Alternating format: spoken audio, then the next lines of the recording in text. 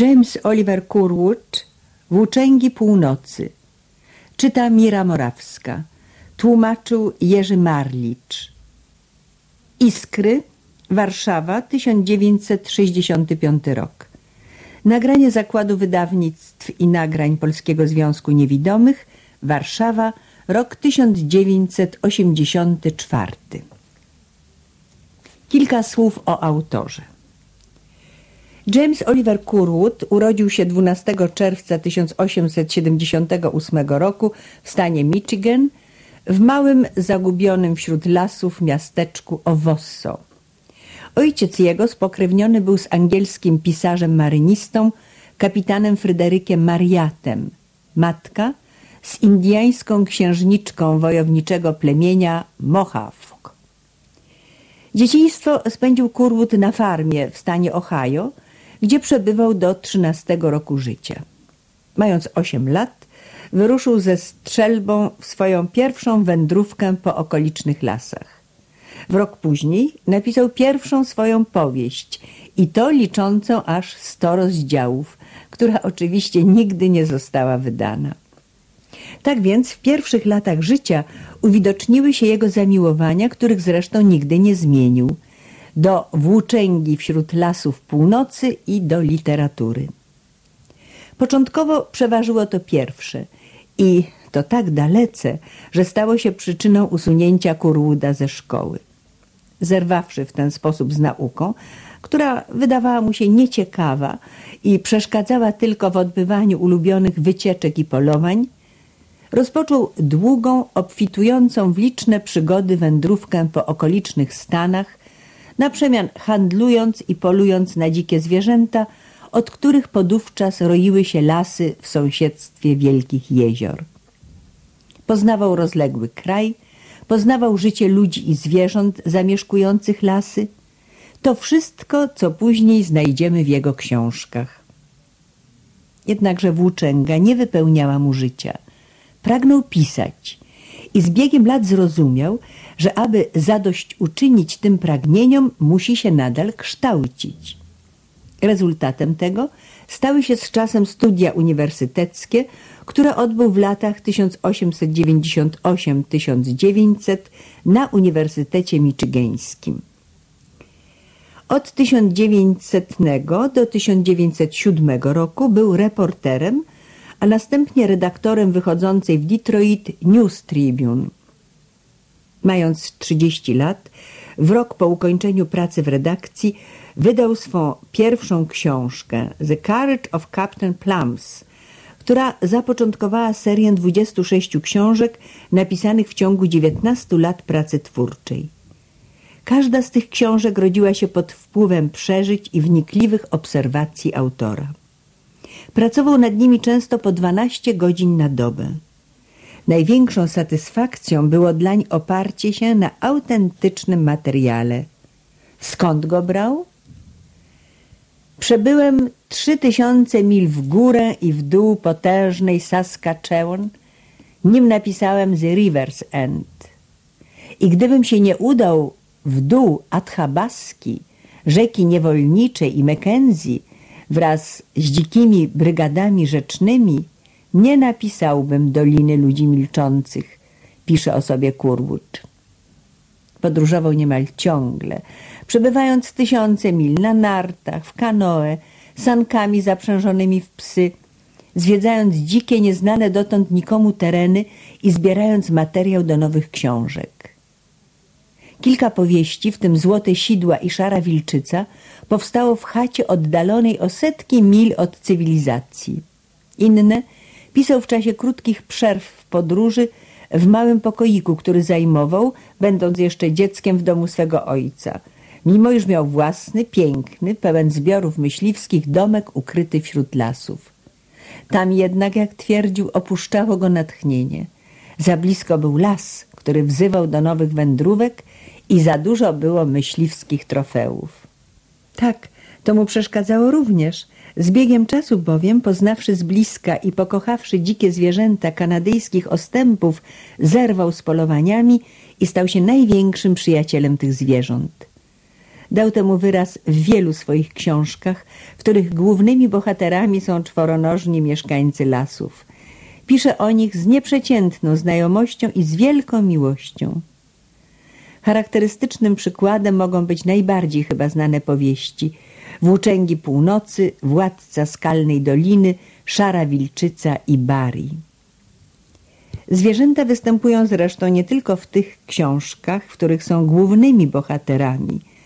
Wszystkie powieści Kurwuda dotyczą północy i we wszystkich spotyka się bogatą kolekcję postaci ludzi i zwierząt zamieszkujących te tereny. Wszystkie książki cechuje miłość do rodzinnego kraju i podniecający nastrój przygody. Ludzie, o których pisze, polują, kopią złoto, są, jak mówią same tytuły powieści, prawdziwymi łowcami wilków i łowcami złota. Życie ich wśród ogromnych, pustych przestrzeni śnieżnych pełne jest przeżyć dramatycznych, występujących tam wskutek surowych warunków życia ze specjalną wyrazistością. Typowym przykładem takich powikłań są Najdziksze serca, powieść o ludziach z północnych regionów Kanady, traperach, policjantach, zbrodniarzach i zakochanych. Książka ta, odznaczająca się wyjątkowo wartką akcją, niepozbawiona jest prawd psychologicznych, cechujących zresztą większość książek Kurwuda. Kurwud pisze tylko o takich rzeczach, które są mu najlepiej znane. Mówi jego długoletni przyjaciel, wydawca jego wielu książek, Ray Long. Ta znajomość przedmiotu, głębokie zainteresowanie się tematem i szukanie autentycznego materiału chronią Kurwuda przed płytkością i powierzchownością, najczęstszymi wadami literatury typu sensacyjno-przygodowego. Niechęć do polowań, do mordowania zwierząt, jak to sam określał, ogarnęła Kurwuda na kilkanaście lat przed śmiercią i wiązała się z niechęcią do barbarzyństwa w ogóle – a w szczególności do wojny. Dał temu wyraz, odmawiając wyjazdu na front do Europy w latach 1917-1918, chociaż rząd kanadyjski mianował go korespondentem wojennym. Śmierć zaskoczyła Kurwuda nagle, przy pracy nad powieścią Green Timber. Zmarł na zakażenie krwi 13 sierpnia 1927 roku w swym rodzinnym Owosso. Był już wówczas pisarzem znanym nie tylko w swoim własnym kraju, lecz i daleko poza jego granicami. Jego credo literackie, zawarte w paru zdaniach, brzmi Przyroda jest moją religią. To też moim życzeniem, ambicją, wielkim celem, który pragnę osiągnąć jest przeniesienie czytelników w samo jej serce. Kocham przyrodę i czuję, że i oni będą musieli ją pokochać, jeśli tylko uda mi się zapoznać ich ze sobą. Andrzej Koskowski. Włóczęgi północy. Niua. W końcu marca gdy księżyc stał w ostatniej kwadrze, Niua, czarny niedźwiadek, po raz pierwszy naprawdę zobaczył świat. Jego matka, stara niedźwiedzica, jako osoba w podeszłym wieku, cierpiała na reumatyzm i lubiła długo sypiać. Tej zimy więc, zamiast uciąć zwykłą trzymiesięczną drzemkę, spała całe cztery miesiące – a co za tym idzie, Niua, urodzony w czasie snu matki, miał nieco ponad dwa miesiące zamiast sześciu tygodni, gdy wreszcie opuścili legowisko. Nuzak wyszukała odpowiednie leże w jaskini położonej u szczytu wysokiego, pozbawionego roślinności zbocza. Stamtąd Niua po raz pierwszy spojrzał w dolinę. Wyszedłszy z ciemnej jamy na zalany słońcem przestwór, chwilę był oślepiony zupełnie. Usłyszał i wyczuł wiele rzeczy, nim je zobaczył.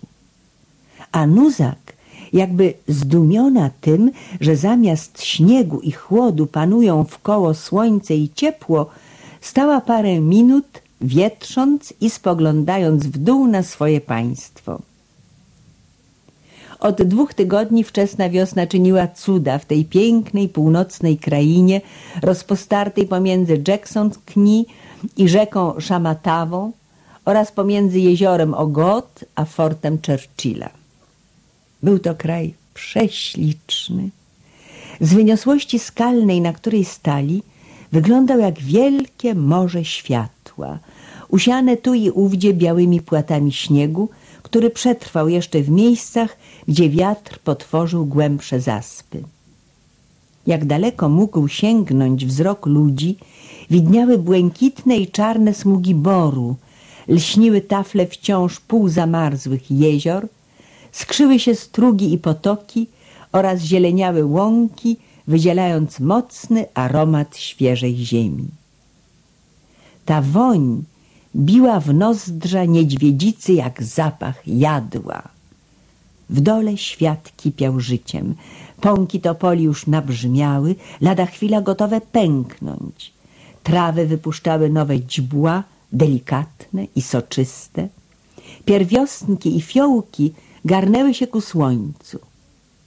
Nuzak węszyła z doświadczeniem nabytym w ciągu dwudziestu lat życia, chłonąc rozkoszny aromat jodeł i cedrów, wilgotną, słodką woń dzikich lilii płynącą z pobliskich moczarów oraz górujący ponad wszystkim mocny oddech ziemi. Niła drżał i dygotał pełen zdziwienia. Przed chwilą jeszcze pogrążony w mroku znalazł się nagle w krainie czarów. W ciągu tych paru minut przyroda dokonała nad nim swego dzieła. Nie miał życiowego doświadczenia, ale urodził się obdarzony określonym instynktem. Wiedział, że to jest jego świat, że słońce i ciepło są dla niego, a słodkie dary ziemi stanowią plon jego dziedzictwa. Zmarszczył brunatny nosek i wciągał powietrze, łowiąc wonie wszelkich rozkoszy, o jakich warto było marzyć. Nasłuchiwał. Stojące uszki wyciągnął ku przodowi i chwytał szelesty zbudzonej ziemi. Nawet dźbła traw musiały chyba nucić radośnie, bowiem wzdłuż i wszerz całej doliny brzmiała cicha, śpiewna melodia kraju pełnego szczęścia, że nie stąpa po nim noga ludzka. Wszędzie unosił się harmonijny poszum wody, a łączyły się z nim inne dźwięki wieszczące rozkwit życia – świergot skalnego wróbla, srebrzysta aria drozda polatującego nad mokradłem – rozdygotany hejnał wspaniale barwionej sujki kanadyjskiej, szukającej wśród aksamitnej gęstwy świerków odpowiedniego miejsca na uwicie gniazda. Nagle Niua zadrżał, usłyszawszy wysoko nad głową ostry krzyk. Instynkt przestrzegł go, że w tym krzyku czai się groźba. Nuzak spojrzała w górę i zobaczyła cień upiska, wielkiego orła, który ważył się na rozpiętych skrzydłach między ziemią a słońcem. Niua dostrzegł go również i przylgnął do matki.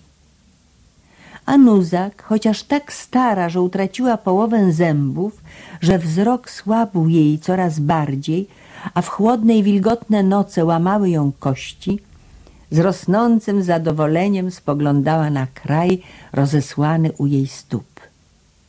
Myśl jej wybiegała poza obręb doliny. Kiedyś za murem borów, za najdalszym jeziorem, za rzeką i łąką leżały bezkresne przestrzenie tworzące jej ojczyznę. Słyszała nieuchwytny dla niuły dźwięk, daleki łoskot wielkiego wodospadu ten łoskot właśnie i szept tysięcy stróżek wody złączony z miękkim szmerem wiatru wśród iglastych konarów stanowiły gęćbę wiosny. Wreszcie Nuzak westchnęła głęboko i mruknąwszy w stronę Niuły, jęła wolno schodzić drogą między skałami w dół zbocza. W dolinie było jeszcze cieplej niż u szczytu góry. Nuzak szła prosto nad krawędzie błot. Pół tuzina ptaków porwało się do lotu, trzepocąc skrzydłami i Niua o mało się nie przewrócił ze strachu. Nuzak ani drgnęła.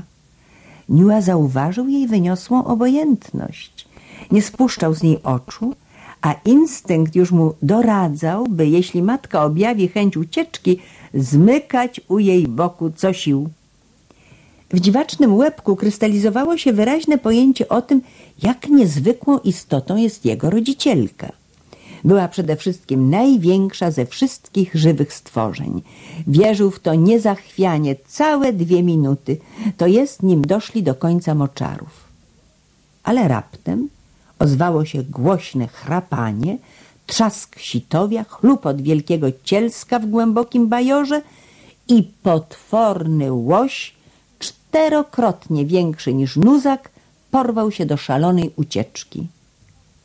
Oczy Niuły niemal wylazły z orbit, a nuzak i na to nie zwróciła najmniejszej uwagi. Więc Niua zmarszczył maleńki nosek i warknął groźnie. Tak samo jak warczał w głębi mrocznej pieczary, bawiąc się futrem nuzak lub kawałkami suszu. Pojął wspaniałą prawdę. Może drwić z wszelkich istot, choćby największych, każdy umyka bowiem przed nuzak jego matką. Przez cały dzień Niua czynił wiele odkryć i z każdą chwilą upewniał się coraz bardziej, że jego matka jest bezsprzeczną władczynią tej nowej słonecznej krainy. Nuzak była starą, mądrą rodzicielką, która wychowała już 15 do 18 pokoleń niedźwiadków. To też w pierwszym dniu wędrówki nie chodziła zbyt wiele, dbając o to, by miękkie podeszwy łapek niuły mogły stopniowo twardnieć. Nie porzucali prawie mokradeł i odwiedzili jedynie pobliską kępę drzew, gdzie Nuzak pazurami rozdarła korę sosny, umożliwiając dostęp do soczystego miąższu pnia i słodkiej żywicy. Niua, najadszy się wprzód korzeni i kłączy, rozkoszował się tym deserem, po czym spróbował o własnych siłach rozdrapać korę innego drzewa. Po południu Nuzak była tak nażarta, że boki jej spęczniały, a Niua obchany matczynym mlekiem i rozliczną strawą dodatkową wyglądał jak baryłka. Stara leniwa niedźwiedzica wynalazła teraz skalny złom, silnie ogrzany słońcem i legła pod nim na krótką drzemkę. Niła zaś, kręcąc się tu i ówdzie w poszukiwaniu nowych wrażeń, znalazł się nagle oko w oko z krwiożerczym potworem. Był to ogromny leśny żuk, długi na dwa cale. Jego bojowe kleszcze, czarne niby smoła, wyglądały jak żelazne haki. Miał piękny, brunatny przyodziewek, a metaliczny pancerz lśnił w słońcu niby wykuty z miedzi. Niła spłaszczony na brzuszku gapił się z mocno bijącym sercem. Żuk oddalony zaledwie o pół metra sunął naprzód. To właśnie było niezwykłe i gorszące. W ciągu całego dnia zdarzyło się po raz pierwszy, że napotkana żywa istota nie ratowała się ucieczką. Żuk, zbliżając się za pomocą dwóch rzędów nóżek, wydawał ostry chrzęst, który Niua słyszał całkiem wyraźnie. Przemówiła w nim raptem wojownicza krew ojca, wspaniałego Suminitika, nagląc do czynu. Wyciągnął więc niepewną łapkę, a żuk Cigeweze w jednej chwili przybrał straszliwy wygląd. Skrzydła jego zawirowały z brzękiem, rozwarł szczypce tak szeroko, że mógłby nimi objąć ludzki palec i począł się kołysać na wszystkie strony, jak gdyby tańcząc. Niua śpiesznie cofnął łapkę, a Cigeweze uspokoił się po chwili i znowu sunął naprzód. Niua nie wiedział oczywiście, że wzrok żuka sięga zaledwie o cztery cale poza czubek jego nosa. To też sytuacja wydawała mu się okropna. Żaden z synów Suminitika nie był jednak tchórzem, nawet wtedy, gdy liczył niespełna dziesięć tygodni. Pełen rozpaczliwej odwagi, Niua ponownie wyciągnął łapkę i niefortunnie jednym pazurkiem ujął żuka w pół, przyciskając go lśniącym pancerzem do ziemi tak mocno, że Cigeweze nie mógł ani buczeć, ani chrzęścić. Niua uradował się niepomiernie. Cal za calem przyciągał bliżej łapkę, aż żuk znalazł się tuż u jego mordki. Wtedy powąchał go. Nadeszła chwila odwetu. Cigeweze zacisnął skrzypce i drzemka Nuzak została przerwana nagłym, rozpaczliwym wrzaskiem Niuły. Gdy uniosła łeb, niedźwiadek tarzał się po ziemi jak ogarnięty szałem, wiercił się, rzucał i wył. Nuzak patrzała chwilę uważnie, potem wolno wstała i podeszła bliżej. Wielką łapą obróciła syna na grzbiet i zobaczyła żuka mocno i uparcie uczepionego noska niuły. Wtedy, przytrzymując niedźwiadka tak silnie, by nie mógł się ruszyć, ujęła żuka zębami, nadgryzła lekko, a gdy rozluźnił chwyt, połknęła go. Niła aż do zmierzchu leczył zbolały nosek. Nieco przed zachodem słońca Nuzak legła pod skałą, a Niła spożył kolację. Potem umościł sobie gniazdo w zgięciu jej wielkiej łapy. Choć nosek mu dolegał, był bardzo szczęśliwym niedźwiadkiem. Wyszedł wreszcie na szeroki świat, zobaczył dużo rzeczy i chociaż niewiele zdobył, chwalebnie spędził swój pierwszy dzień.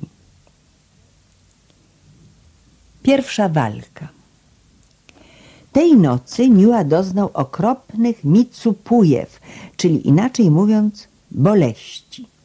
Wyobraźcie sobie małe dziecko żywione wyłącznie mlekiem, któremu by raptem dano bewsztyk. Tak się właśnie stało z Niuą. Normalnie biorąc, dopiero za miesiąc powinien był spróbować stałych pokarmów, ale przyroda zaprawiała go zawczasu do ciężkiej i nierównej walki, którą miał wkrótce podjąć. Długie godziny Niua narzekał i płakał, a Nuzak rozcierała mu nosem wzdęty brzuszek. Wreszcie niedźwiadek dostał wymiotów i poczuł się lepiej. Potem usnął. Gdy zbudził się, wlepił zdumione ślepki w ogromne płonące ognisko. Wczoraj słońce było złote i bardzo odległe. Dzisiaj Niua widział je po raz pierwszy wychodzące nad krawędź świata. Czerwieniało niby krew i w miarę jak patrzył, mknęło ku górze szybko, a bezustannie, aż przybrało kulistą formę, ogromne, okrągłe, coś. W pierwszej chwili pomyślał, że to jest samo życie. Groźny potwór szybujący ku nim ponad lasem i z trwożnym piskiem przytulił się do matki. Nuzak jednak nie okazywała lęku. Zwróciła w stronę słońca olbrzymi łeb i mrużyła ślepia z rozkosznym zadowoleniem. Zresztą Niła uczuł również przyjemne ciepło bijące od purpurowej kuli i mimo pewnego zdenerwowania przyglądał się jej w dalszym ciągu. Słońce z czerwonego stało się wkrótce złote, a dolina tonąca w blaskach jęła znów pulsować życiem. Nuzak pozostała jeszcze w pobliżu urwiska i błot całe dwa tygodnie. Wreszcie, gdy Niua ukończył trzeci miesiąc, zwróciła pysk w kierunku dalekich czarnych borów i rozpoczęła letnią wędrówkę. Łapki Niuły utraciły nadmierną wrażliwość, a ważył już dobre sześć funtów. Prawdziwe przygody Niuły rozpoczęły się dopiero teraz. W ciemnych i tajemniczych leśnych ostępach tu i ówdzie leżał jeszcze śnieg, więc całe dwa dni niedźwiadek tęsknił i płakał za ciepłą i słoneczną doliną. Gdy minęli wodospad, Niua ujrzał po raz pierwszy rwący nurt wody. Bór wkoło nich stawał się coraz bardziej ponury i mroczny. Tu Niua wziął pierwszą lekcję łowów. Nuzak bobrowała między Jackson Kni i rzeką Szamatawą, zwiedzając doskonałe wiosną myśliwskie tereny. O ile nie morzył jej sen, była niestrudzona w poszukiwaniu żywności, ryjąc bez ustanku ziemię, odwracając głazy i rwąc w strzępy zmurszałe kłody i pnie drzew. Popielate myszki leśne, choć tak małe, stanowiły podstawowe danie i Niua nie mógł się nadziwić, jak zręczną i obrotną okazywała się jego ciężka, stara mama, gdy szło o pojmowanie któregoś z tych stworzonek. Nieraz udało się jej złowić całą rodzinę gryzoniów. Jadła również na pół jeszcze senne żaby, mrówki na pozór martwe, ukryte w zbutwiałych pniach, a czasem osy pszczoły lub szerszenie. Niua próbował niejednokrotnie tych lub owych przysmaków. Trzeciego dnia podróży Nuzak odnalazła gromadę zimujących mrówek, spojonych mrozem w twardy blok wielkości dwu ludzkich pięści. Niua pochłonął ich sporą ilość, a łagodny kwas tej potrawy ogromnie przypadł mu do smaku. W miarę jak mijały dnie, a różne żyjące stworzenia wyrajały się spod pni i skał, Niua poznał rozkoszny dreszcz samodzielnych łowów. Napotkał znów leśnego żuka i zabił go tym razem. Zabił leśną myszkę. Szybko rozwijał się w nim wojowniczy instynkt ojca wspaniałego Suminitika, który żył o cztery lub trzy doliny dalej na północ i nigdy nie opuścił okazji do zwady. Mając cztery miesiące, było to pod koniec maja, Niua jadł wiele rzeczy, które wyprawiłyby na tamten świat większość jego rówieśników. Od czubka nosa począwszy po krótki, puszysty ogonek nie miał na sobie ani jednej żółtej łaty. Ważył dziewięć funtów i był czarny jak smoła. Niezwykły dramat, będący niejako początkiem wielkiej przemiany w życiu Niuły, zdarzył się w pierwszych dniach czerwca. Pogoda była tak ciepła i rozmarzająca, że Nuzak natychmiast po obiedzie udała się na zwykłą popołudniową drzemkę. Las nizinny został już poza nimi. Znajdowali się teraz w dolinie, której środkiem biegł płytki, kręty strumień, opasując piaszczyste mielizny i żwirowe pagórki. Niła nie czuł do snu najmniejszej ochoty. Mniej niż kiedykolwiek miał zamiar marnować wspaniałe popołudnie na zbędny wypoczynek. Wytrzeszczał na świat okrągłe ślepki i wydawało mu się, że świat go woła. Spojrzał na matkę i pisnął cicho. Wiedział z doświadczenia, że przez długi szereg godzin Nuzak ani drgnie, chyba że połaskocze ją w pięty albo pociągnie za ucho, a i w ten czas wyda jedynie groźny pomruk. Miał tego stanowczo dosyć. Tęsknił do silniejszych wrażeń i powziąwszy nagłe postanowienie, ruszył naprzód w poszukiwaniu przygód. Wśród wielkiej złoto-zielonej przestrzeni wyglądał jak czarny kłębuszek, tyle niemal szeroki, co długi. Dobrnął do strumienia i obejrzał się. Wciąż jeszcze widział mamę. Potem zagłębił łapki w białym, miękkim piasku długiej wydmy usypanej wzdłuż koryta i zapomniał o nuzak. Doszedł do końca wydmy i wkroczył na łąkę pokrytą zieloną, aksamitną trawą. Tu zaczął przewracać mniejsze kamienie, polując na mrówki. Po chwili wielki, śnieżny królik Wapus porwał się niemal spod jego mordki, więc gonił za nim, aż uczyniwszy tuzin ogromnych susów, Wapus znikł w pobliskiej gęstwinie. Niła zmarszczył nosek i skrzeknął gniewnie. Nigdy jeszcze krew Suminitika nie płynęła w nim tak bujną falą. Pragnął dokonać wielkich czynów. Włóczęgi północy, taśma pierwsza, koniec ścieżki pierwszej. Włóczęgi północy, taśma pierwsza, ścieżka druga. Po raz pierwszy w życiu tęsknił za walką.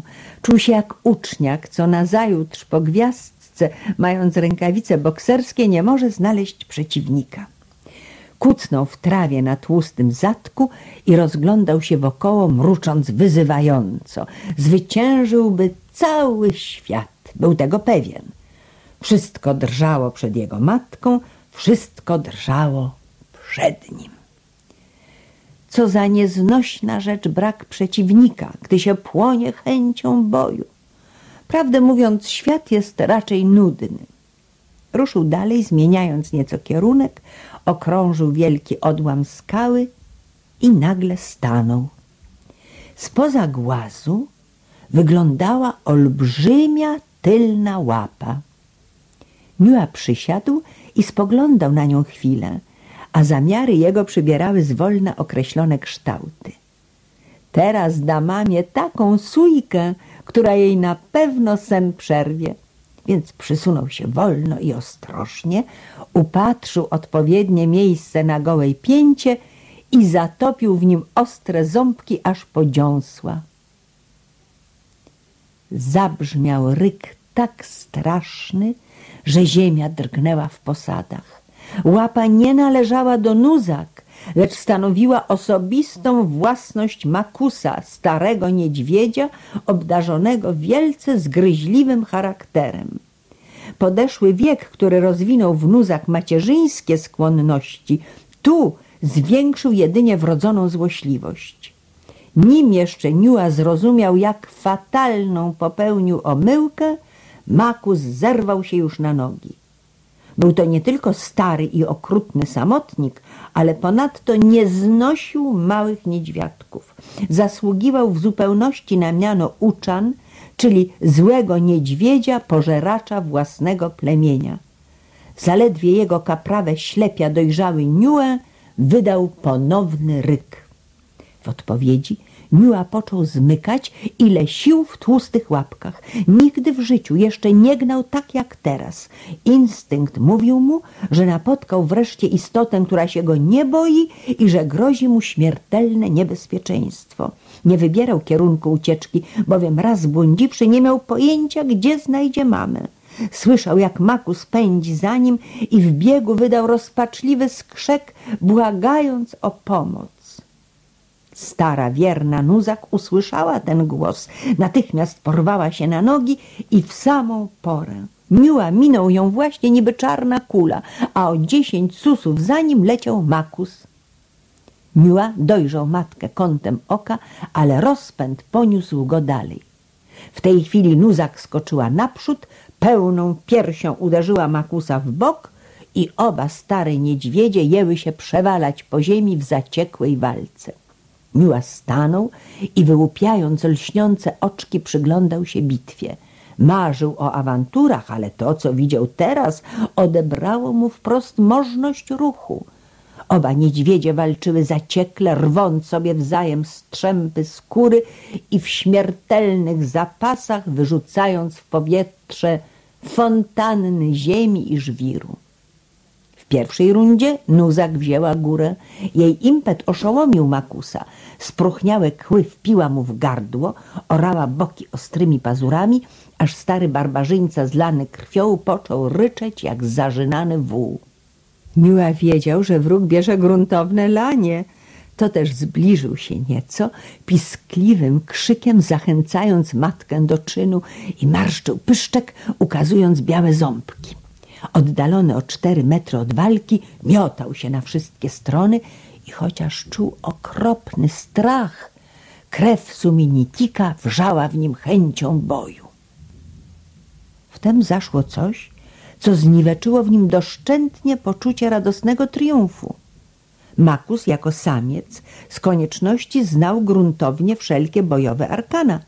To też raptem oswobodził się z objęć nuzak, rzucił nią o ziemię i począł tak zaciekle obrabiać jej boki, że stara niedźwiedzica wydała rozpaczliwy ryk, a serce Niuły skamieniało ze zgrozy.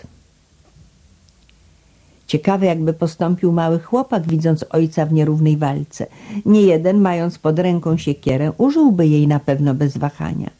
Poczucie, że inny ojciec jest silniejszy niż swój własny, może wywołać prawdziwą tragedię. Niua posiadał sporo ludzkich cech. Im głośniej ryczała jego matka, tym silniej odczuwał grożącą katastrofę. Choć Nuzak straciła z wiekiem część dawnych sił, wciąż jeszcze miała niezwykle donośny głos i jej lamenty rozlegały się przynajmniej na pół mili wokoło. Niua nie mógł już ustać w miejscu. Pijany wściekłością runął w wir walki. Szczęśliwie trafił mordką na palec należący do jednej z łap makusa i zatopił w nim ząbki jak rząd kościanych iglic.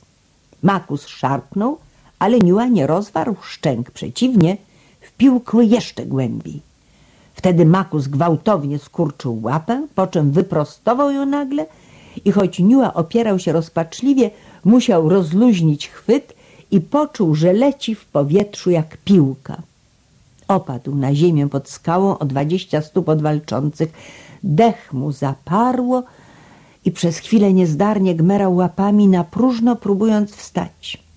Wreszcie oprzytomniał, odzyskał wzrok, a w ten czas to, co ujrzał, podnieciło go znów do najwyższych granic.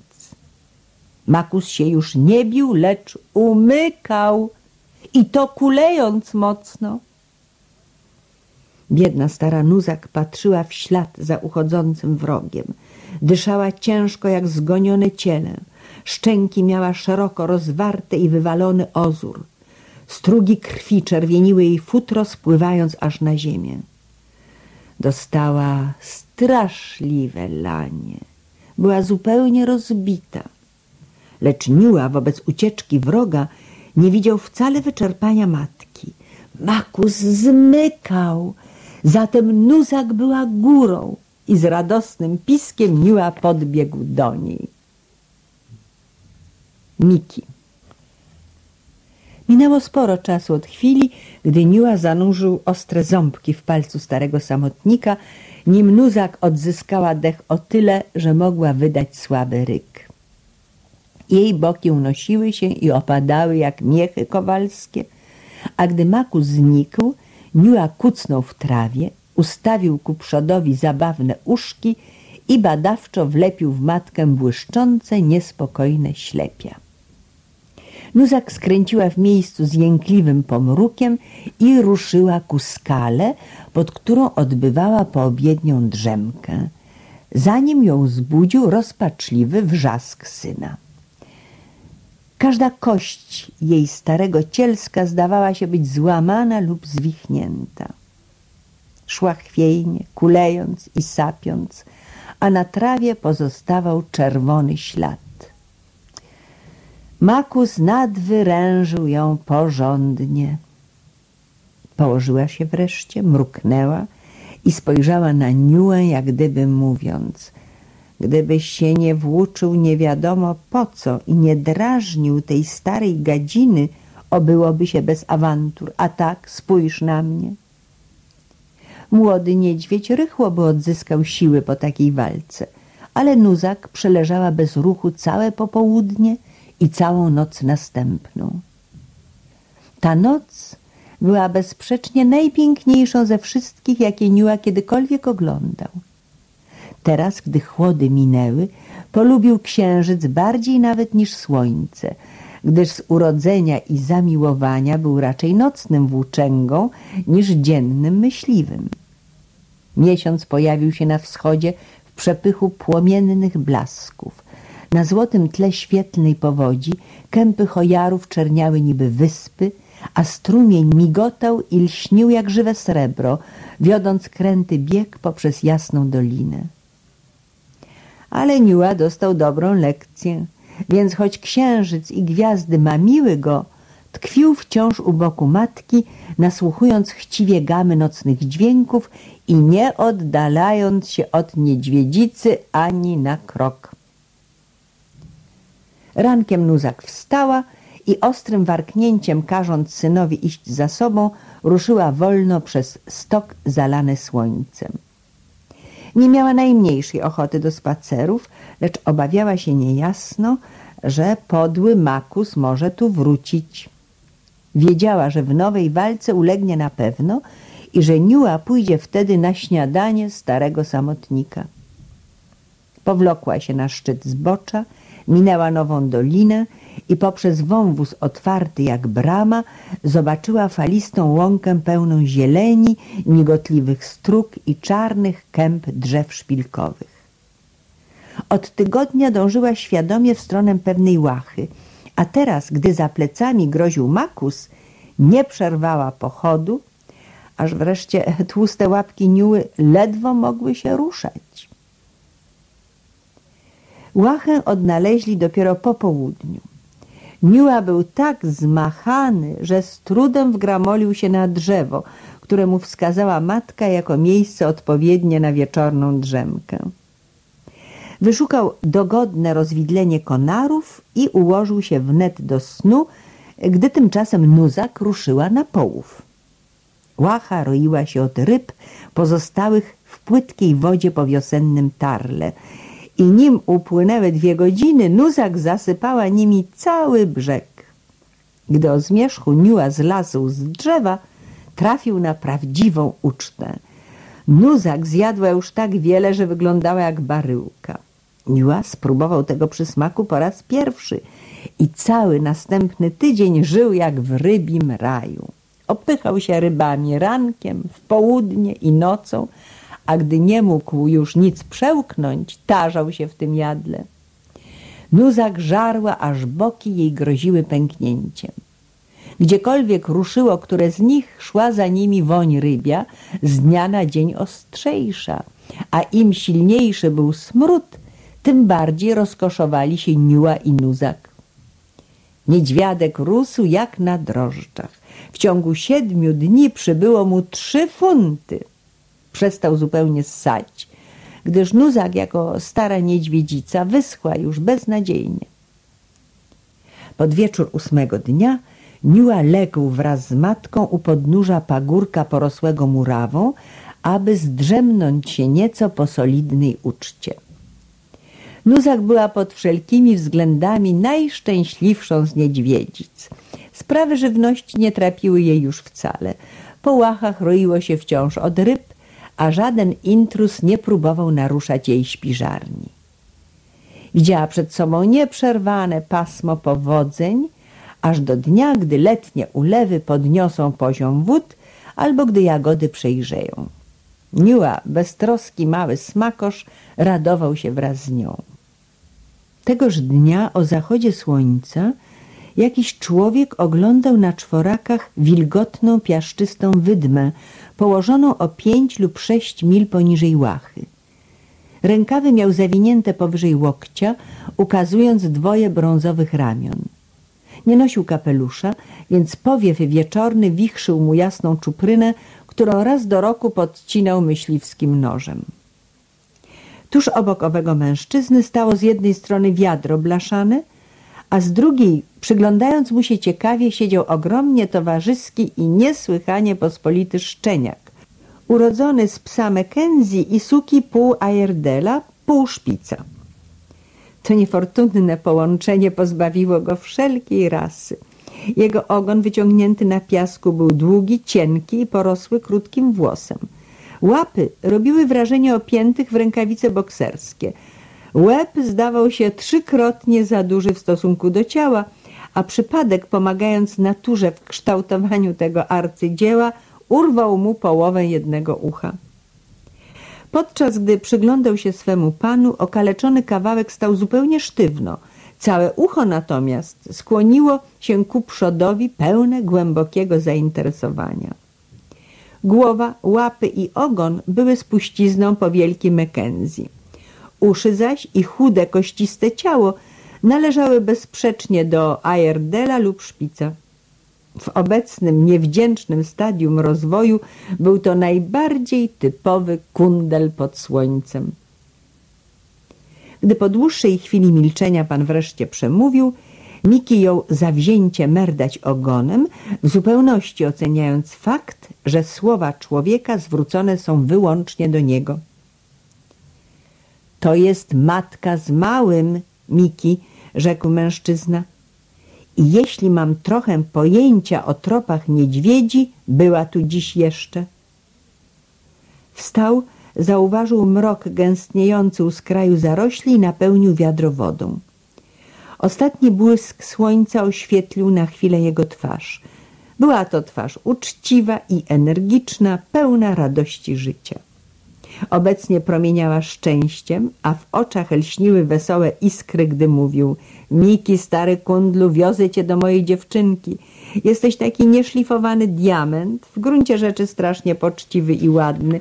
To też wiem, że cię pokocha. To moja siostra, wiesz? Ach, żebym jeszcze mógł wziąć z sobą tego niedźwiadka. Gwizdnął i niosąc wiadro z wodą, ruszył w stronę niewielkiej kępy drzew położonej o sto yardów dalej. Miki deptał mu po piętach. Czeloner, jeden z nowych agentów wielkiej kompanii Zatoki Hudsona, rozbił obóz nad rzeką opodal Łachy. Cały jego dobytek składał się ze zniszczonego namiotu, jeszcze bardziej zniszczonego czółna oraz szczupłej ilości zapasów. Doświadczone oko leśnego bywalca wyczytałoby tu niejedną ciekawą rzecz. Był to ekwipunek człowieka, który nieustraszenie zwiedzał najdziksze zakątki świata. Do przedmiotów, które niemal cały rok towarzyszyły mu w jego wędrówkach, Czeloner przywiązał się prawie jak do ludzi. Łódź była zniszczona, wytarta i brudna. Dym i ulewy szargały namiot, aż stał się koloru rdzy. A wór z żywnością zawierał już tylko resztki prowiantów. Ponad niewielkim ogniskiem wisiały dwa garnki, a tuż obok żaru stała krzywa i łatana patelnia, na której rumienił się benok sporządzony z wody i mąki. W jednym z garnków wrzała kawa, w drugim gotowała się ryba. Miki przysiadł na kanciastym pośladku tak chytrze, by woń ryby biła mu wprost w nozdrza. Odkrył niegdyś, że obok jedzenia wąchanie dobrych rzeczy stanowi największą przyjemność. I gdy śledził ruchy Czelonera przygotowującego posiłek, oczy lśniły mu jak żużle i co chwila oblizywał się nerwowo, chciwie przełykając ślinę. Imię swe zawdzięczał właśnie wrodzonej żarłoczności. Był stale głodny i zdawał się mieć wiecznie pusty brzuch, choćby nie wiem ile jadł. Stąd jego nazwa Miki, co po indiańsku znaczy bęben. Gdy zjedli rybę i benok, Czeloner zapalił fajkę i wyjawił swoje zamysły. Jutro ruszę za tym niedźwiedziem, rzekł. Miki, zwinięty w kłębek opodal gasnących głowni, machnął energicznie ogonem na znak, że słucha. Niedźwiadek będzie do pary z tobą i dziewczynka zwariuje z radości. Miki jeszcze mocniej uderzył o ziemię ogonem. Doskonale zdawał się mówić. Bo pomyśl tylko, ciągnął Czeloner, patrząc ponad głową psa, a wędrując myślą o tysiące mil. Po czternastu miesiącach wracam nareszcie do domu. Ciebie i niedźwiadka przeznaczam jako upominek dla siostry. Rad jesteś, prawda? Nie widziałeś jej zresztą nigdy, stary kundlu, bo inaczej nie gapiłbyś się na mnie jak wypchana kukła. Twój głupi łebek nie może sobie nawet wyobrazić, co to za ślicznotka. Oglądałeś dzisiejszy zachód słońca? Tak? Otóż ona jest jeszcze ładniejsza. Czy masz coś do powiedzenia, Miki? Bo jeśli nie, to zmówmy pacierz i chodźmy spać. Czeloner wstał i przeciągnął się. Trzasnęły stawy, fala życia kipiała w nim radośnie. A Miki, który aż do tej chwili niezmordowanie poruszał ogonem, wstał również i w ślad za panem wszedł do namiotu. Był szary, wczesny świt wiosennego poranka, gdy Czeloner ukazał się znów i naniecił ogień. Miki wylazł z namiotu w chwilę później, a jego pan opasał mu szyję rzemieniem, po czym przywiązał go do drzewa. Potem wziął pusty worek zawierający dawniej żywność i za pomocą sznura umocował go sobie na ramionach jak plecak. Zaledwie błysnął pierwszy promień słońca, gotów już był wyruszyć śladem Niuły i jego matki. Miki, widząc, że pan go opuszcza, wydał melancholijny skowyt, a gdy Czeloner obejrzał się, szczeniak skakał i wił się na końcu smyczy jak rozklekotany pajac. Myśliwy pozostawił już obóz o ćwierć mili za sobą, a jeszcze słyszał rozpaczliwy lament psa. Czeloner ruszał na polowanie bynajmniej nie dla przyjemności, ani też dlatego wyłącznie, by zdobyć niedźwiadka. Potrzebował mięsa, a pieczeń niedźwiedzia jest wiosną znakomita. Przede wszystkim zaś chodziło mu o zapas tłuszczu. Wiedział, że jeśli ubije tę niedźwiedzicę, starczy mu żywności do końca drogi. Dochodziła ósma, gdy znalazł pierwsze bez wątpienia świeże ślady Niuły i Nuzak. Było to w miejscu, gdzie przed czterema dniami Nuzak łapała ryby i gdzie wróciła wczoraj z małym, by zjeść dojrzałą zdobycz. Czeloner promieniał. Nie wątpił, że znajdzie zwierzęta nad wodą i to gdzieś w pobliżu. Wiatr mu sprzyjał, więc ostrożnie sunął naprzód, trzymając broń w pogotowiu. Szedł tak godzinę, powoli, lecz bez przerwy, łowiąc uchem każdy chrzęst lub dźwięk i unosząc niekiedy ku górze zwilżony palec, by się upewnić, że wiatr nie zmienił kierunku. Zresztą spryt człowieka i zręczność grały tu małą rolę. Okoliczności pomagały mu znakomicie. W kotlinie, gdzie rzeka dzieliła się na tuzin mniejszych strug, a woda bulgotała wśród piaszczystych wytym i żwirowych mielism, Niuła i Nuzak węszyli leniwie, poszukując raków, mających stanowić ich śniadanie. Zdaniem Niuły świat nigdy jeszcze nie był tak piękny. Słońce puszyło mu na grzbiecie miękkie futerko. Lubił nurzać stopy w wilgotnym piasku i słyszeć śpiewny szum wody omywającej mu łapki. Lubił wszystkie otaczające dźwięki. Oddech wiatru, szept rozchwianych gałęzi, plusk fali, nawoływanie skalnych królików, świergot ptaków, a ponad wszystko niski, mrukliwy głos matki. Nuzak pierwsza wyczuła grożące im niebezpieczeństwo. Nagły skręt wiatru przyniósł jej woń człowieka. Skamieniała. Nosiła wciąż jeszcze na łopatce ślad głębokiej rany, otrzymanej parę lat temu. Wtedy właśnie wraz z ostrym bólem przeniknął jej świadomość zapach dwunogiej istoty, jedynej, przed którą czuła lęk. W ciągu trzech lat ani razu nie zwęszyła ludzkiej obecności i zapomniała już niemal o istnieniu tego wroga. Teraz powiew wiatru rzucił jej w nozdrza straszną woń z tak bliska, że na razie straciła możność ruchu. W tej chwili Niua również odgadł bliskość niebezpieczeństwa. O sto metrów od Czelonera stał bez ruchu, jak czarna plama na tle białej wydmy. Wlepiał oczy w matkę, a wrażliwym noskiem starał się wyczuć grozę wiszącą w powietrzu.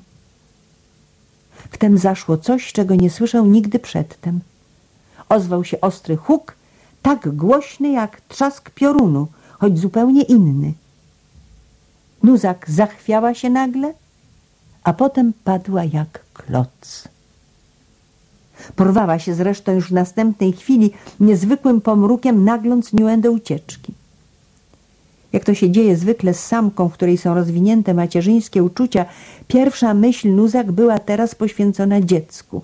Wyciągnąwszy łapę, trąciła nią silnie niedźwiadka i Niua ruszył cwałem w kierunku najbliższych zarośli. Nuzak rwała za nim. Huknął drugi strzał i kula świsnęła tuż nad jej głową.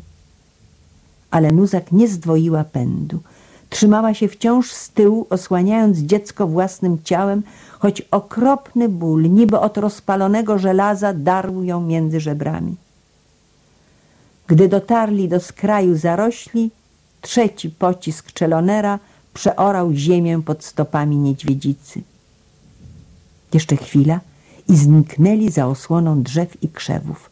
Instynkt kierował kroki Niuły w stronę największej gęstwy, a tuż za nim Nuzak resztką gasnących sił nagliła go do pośpiechu. W starym mózgu gęstniał mrok, zaciemniając oczy. Wiedziała już, że oto nadchodzi kres jej wędrówki. Mając za sobą dwadzieścia lat życia, pragnęła teraz przedłużyć je choć o parę chwil. Zatrzymała niedźwiadka u stóp gęstego cedru i jak to już czyniła niejednokrotnie, kazała mu leść w górę. Jej ciepły język w ostatniej pieszczocie musnął małą mordkę. Potem zawróciła w kierunku wroga, by wydać ostatni w życiu bój. Powlokła się naprzeciw Czelonera, o piętnaście stóp od drzewa, na którym siedział Niua, stanęła ze zwieszonym łbem, oczekując napastnika. Boki jej unosiły się i opadały gwałtownie, oczy mętniały coraz bardziej, aż z wielkim westchnieniem runęła na mech, przegradzając człowiekowi drogę. Może jeszcze przez chwilę oglądała złote księżyce i płomienne słońca minionych dwudziestu lat. Może delikatna, słodka gęćba wiosny grała jej znowu starą pieśń życia, dając bezbolesny skon w zamian za tylokrotne, nienaganne macierzyństwo. Gdy Czeloner stanął nad nią, była już martwa. Z kryjówki w rozwidleniu konarów Niua spoglądał w dół na pierwszy wielki dramat swego życia i na zbliżającego się człowieka. Widok dwunogiego potwora przeraził go tak, że jeszcze silniej przytulił się do drzewa, a małe serduszko kołatało w nim jak szalone. Nie zastanawiał się wcale. Instynkt mówił mu, że zaszło coś strasznego i że przyczyną tragedii jest ów dwunogi zwierz. Dziwił się, dlaczego Nuzak nie rusza do walki z nowym wrogiem. Pomimo ogromnego przerażenia gotów był ukazać zęby, byle matka zechciała się zbudzić. Gotów był zleść z drzewa i pomóc jej tak, jak pomagał w czasie bitwy ze starym samotnikiem. Ale kiedy Czeloner pochylił się nad niedźwiedzicą, nie drgnął ani jeden mięsień jej wielkiego cielska, była sztywna jak głaz. Twarz Czelonera płonęła radością. Konieczność uczyniła zeń zabójcę. Widział przed sobą wspaniałe futro i zapas mięsa wystarczający na całą drogę. Oparł karabin o drzewo i jął się rozglądać, szukając niedźwiadka. Doświadczenie mówiło mu, że ten jest gdzieś w pobliżu, więc począł szperać w otaczających zaroślach i wpatrywać się w korony chojarów. Wtulony w rozwidlenie gałęzi, okryty zasłoną igliwia, Miła kurczył się jak mógł, by go nie znaleziono. Po upływie pół godziny Czeloner zniechęcony zrezygnował z dalszych poszukiwań i poszedł w kierunku strumienia, by wypić łyk wody.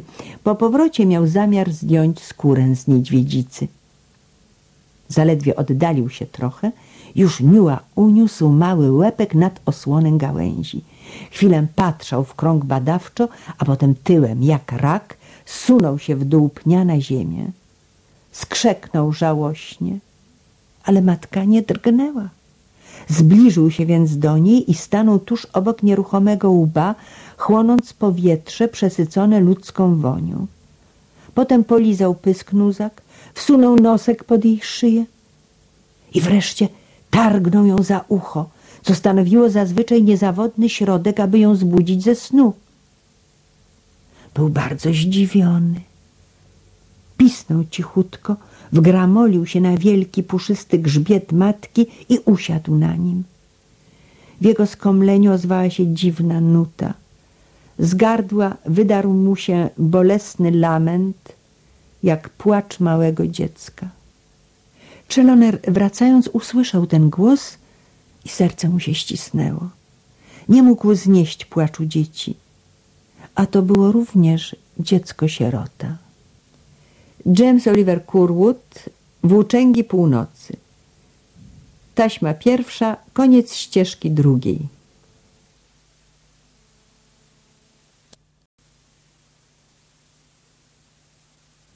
James Oliver Curwood, Włóczęgi Północy Taśma druga, ścieżka pierwsza Ukryty za karłowatą sosną spojrzał na martwą niedźwiedzicę i zobaczył Niua na grzbiecie matki. W swoim czasie zabijał niejednokrotnie, gdyż polowanie i handel futrami, które zdobywali inni, były jego fachem. Ale dotychczas nie widział jeszcze nic podobnego – i poczuł się nagle tak winny, jakby popełnił mord. Strasznie mi przykro, mój ty biedaku, szepnął. Strasznie przykro. Brzmiało to niemal jak prośba o przebaczenie. Zresztą Czeloner miał teraz tylko jedno wyjście. Tak cicho, że niedźwiadek nie złowił najmniejszego szmeru, zatoczył półkole, zbliżając się od strony wiatru znalazł się o parę metrów od Niuły, zanim ten wyczuł niebezpieczeństwo. Wtedy było już za późno. Czeloner błyskawicznie skoczył naprzód i nim Niua zdołał umknąć, narzucił nań worek. Nigdy nie przeżył Czeloner bardziej ruchliwych pięciu minut. Ponad strachem i rozpaczą górowały w niedźwiadku dzika zaciekłość i chęć do walki. Drapał, gryzł, wierzgał i warczał, jak gdyby pięć demonów zasiadło w jednej skórze. Nim Czeloner zdołał umieścić niułem w worku i związać mu rzemień pod szyją, całe ręce miał poszarpane. Niua, choć uwięziony, ryczał i miotał się nadal do zupełnego wyczerpania. Tymczasem Czeloner zdjął skórę z nuzak i wyciął potrzebne kawały mięsa oraz tłuszczu. Oczy mu lśniły, gdy oceniał piękno niedźwiedziego futra. Zawinął w nie mięso i sadło, owiązał wszystko rzemieniem i umocował na własnych plecach. Całość ważyła dobre sześćdziesiąt funtów. Teraz myśliwy wziął w jedną dłoń karabin, a w drugą worek z niedźwiadkiem. Ruszył w drogę zaraz po dwunastej. W obozie stanął niemal o zachodzie słońca. W ciągu całej podróży, nie wyłączając ostatniej pół mili, Niua walczył jak Spartanin. Teraz leżał w worku rozbity i półżywy, a gdy Miki przyszedł go obwąchać, nie zaprotestował nawet. Wszelkie zapachy były mu teraz obojętne i nie rozróżniał wcale poszczególnych dźwięków. Czeloner gonił resztką sił. Bolała go każda kość i każdy mięsień ale na jego spoconej i umazanej twarzy igrał radosny uśmiech. Ty dzielny mały diabliku, rzekł, obserwując nieruchomy worek i po raz pierwszy od południa nabijając fajkę. Ty dzielny bębnie! Opasał szyję Niuły nowym rzemieniem, uwiązał go do drzewa i ostrożnie otworzył worek. Wytrząsnął swego jeńca na ziemię i cofnął się. Jeśli szło o człowieka, Niua gotów był zawrzeć krótki rozejm. Ale gdy wyleciał z worka, jego półoślepłe oczy nie ujrzały na razie Czelonera. Natomiast zobaczył Mikiego. Szczeniak, cały drżący, podniecony i pełen ciekawości, był prawie obok i już, już chciał niedźwiadka powąchać. Małe ślepki niuły błysnęły. Czy ten niezdarny, koślawy towarzysz człowieka jest również wrogiem? Czy jego dziwaczne ruchy i gwałtowne wywijanie ogonem są wyzwaniem do walki? Osądził, że tak. Bądź co bądź, tym razem przeciwnik bardziej odpowiadał mu wzrostem, więc naprężając rzemień, Niua błyskawicznie skoczył na szczeniaka. Miki, przed chwilą jeszcze radosny i pełen dobrych zamiarów, w okamgnieniu znalazł się na grzbiecie, przebierając w powietrzu śmiesznymi łapami i rozpaczliwie wzywając ratunku tak przeraźliwym wrzaskiem, że złota cisza wieczorna zadrgała wnet nieopisanym lamentem. Czeloner oniemiał. W następnej już chwili zresztą gotów był rozdzielić małych zapaśników, ale zaszło coś, co uczyniło jego wystąpienie zbędnym. Niua, stojąc nad Mikim, którego wszystkie cztery łapy uniesione ku górze zdawały się głosić bezwzględną kapitulację, zwolna wyciągnął ząbki ze skóry szczeniaka. Dostrzegł znów człowieka. Instynkt doradzał mu pozostać chwilę bez ruchu. Nie spuszczał okrągłych ślepek z dwunogiej postaci. Miki machnął łapami w powietrzu, zaskomlił cicho, bił twardym ogonem o ziemię i nerwowo oblizując wargi, zdawał się upewniać niedźwiadka, że nie ma bynajmniej zamiaru go krzywdzić. Niua, wpatrzony w czelonera, sapnął wyzywająco. Powoli zlasł ze szczeniaka, a Miki, bojąc się wykonać jakikolwiek ruch, wciąż jeszcze leżał na grzbiecie z łapami w powietrzu. Czeloner cofnął się do namiotu i wyjrzał przez szparę.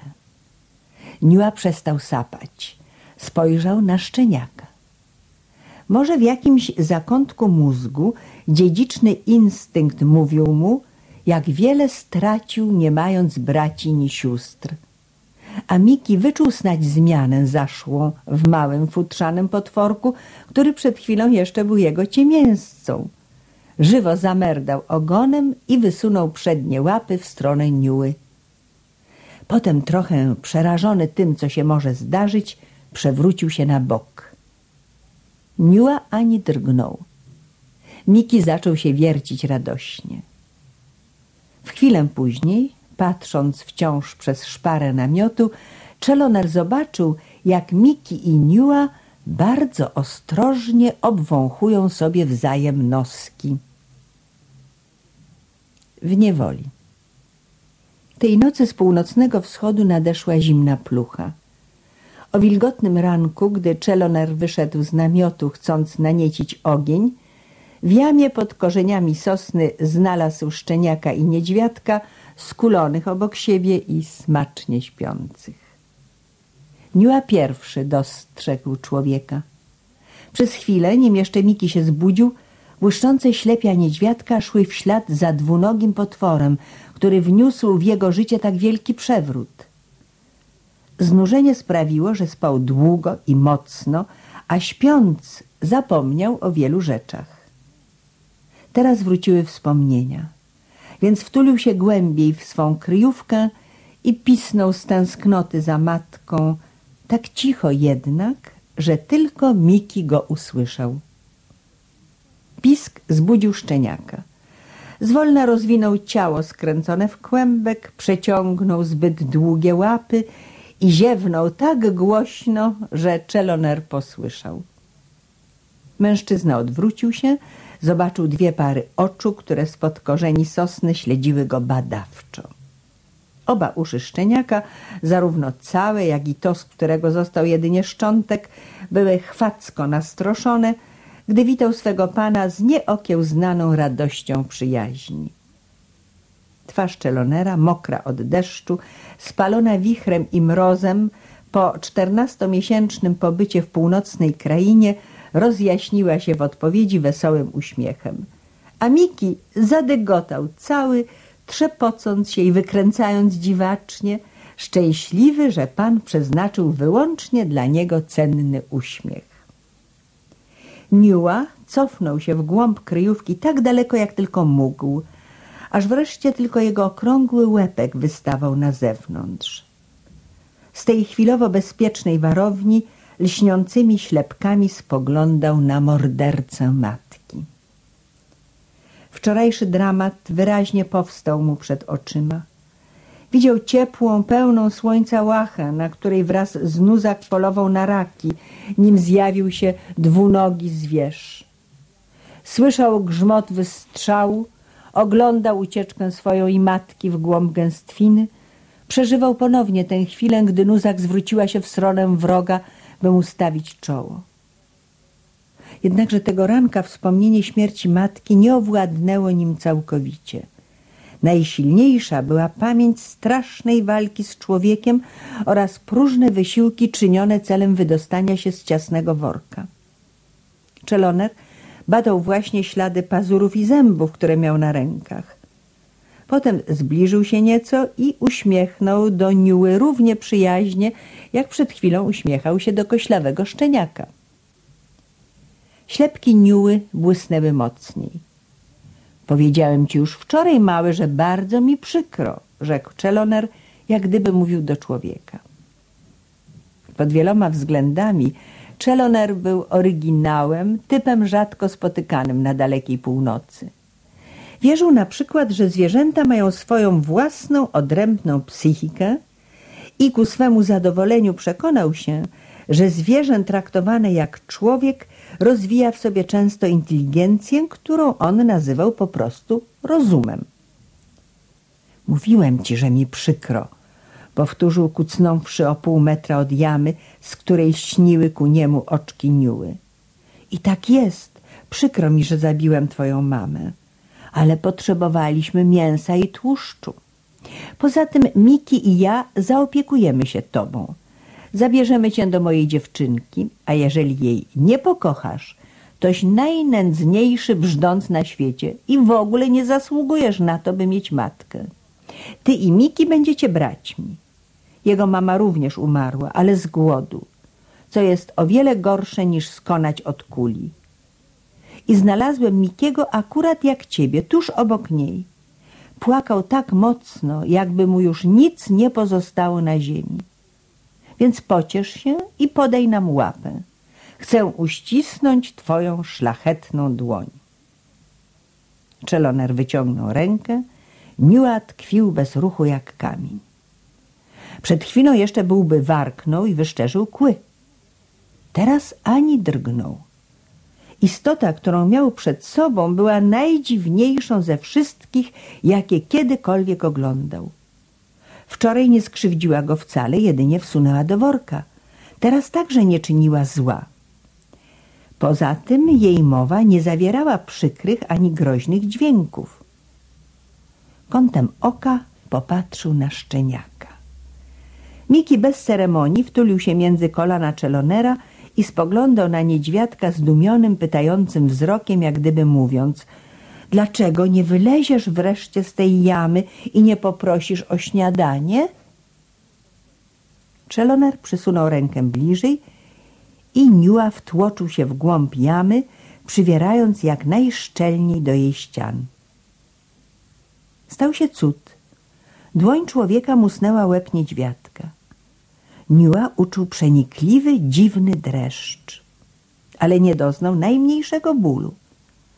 Gdyby mógł poruszyć się choć trochę, byłby gryzł i darł. Pozycja w głębi jamy nie pozwalała jednak na wykonanie najmniejszego ruchu. Myśliwy zwolna wymacał palcami luźną fałdę skóry na karku niedźwiadka. Miki przeczuwając, że stanie się coś ważnego, śledził ruchy pana dwojgiem wyłupiastych oczu. Nagle palce Czelonera zwarły się mocno i już w następnej chwili wydobył Niuę z kryjówki, trzymając go w powietrzu wyciągniętym ramieniem. Niua wierzgał, miotał się i ryczał strasznie, a Miki ze szczerej sympatii pochwycił nutę, więc razem czynili ogłuszający hałas.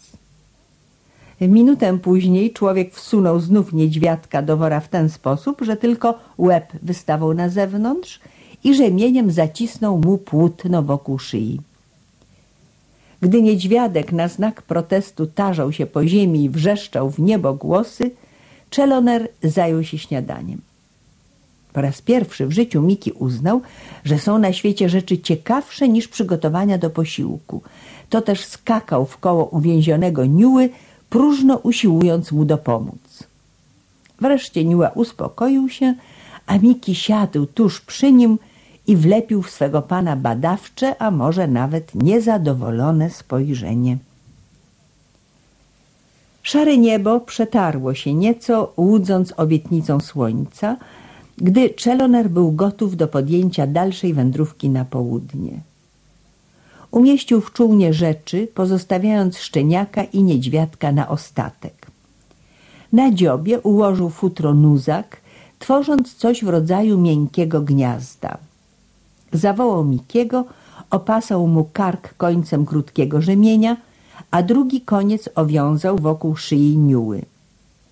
Potem uwolnił niedźwiadka z powijaków, wziął oba zwierzęta za skórę na karkach, zaniósł je do czółna i umieścił w gnieździe uczynionym z futra nuzak. Teraz, chłopcy, zachowujcie się grzecznie, przestrzegał. Zrobimy dziś czterdzieści mil, by nadrobić czas stracony wczoraj.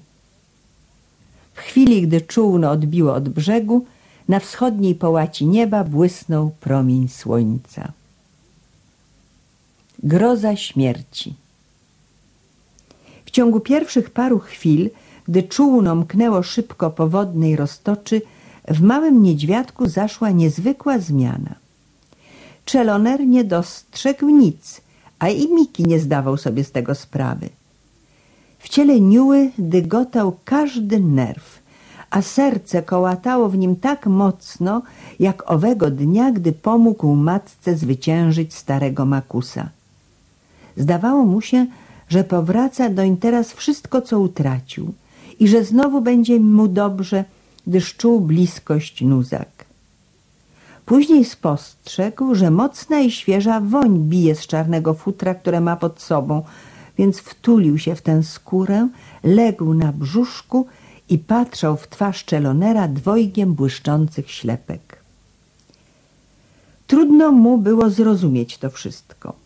Człowiek siedzący przed nim gnał łódź po wodzie uderzeniami wiosła, a pod sobą niedźwiadek czuł matkę, ciepłą i miękką, lecz zupełnie nieruchomą. Nie mógł się powstrzymać, by nie zaskomlić, cicho ją przywołując.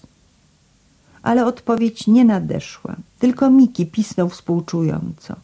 Nuzak ani drgnęła, nie wydała najmniejszego dźwięku. I wciąż widział jedynie jej czarne futro pozbawione głowy oraz wielkich łap, które tak lubił łaskotać, pozbawione uszu, które tak lubił targać. Nie pozostało z niej nic prócz ciemnej skóry i woni. Mimo to jego zalęknione serce doznało ogromnej ulgi. Czuł przyjazną bliskość niezwyciężonej potęgi i podczas gdy pierwsze promienie słońca grzały mu kark, wsunął brunatny nosek między łapki i w głąb futra nuzak. Miki jak gdyby próżno starając się odgadnąć tajemnicę nowego towarzysza, śledził go uważnie, złożywszy pysk na przednich łapach. W jego zabawnym łebku, przystrojonym parą nierównych uszu i upiększonych ponadto zjeżonymi faworytami, spuścizną po przodkach ajerdelach, odbywał się skomplikowany proces myślenia. Od początku przyjął Niuę przyjaźnie i po koleżeńsku, w zamian za co oberwał porządne lanie. To zresztą mógł Miki jeszcze przebaczyć i zapomnieć. Nie umiał jednak darować nowemu przybyszowi, że tak zupełnie nie zwraca na niego uwagi. Jego wesołe zabiegi nie odnosiły najmniejszego skutku. Gdy skacząc i przysiadając wokół niedźwiadka proponował gonitwę lub zapasy, Niua gapił się nań, milcząc jak idiota. Miki gotów był przypuścić, że niedźwiadek nie uznaje żadnych zabaw, tylko prawdziwą walkę. Minęło też sporo czasu, nim zdecydował się wreszcie ponowić próbę. Dochodziło już południe. Od chwili rozpoczęcia podróży Niua ledwo się poruszył i Miki był śmiertelnie znudzony. Przygnębienie wywołane nocną pluchą dawno już minęło, a ponad głową lśnił teraz niczym niezmącony błękit. Łódź Czelonera przed godziną już opuściła martwe wody i mknęła teraz z bystrym prądem rzeki, która torowała sobie drogę w dół południowych stoków między Jackson Knee a Szamatawą. Rzeka ta, sycona wodą położonego wyżej jeziora, była Czelenerowi zupełnie obca. To też śledził uważnie jej bieg, obawiając się zdradzieckich wodospadów i porochów. W ciągu ostatniej pół godziny prąd stawał się coraz bystrzejszy i Czeloner zrozumiał, że wkrótce trzeba będzie przeprawiać czółno lądem. Jakoż usłyszał wnet przed sobą głuchy, a bezustanny łoskot, wskazujący, iż zbliża się niebezpieczna strefa. Gdy wyleciał poza ostry zakręt, trzymając łódź tuż niemal u brzegu, dojrzał raptem w oddaleniu zaledwie paruset metrów wystające ponad wodę skały i wir spieniony wkoło nich. Błyskawicznie ocenił sytuację. Z jednej strony rzeki brzeg wznosił się niemal prostopadle. Z drugiej był płaski, pokryty gęstym borem. Zrozumiał, że należy lądować po lesistej stronie, czyli na przeciwległym, znacznie oddalonym brzegu. Zwracając łódź pod kątem 45 stopni, włożył całą siłę ramion w rzuty wiosła. Miał zaledwie tyle czasu, by osiągnąć brzeg, nim prąd stanie się groźny. Ponad wrzący łoskot porochów przebijał już ryk położonego niżej wodospadu. Miki wybrał właśnie ten niefortunny moment dla rozpoczęcia przyjaznych kroków względem Niuły. Z uprzejmym skowytem machnął łapą. Ale łapa Mikiego, jak na szczeniaka, była potwornie wielka i koścista. To też, gdy trafił w sam nos niedźwiadka, zadała mu wprost bokserski cios. Stało się to zupełnie nieoczekiwanie. Na domiar złego Miki machnął drugą łapą jak maczugą, trafiając niedźwiadka w oko. Tego było za wiele, nawet ze strony drucha. Miła z pomrukiem wyskoczył z gniazda i wpadł na szczeniaka. Miki, chociaż postąpił nikczemnie, prosząc o łaskę w czasie pierwszej walki, pochodził sam z rodu zabijaków. Jeśli się zmiesza krew Mackenzie, który jest największym i najsilniejszym psem północy, z krwią Ayerdale'a lub Szpica, rezultat nie może być zły. Kiedy Mackenzie, mocny jak byk, jest równocześnie poczciwy i łagodny, to w północnym szpicu czy Ayerdelu siedzi demon, a nie wiadomo, która z tych raz bardziej kocha bójkę. W dobrym, małym Miki ozwał się raptem diabeł. Tym razem nie poprosił o łaskę. On również pokazał kły i w jednej chwili na chwiejnym dziobie czółna rozpętał się zaciekły pojedynek. Próżno czeloner wołał i klął, walcząc jednocześnie z bystrym prądem rzeki. Miła i Miki byli zbyt podnieceni, by słyszeć głos pana. Łapy szczeniaka znów godziły w niebo, lecz obecnie ostre jego zęby ściskały mocno fałdy skóry pod gardłem Niuły, a wojował tak zajadle, że zwycięstwo przechyliłoby się bez wątpienia na jego stronę, gdyby nie zaszło to, co przewidywał Czeloner. Szczeniak i niedźwiadek szczepieni z sobą stoczyli się przez burtę w skłębiony, rwący nurt. Na razie znikli zupełnie. Potem wychynęli nad wodą o dobre dwadzieścia metrów poniżej czółna, głowa przy głowie mknąc w kierunku porochów.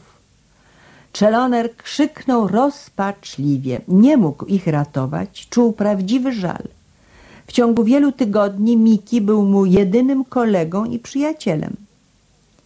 Złączeni razem półmetrową linką, Miki i Niua wpadli w skłębiony wir porochów. Opatrzność czuwała chyba nad szczeniakiem, gdy Czeloner uwiązywał go do niedźwiadka. Trzymiesięczny Miki ważył 14 funtów, przy czym 80% przypadało na kości, a zaledwie pół procentu na tłuszcz. Tymczasem Niua, ważąc 13 funtów, miał w sobie niemal 90% sadła. Miki zatem z trudem tylko mógł się utrzymać na powierzchni. Niua zaś pływał jak korek i po prostu nie mógł pójść na dno. Żaden z nich nie poddał się losowi z rezygnacją. Obaj byli potomkami dzielnych ras i choć Miki znajdował się przeważnie pod wodą, ani przez chwilę nie przestał jednak walczyć o to, by wysunąć nos na powierzchnię. Czasem płynął na brzuchu, czasem na grzbiecie, ale bez względu na zajmowaną pozycję pracował łapami jak wiosłem. Częściowo pomagał w ten sposób towarzyszowi. Gdyby niedźwiadek był sam, jego dziesięć czy jedenaście funtów sadła uniosłoby go w dół rzeki jak okrytą futrem piłkę.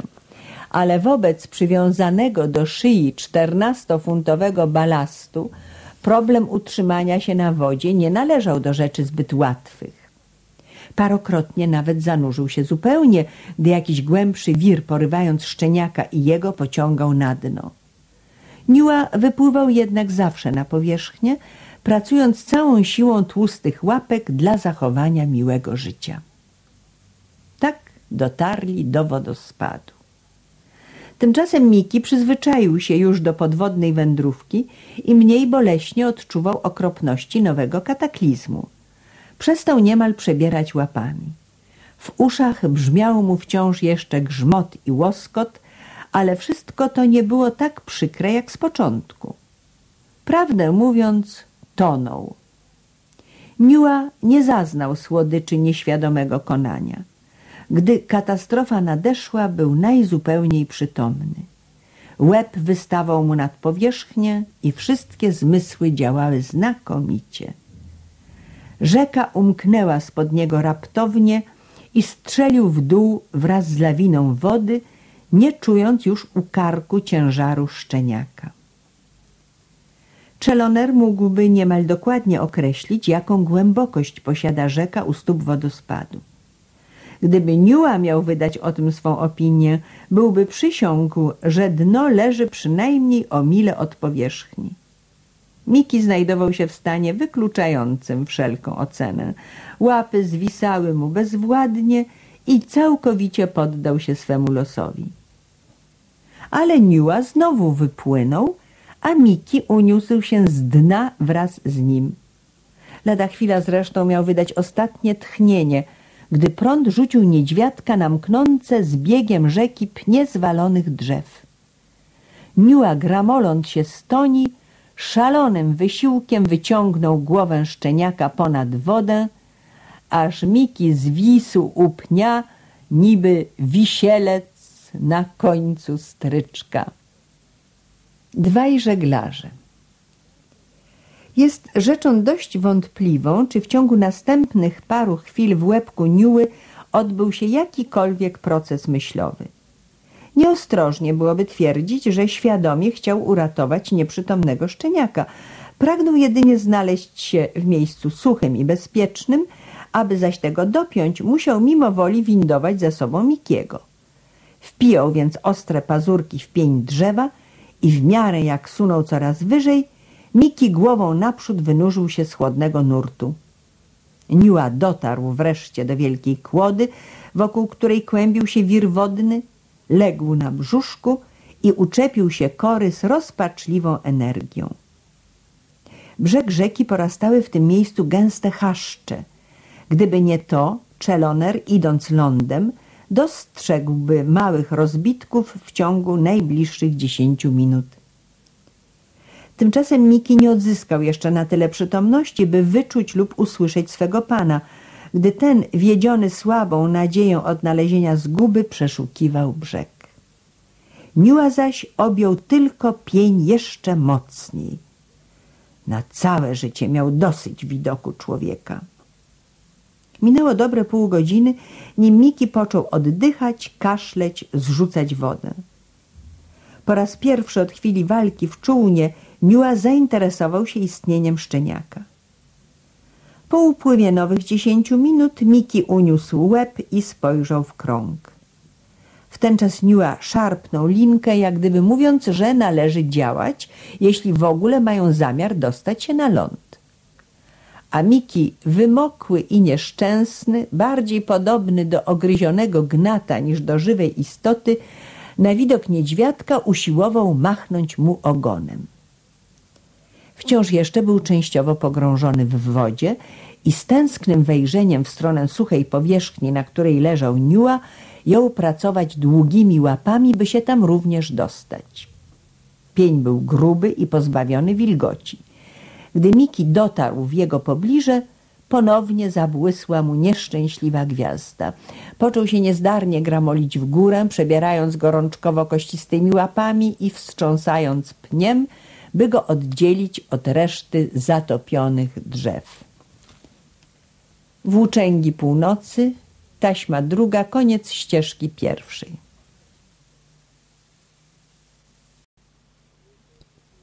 Włóczęgi północy, taśma druga, ścieżka druga. Wir pochwycił koniec kłody i wolno zaczął ją wyciągać na środek rzeki. Potem niespodzianie szarpnął nią główny prąd i to tak mocno, że Miki omal znowu nie wpadł do wody. Improwizowana łódź zatoczyła koło, wyrównała się i runęła szalonym pędem w dół rzeki. Tymczasem Czeloner mijał porochy, wodospad i zbyt szybki prąd poniżej. Uważał za bezsensowne ryzyko spuszczanie łodzi na wodę tam, gdzie obecnie żeglowali Miła i Miki, a wobec tego stracił parę godzin na przenoszenie swych rzeczy przez półmilową przestrzeń boru. Te pół mili właśnie stało się dla szczeniaka i niedźwiadka terenem nigdy niezapomnianych przeżyć. Przyglądali się sobie wzajem poprzez długość pnia. Miła leżał na brzuszku, wpijając ostre pazurki jak haki w korę i drzewo, a brunatne ślepki niemal zupełnie wylazły mu z orbit. Chyba tylko za pomocą dźwigni dałoby się go ruszyć z miejsca. Sprawa Mikiego przedstawiała się o wiele gorzej. Nie posiadał dość ostrych pazurów, a i sztywne jego nogi nie mogły, tak jak chwytne łapy niuły, objąć pnia silnym uściskiem. Jako tako utrzymywał więc równowagę, ślizgając się z boku na bok, w miarę jak pień chwiał się lub obracał na zmiennym prądzie, czasem leżąc w poprzek drzewa, czasem wzdłuż, a wciąż znajdując się nader w niepewnej sytuacji. Miła ani na mgnienie nie spuszczał zeń oczu. Gdyby to były świdry, wywierciłby nimi dziurki w ciele szczeniaka. Z ostrości tego spojrzenia można było wywnioskować, że niedźwiadek rozumie, iż jego bezpieczeństwo zależy nie tyle od mocy własnego chwytu, ile od żeglarskich zdolności Mikiego. Jeśli Miki runie do wody, jego czeka tenże los. Pień, w jednym końcu grubszy i cięższy niż w drugim, pędził naprzód niby olbrzymi pocisk. Miła był zwrócony tyłem do spienionego nurtu, Miki zaś obrócony łebkiem ku biegowi rzeki. Nie tracił nic z jej groźnego piękna. Raz po raz pień wlatywał w obręb piany i ginął w niej zupełnie. W takich chwilach Miki wstrzymywał oddech i zamykał oczy, a Niua wpijał pazurki jeszcze głębiej. Kiedyś drzewo otarło się niemal o skałę. Parę cali w bok i nastąpiłaby ostateczna katastrofa. Nie przebyli jeszcze połowy drogi, a już i szczeniak, i niedźwiadek wyglądali jak dwa kłębki mydlin, w których dziko lśniły przerażone oczy. Wkrótce ryk wodospadu zamarł w dali, zrzedły podwodne skały, wokół których prąd wrzał i buszował wyjąc. Trafiły się szerokie gładzizny, gdzie pień płynął równo i bez wstrząsów, aż rozesłała się w krąg spokojna i cicha toń wodna. Dopiero wtedy oba osnute pianą kłębki odważyły się wykonać jakiś ruch. Niua po raz pierwszy objął wzrokiem rozszalałą rzekę, która ich tu przyniosła. Miki, obrócony wciąż ku przodowi, zobaczył znowu milczące brzegi, gęsty las i wody przesycone słonecznym ciepłem. Wtedy głęboko wciągnął powietrze, a potem wyrzucił je z płuc w tak szczerym westchnieniu, że zdmuchnął sobie płaty piany z wąsów i nosa. Dopiero teraz ocenił niewygodę własnej pozycji. Jedną z tylnych łap miał skuloną pod brzuchem, a jedna z przednich była zgięta pod piersią. Cisza rzecznej toni i bliskość brzegów dodały mu odwagi, więc postanowił wyprostować członki. Porównaniu z Niuą był doświadczonym podróżnikiem. Przeszło miesiąc żeglował wraz z czelonerem w jego czółnie i nie bał się wcale spokojnej wody. Uniósł się nieco i posłał w stronę niedźwiadka cichy skowyt. Niła zaś Choć chowany był inaczej i dziś po raz pierwszy jeździł łódką, wiedział doskonale, czym jest pień drzewa. Sam przekonał się niejednokrotnie, że pień na wodzie udaje niemal żywą istotę i potrafi płatać tak brzydkie figle, jakich nikt by się po nim nie spodziewał. Wykształcenie szczeniaka w tym zakresie było niestety zupełnie niedostateczne. Ponieważ pień przewiózł ich cało i zdrowo przez najgorsze tarapaty, uważał go za pierwszorzędną łódź. Z tą tylko różnicą, że był u góry nieprzyjemnie zaokrąglony. Ale ten mały defekt nie martwił go zbytnio. Ku niezmiernemu przerażeniu niedźwiadka Miki siadł i rozejrzał się w koło. Instynktownie Niua objął silniej drzewo łapami, a Miki odczuł nieprzepartą chęć strząśnięcia z siebie piany, która okryła go od stóp do głów. Wczółnie otrząsał się niejednokrotnie, dlaczego nie miał tego uczynić tutaj. Nie zastanawiając się więc dłużej nad tą sprawą, wprowadził zamiar w czyn. Pień w jednej chwili zareagował na wstrząs, czyniąc gwałtownie pół obrotu. Nie zdoławszy nawet jęknąć, Miki wyleciał w powietrze jak z procy, z głębokim i donośnym chlupnięciem runął do wody i raz jeszcze poszedł na dno jak kawałek ołowiu. Niua, chociaż zanurzony zupełnie, bohatersko nie rozluźnił chwytu i gdy pień wrócił do pierwotnej pozycji, niedźwiadek omyty z piany tkwił wciąż na dawnym miejscu. Wzrokiem poszukał towarzysza, lecz Miki znikł. Nagle poczuł mocne szarpnięcie. Z konieczności, ponieważ rzemień ciągnął mu łeb w odpowiednim kierunku, spojrzał w wodę. Koniec rzemienia ginął w niej, lecz szczeniaka nie było wcale widać. Miki znajdował się zbyt głęboko, by Niua mógł go dojrzeć. Prąd ogromnie słaby w tym miejscu wcale szczeniaka nie unosił, to też Niua czuł u szyi coraz większy ciężar i kurczowo obejmował pień łapami, trzymając się go ze wszystkich sił. Gdyby straciwszy energię runął do rzeki w ślad za Mikim, przyjazny los, który już poczynał się do nich uśmiechać, odwróciłby się ponownie. Miki bowiem, gwałtownie miotając się pod wodą, służył jednocześnie jako kotwica i ster. Pień zwolna zmienił kierunek, a pochwycony przybrzeżnym wirem osiadł miękko na mieliźnie. Jednym szalonym skokiem Niua wydostał się na brzeg. Czując pod stopami ziemię, spróbował biec. W rezultacie Miki wynurzył się z toni i legł na piasku niby potworny krab. Zrzucał wodę i oddychał kurczowo, Aniła, rozumiejąc, że jego towarzysz jest chwilowo niezdolny do dalszej podróży, czekał cierpliwie. Miki prędko przyszedł do siebie. Nie upłynęło pięć minut, a już stanął na nogach, otrząsając się tak gwałtownie, że fontanny wody i błota oślepiły niedźwiadka. Gdyby pozostali czas dłuższy na jednym miejscu, Czeloner odnalazłby ich w godzinę później – Umyślnie bowiem wiosłował przy samym brzegu w poszukiwaniu ich zwłok. Być może instynkt uprzedził niedźwiadka o tej możliwości, gdyż już w piętnaście minut po wylądowaniu zwrócił się w głąb leśnej gęstwiny, a Miki udał się w ślad za nim. Dla szczeniaka był to dalszy ciąg niezwykłych przygód. Niua natomiast odzyskiwał zwolna dawną pogodę ducha. Las był mu domem, nawet w nieobecności matki. Po wielu nieoczekiwanych przejściach, które zawdzięczał dwunogiej istocie, aksamitny kobierzec jodłowych igieł pod łapami oraz znajome wonie ciszej głuszy napełniały go coraz większą radością. Powrócił na swój dawny szlak Chciwie chłonął rześkie powietrze i nastawiał uszy, podniecony rozkosznym uczuciem zupełnej swobody. Tego lasu nie zwiedzał jeszcze nigdy, ale nie przejmował się tym zbytnio.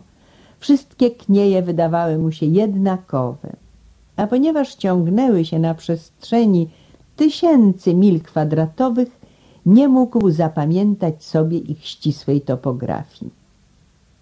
Sprawa Szczeniaka przedstawiała się zupełnie inaczej.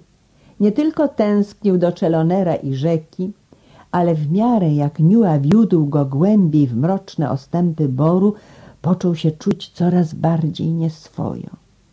Wreszcie postanowił założyć energiczny protest i w związku z tą decyzją stanął raptem w miejscu tak nagle, że Niua ze zdziwionym pomrukiem przewrócił się na grzbiet. Miki, wyzyskując sytuację i ciągnąc rzemień z końską siłą swego przodka, psa Mackenzie, jął się cofać w stronę rzeki. Wlókł za sobą niedźwiadka na przestrzeni kilku metrów, nim wreszcie Niua zdołał ponownie stanąć na łapach. Wtedy zaczęła się walka. Naprężając mięśnie, grzęznąc łapami w miękkiej ziemi, oba zwierzęta ciągnęły rzemień, aż im oczy wylazły z orbit i szyje się wydłużyły. Miła ciągnął równomiernie i bez szaleństw. Miki zaś, jak zwykle pies, szarpał się i rzucał, skacząc to w tył, to w boki, za każdym targnięciem zmuszając niedźwiadka do ustępstw. Prawdę mówiąc, szło teraz jedynie o to, który ma wytrzymalszy kark. Miła pod pokładem tłuszczu posiadał bardzo ograniczony zapas sił. Pod tym względem Miki stał o wiele wyżej. Jego kościste członki zawierały moc energii i po krótkim, choć bohaterskim oporze Miła dał za wygraną i potulnie ruszył w kierunku wybranym przez szczeniaka. Dziedziczny instynkt Niuły powiódłby go ku rzece prosto jak strzelił. Zamiary Mikiego nie były o wiele lepsze niż jego zmysł orientacyjny. Niua szedł za szczeniakiem potulnie, gdyż wkrótce spostrzegł, że choć ów zatacza bezsensowne półkola, coraz bardziej jednak oddala się od niebezpiecznej rzeki. Po upływie kwadransa Miki zupełnie stracił kierunek, siadł więc na mchu, spojrzał na niedźwiadka i zaskowyczał bezradnie. Niła ani drgnął. Wlepił przenikliwy wzrok w przedmiot uczepiony gałęzi niskiego drzewa w odległości zaledwie kilku metrów. Przed pojawieniem się człowieka niedźwiedź spędzał na jedzeniu trzy czwarte dnia, ale od wczorajszego ranka jadł tyle co nic. Czuł okropny głód i to, co widział teraz, podrażniło go do tego stopnia, że bezustannie łykał ślinkę. Było to gniazdo os. Niejednokrotnie w swoim krótkim życiu obserwował, jak Nuzak ściągała na ziemię podobne gniazda, miażdżyła je łapami, a potem zapraszała go na ucztę. Ciągu prawie miesiąca osy stanowiły ich codzienne pożywienie i Niua uważał je za doskonałą potrawę. Zbliżył się więc do gniazda. Miki poszedł za nim. Gdy byli oddaleni zaledwie o metr, Miki usłyszał bardzo wyraźne i ogromnie niepokojące brzęczenie. Miła nie przeląkł się wcale. Oceniając odległość gniazda od ziemi, stanął dęba, wyciągnął przednie łapy i szarpnął. Łagodne brzęczenie, które Miki słyszał poprzednio, w jednej chwili zmieniło się we wściekły hałas. Doświadczona Nuzak zdarłaby błyskawicznie gniazdo i wydusiła zeń życie. Miła zaś tylko zruszył z miejsca osiedle Amu i jego groźnej bandy. Traf chciał, że Amu znajdował się w domu, a wraz z nim trzy czwarte jego wojaków. Nim Niła zdołał szarpnąć gniazdem po raz drugi, wyroiła się zeń zwarta chmura owadów i Miki wydał nagle dziki wrzask bólu. Amu we własnej osobie siadł na nosie szczeniaka. Miła milczał, ale przez chwilę zajadle machał łapami wokół pyska. Miki zaś tarł o ziemię pokłuty nos. Już w następnym mgnieniu oka każdy wojak z drużyny Amu pracował zaciekle. Rozpaczliwie rycząc, Niua skręcił raptownie i rzucił się do ucieczki. Miki nie dał mu się wyprzedzić ani o włos. W całym ciele czuł ostry ból, niby ukłucia rozpalonych igieł. Z nich dwu większy gwałt robił zresztą Niua. Wył bez ustanku ponurym basem, co w połączeniu z sopranem szczeniaka tworzyło tak niesamowity zgiełk, że każdy przechodzący w pobliżu Indianin nabrałby niezachwianej pewności, iż to wilkołak hula po lesie. Teraz, gdy wrogowie ratowali się ucieczką, osy, będąc raczej rycerskiego ducha, powróciłyby zapewne do swej nadwyrężonej fortecy, gdyby nie to, że Miki w dzikim pędzie wybrał drogę wiodącą z prawej strony niewielkiej sosny. Niła zaś okrążył drzewo ze strony lewej. W rezultacie obaj zostali wstrzymani tak nagle, że im o mało grzbiety nie pękły. Na domiar złego pół tuzina wojaków Amu, stanowiących tylną straż, rozgorzało nową chęcią boju. Ale i Niła poczuł przypływ szału, więc robiąc pół obrotu chwycił szczeniaka za kark. Miki na pół ślepy, nieprzytomny z bólu i strachu, wyobraził sobie, że to osy zlęcają się nad nim w dalszym ciągu i z okropnym skowytem począł się miotać jak w obłędzie. To uratowało ich obu. Skacząc konwulsyjnie, Miki znalazł się wnet po tej samej stronie drzewa co Niua, a niedźwiadek, czując się teraz wolny, podjął na nowo przerwaną ucieczkę. Miki gnał za nim, podkreślając każdy skok donośnym jękiem. Teraz Niua nie bał się już rzeki. Instynktownie pragnął wody, pragnął jej nawet całym sercem. Niby wiedziony kompasem biegł prosto w stronę rzeki, ale zaledwie przebyli sto metrów, ujrzeli strumień tak wąski, że każdy z nich bez trudu mógłby go przesadzić.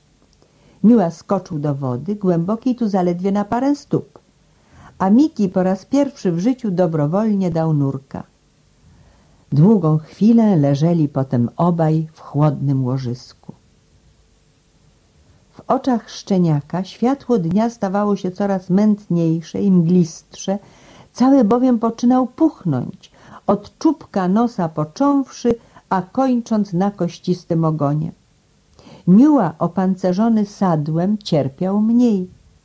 Zachował dobry wzrok i podczas gdy mijały bolesne godziny, rozmyślał nad tym i owym. Wszystkie biedy przyszły wraz z pojawieniem się człowieka. To on odebrał mu matkę, to on wtłoczył go do wora, to wreszcie człowiek opasał mu szyję rzemieniem. Miła zwolna doszedł do przekonania, że ostatecznie najbardziej winny jest jednak rzemień. Po upływie dłuższego czasu wygramolili się obaj ze strumienia i znaleźli miękką, suchą jamę u stóp wielkiego drzewa. Niedźwiadek, któremu wzrok służył podawnemu, spostrzegł, że poczyna zapadać zmrok. Słońce wisiało na zachodnim skłonie nieba, powietrze ochłodło. Leżąc na brzuchu, opierając na łapach obrzmiały łeb, Miki skomlił płaczliwie. W miarę jak określony zamiar rodził się w łebku Niuły, zwracał on coraz częściej oczy w kierunku rzemienia. Pisnął żałośnie, częściowo odpowiadając na skomlenie szczeniaka, a częściowo opłakując nieobecność matki. Przylgnął bliżej do Mikiego, ogarnięty naraz nieodpartą potrzebą przyjaźni. Ostatecznie Miki nie był niczemu winien. Zło spowodował człowiek i rzemień. Mrok wieczorny gęstniał nad nimi. Tuląc się bliżej do szczeniaka, Niła wsunął linkę między przednie łapy. Z cichym warknięciem ujął ją zębami, potem uparcie zaczął rzuć. Od czasu do czasu mruczał, jak gdyby mówiąc – czy widzisz, Miki, przegryzam to na pół, do rana skończę, uszy do góry, jutrzejszy dzień będzie chyba o wiele lepszy. Jeżozwierz Następnego ranka Niua i Miki zbudzili się ze snu w głębi tajemniczej kniei, gdzie rzuciły ich perypetie dnia poprzedniego. W sercach obu panowała młodzieńcza beztroska, a choć Miki był tak opuchnięty od ukłuć os, że jego kościste ciało i zbyt długie łapy wyglądały jeszcze bardziej komicznie niż zwykle, to bynajmniej nie stracił chęci do dalszych przygód. Łeb jego był okrągły jak księżyc w pełni, a tak nabrzmiały, że Niua mógł się słusznie obawiać, iż lada chwila nastąpi eksplozja. Ale oczy szczeniaka, o ile je w ogóle było widać, miały swój zwykły, rezolutny wyraz. Uszy jego, zarówno całe, jak i kalekie, były chwacko uniesione do góry, gdy spoglądał na niedźwiadka, oczekując jakiejś wskazówki, co mają dalej robić. Trucizna zawarta w żądłach os nie sprawiała mu już bólu. Czuł się okropnie napęczniały, ale poza tym nie doznawał żadnych przykrości. Miła ze względu na pokład tłuszczu zmienił się o wiele mniej. Tylko jedno oko miał zapuchnięte zupełnie, ale drugim bystro rozglądał się wokół. Pomimo połowicznego kalectwa i obrzękłych łap, był nastrojony na wskroś optymistycznie, pewien, że los nareszcie zaczyna się doń uśmiechać. Znikł dwunogi potwór, który mu zamordował matkę. Przyjazny bór stał przed nim otworem. W ciągu nocy przegryzł rzemienną linkę łączącą go z Mikim. Ponieważ pozbył się w ten sposób dwóch największych bied, nie zdziwiłby się zbytnio, gdyby Nuzak wynurzyła się nagle spośród kolumnady pni. Myśl o niej wydarła mu z piersi tęskny skowyt. A Miki, patrząc na wielką pustkę otaczającego boru i wspominając swego pana, zaskomlił cicho w odpowiedzi. Obaj byli głodni. Szalony pęd wczorajszych wypadków nie dał im czasu na posiłek. Przewrót w życiu szczeniaka był więcej niż dziwny, był oszałamiający. I kiedy Miki wstrzymywał dech w oczekiwaniu nowych tarapatów, Miła badał otoczenie. Wreszcie niedźwiadek, nabrawszy jakby przekonania, że wszystko w porządku, zwrócił się tyłem do słońca, jak to zwykle czyniła jego matka, i ruszył w drogę. Miki poczłapał za nim. Teraz dopiero doznał uczucia, jak gdyby w ciele jego znikły wszystkie ścięgna. Kark miał sztywny, nogi jak z drzewa, a próbując dotrzymać kroku niedźwiadkowi, ciągu paru minut pięciokrotnie potknął się i upadł. Powieki mu zapuchły i widział bardzo źle. To też padając po raz piąty zupełnie stracił z oczu towarzysza. Obwieścił to rozpaczliwym skowytem. Miła stanął, wsuwając nos pod zbutwiały pień drzewa. Gdy Miki zbliżył się doń, Miła leżąc na brzuchu zbierał właśnie językiem wielkie czerwone mrówki tak szybko, jak tylko mógł nadążyć. Miki przyglądał mu się chwilę z zaciekawieniem. Dość prędko skombinował, że Niua coś je, ale wcale nie mógł zrozumieć, co by to mogło być. Zgłodniały węszył tuż koło mordy niedźwiadka. Przesunął językiem po ziemi w miejscu, gdzie lizał Niua, ale zebrał tylko śmieci. A tymczasem mały grubas chrząkał bez ustanku, bardzo zadowolony. Minęło dobre dziesięć minut, nim przełknął ostatnią mrówkę i ruszył w dalszą podróż. Trochę później dotarli do wilgotnej polanki.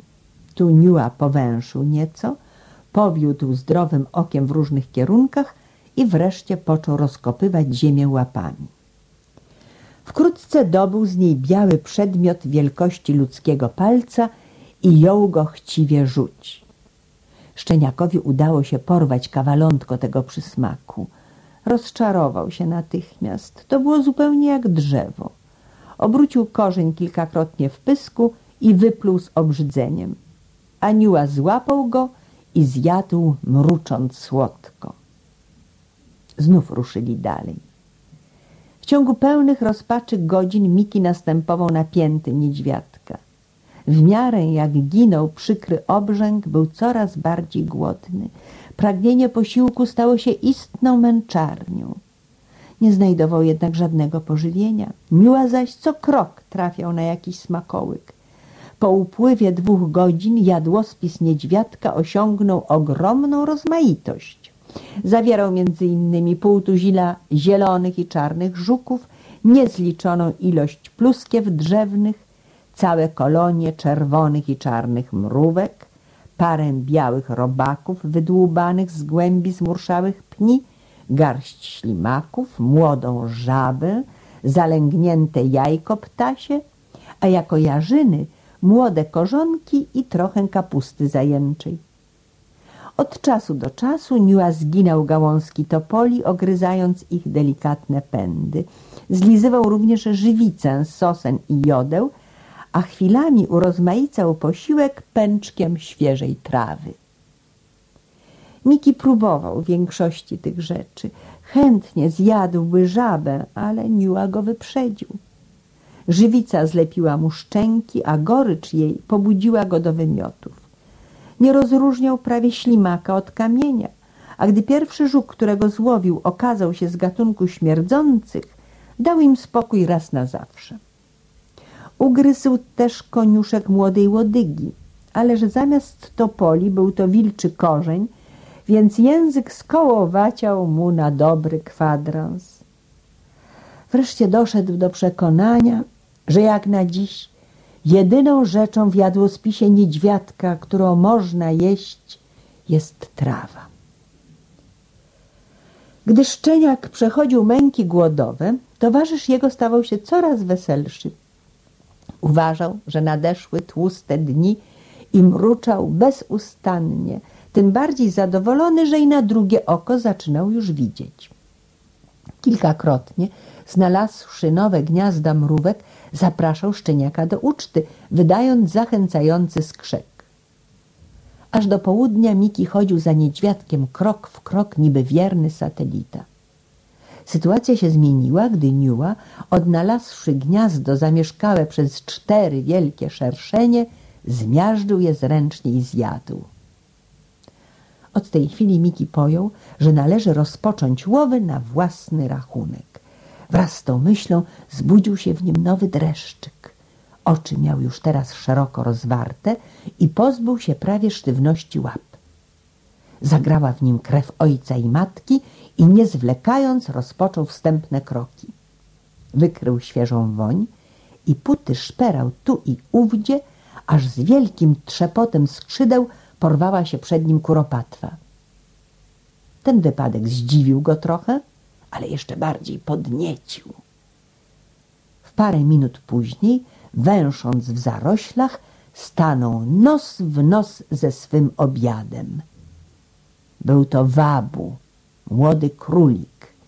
Miki doskoczył błyskawicznie i silnie chwycił go za kark. Miła słyszał trzask gałęzi i skrzek dławionego królika. Zaniechał połowu mrówek i w jednej chwili znalazł się obok. Wabu przestał wkrótce trzepotać łapami, więc Miki, trzymając w zębach swoją zdobycz, wycofał się z gęstwiny i triumfalnie spojrzał na niedźwiadka. Potem rzucił królika na ziemię, warknął dziko i począł drzeć na strzępy delikatną sierść. Miła przydreptał bliżej, chrząkając uprzejmie. Miki warknął jeszcze groźniej. Ale Niua nieulękły, mruczał coraz czulej i powąchał królika. Miki przestał warczeć. Być może przypomniał sobie, że Niua niejednokrotnie proponował mu część swych żuków lub mrówek. Wspólnie zabrali się do uczty. Skończyli dopiero wtedy, gdy znikł ostatni strzęp mięsa i ostatni ułamek kości. Teraz Niua siadł wygodnie i po raz pierwszy od czasu, gdy stracił matkę, oblizał się.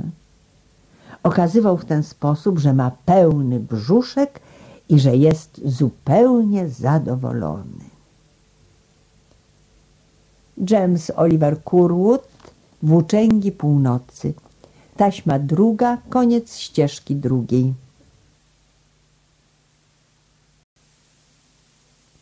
James Oliver Curwood Włóczęgi Północy Taśma trzecia, ścieżka pierwsza Obecnie nie wyobrażał już sobie większej rozkoszy nad dobrą drzemkę i przeciągając się błogo, począł się rozglądać, szukając odpowiedniego drzewa. Za to Miki czuł nowy przypływ energii. Podczas gdy Niua żuł pokarm bardzo starannie, Miki łykał go kawałami i w rezultacie pożarł cztery piąte królika. Zatem nie był już głodny. Otoczenie interesowało go bardziej niż kiedykolwiek. Po raz pierwszy samodzielnie zabił, po raz pierwszy chłeptał ciepłą krew. I to wszystko podnieciło go tak dalece, że nie czuł wcale chęci wypoczynku ani snu. Teraz, gdy zrozumiał, czym są łowy, instynkt myśliwski wypełnił każdy jego nerw. Polowałby chętnie do zupełnego wyczerpania, gdyby nie to, że Niua znalazł wreszcie miejsce odpowiednie na drzemkę. Miki zdumiony, ogłupiały doszczętnie, spoglądał jak niedźwiadek drapie się leniwie na pień wielkiej topoli. Widywał wiewiórki skaczące po drzewach oraz ptaki fruwające z gałęzi na gałąź, ale postępowanie Niuły zaparło mu dech w piersi. Dopiero gdy niedźwiadek legł wygodnie w rozwidleniu konarów, Miki oprzytomniał trochę. Warknął niedowierzająco, obwąchał podstawę pnia i jakkolwiek bez przekonania spróbował również wleść na drzewo. Wywrócił się zresztą od razu i zrozumiał wnet, że z nich dwu Niua jest stanowczo lepszym akrobatą. Strapiony odstąpił nieco w bok i przysiadł na murawie dla lepszej oceny sytuacji. Jak mu się zdawało, Niua nie miał tam w górze nic do roboty. Na pewno nie polował na żuki. Miki szczeknął parę razy, ale Niua zachował milczenie. Więc dał za wygraną i z ciężkim westchnieniem zwinął się w kłębek. Nie spał jednak. Każdej chwili był gotów do dalszej drogi. Pragnął rozpocząć nowe badania w tajemniczych i porywających leśnych głębinach. Nie czuł już trwogi, która go męczyła przed upolowaniem królika. W ciągu paru minut natura przeobraziła go całkowicie. Z płaczliwego szczeniaka uczyniła istotę silną i rozważną. Minął okres niemowlęctwa, przedłużony nadmiernie wskutek obcowania z czelonerem. Miki zabił i poczucie tego faktu syciło go nowym dreszczem. Nie miał się nigdy dowiedzieć, że ojciec jego, Hela, z rasy Mackenzie, był najwspanialszym łowcą w krainie Little Fox i że w pojedynkę powalił byka Karibu. Ale czuł to czuł natrętny, nieustanny zew. A ponieważ w odpowiedzi nasłuchiwał szeptów i szumów leśnych, jego czujne uszy pochwyciły monotonny skrzek jeżo-zwierza kawuk. Miki leżał bez ruchu. W chwilę później usłyszał delikatny chrzęst igieł, po czym kawuk ukazał się na polanie i stanął dęba, cały oblany słońcem. Kawuk przeżył w tej okolicy niczym niezmącone trzynaście lat i będąc w tak podeszłym wieku ważył pełne trzydzieści funtów. Tego popołudnia, wracając do domu na trochę spóźniony obiadek, czuł się jeszcze weselszy niż zwykle. Oczy miał słabe. Przyroda nie obdarzyła go silnym wzrokiem, dając w zamian groźną zbroję z twardych kolców. Oddalony od szczeniaka o dziesięć metrów zaledwie, zdawał się go wcale nie widzieć. A Miki silniej przylgnął do ziemi, instynkt bowiem mówił mu, że z tą istotą nierozsądnie byłoby zadrzeć. Kawuk stał dobrą minutę, na pozór bez ruchu, bełkocząc tylko pieśń swego plemienia. Obrócony do szczeniaka bokiem, wyglądał jak przemawiający z trybuny gruby poseł. Był tak otyły, że brzuch sterczał przed nim niby połowa piłki, a na tej wyniosłości splatał przednie łapy prawie ludzkim ruchem. Robił wrażenie raczej opasłej samki niż samca i do tego ojca rodu. Dopiero teraz Miki zauważył Iskwazis, młodą samicę jeżozwierza, która ostrożnie wychynęła z gęstwy w pobliżu kawuka. Pomimo ciężaru lat, Kawuk zachował młodzieńczy romantyzm i natychmiast postanowił olśnić damę swą niezwykłą ogładą i wytwornością. Rozpoczął od pokracznego tańca, przystępując z nogi na nogę, aż brzuch mu się trząsł i skrzecząc głośniej niż zwykle. Istotnie, wdzięki i skwazis mogły zawrócić w głowie jeszcze starszemu Lovelasowi. Była niezwykłą przedstawicielką swej rasy, blondynką albo inaczej mówiąc albinoską. Miała różowy pyszczek i różowe stopki, a różowe źrenice jej ślicznych oczu były obramowane błękitnawym białkiem. Najwidoczniej taniec leciwego kawuka nie zachwycał jej zbytnio, co zrozumiawszy, jeżozwierz zmienił taktykę. Opadł na czworaki i począł wywijać kolczastym ogonem, jak gdyby nagle postradał zmysły. Gdy przestał na chwilę i rozejrzał się, chcąc zobaczyć efekt tego popisu, był najwidoczniej zmieszany, konstatując fakt, że iskwazwis znikła. Milcząc, siedział teraz czas jakiś bez ruchu. Potem ku rozpaczy Mikiego ruszył wprost do drzewa, na którym spał Niua. Na tym drzewie właśnie znajdował się obiad jeżozwierza. Sierść szczeniaka stanęła dęba ze zgrozy. Nie wiedział, że kawuk, jak wszyscy z jego rasy, jest stworzeniem najpoczciwszym w świecie i nigdy nikomu nie czyni zła, chyba że go napadną. Przerażony szczeknął głośno, ostrzegając niedźwiadka. Niła poruszył się leniwie, a gdy rozwarł oczy, zobaczył przed sobą kolczastą gębę i widok ten przyprawił go niemal o konwulsję. Tak nagle, że omal nie runął na ziemię, porwał się do ucieczki i polasł w górę pnia. Kawuk zachowywał się zupełnie spokojnie. Teraz, gdy Iskwazis odeszła, był całkowicie pochłonięty swym obiadem. Wolno, ale bezustannie piął się dalej wzwyż, a przerażony Niua skoczył na jeden z bocznych konarów, ustępując jeżozwierzowi z drogi. Niestety, był to właśnie ów konar, na którym kawuk pozostawił resztki niedojedzonego dawniej posiłku. To też jeżozwierz gramolił się w ślad za Niuą, na pozór zresztą nie dostrzegając go wcale. Miki rozpoczął w dole tak przenikliwy lament, że kawuk zauważył wreszcie, iż dzieje się coś niezwykłego. Spojrzał w dół na szczeniaka, który miotał się wokoło pnia, próżno usiłując nań skoczyć.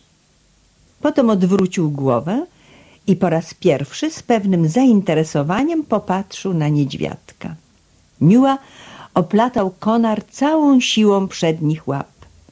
Zdawało się niepodobieństwem, aby mógł cofnąć się jeszcze dalej, gdyż gałąź i tak uginała się niebezpiecznie pod ciężarem.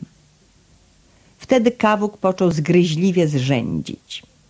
Miki szczeknął ostro i siadł, obserwując z napięciem rozgrywający się powyżej dramat. Kawuk zwolna sunął naprzód, a Niua cofał się cal za calem, aż wreszcie przekręcił się na gałęzi i zawisł głową i grzbietem w dół. Teraz kawuk umilkł i jął spożywać obiad. W ciągu dwóch lub trzech minut Niua nie rozluźnił chwytu. Parokrotnie spróbował się unieść tak, aby znowu lec na gałęzi. To mu się nie powiodło. Tylne łapy poślizgnęły się raz i drugi. Chwilę wisiał na przednich, aż runął w dół z wysokości pięciu metrów. Padł tuż obok szczeniaka z takim impetem, że dech mu zaparło. Wstał mrucząc, obłąkanym wzrokiem spojrzał na drzewo i nie dając Mikiemu żadnych wyjaśnień, począł umykać w głąb boru na spotkanie nowej przygody, która miała być ich próbą ogniową. Wilcze łowy Niła przebył dobre ćwierć mili, nim wreszcie zdecydował, że można stanąć. Szczeniakowi wydało się, że po jasności dnia nastąpił nagle wieczorny zmierzch. Ta część boru, którędy powiodła ich ucieczka, sprawiała wrażenie olbrzymiej, a tajemniczej jaskini. Nawet Czeloner zatrzymałby się tu na chwilę, zdumiony ciszą i powagą kniei, a oczarowany falą niepojętych szeptów.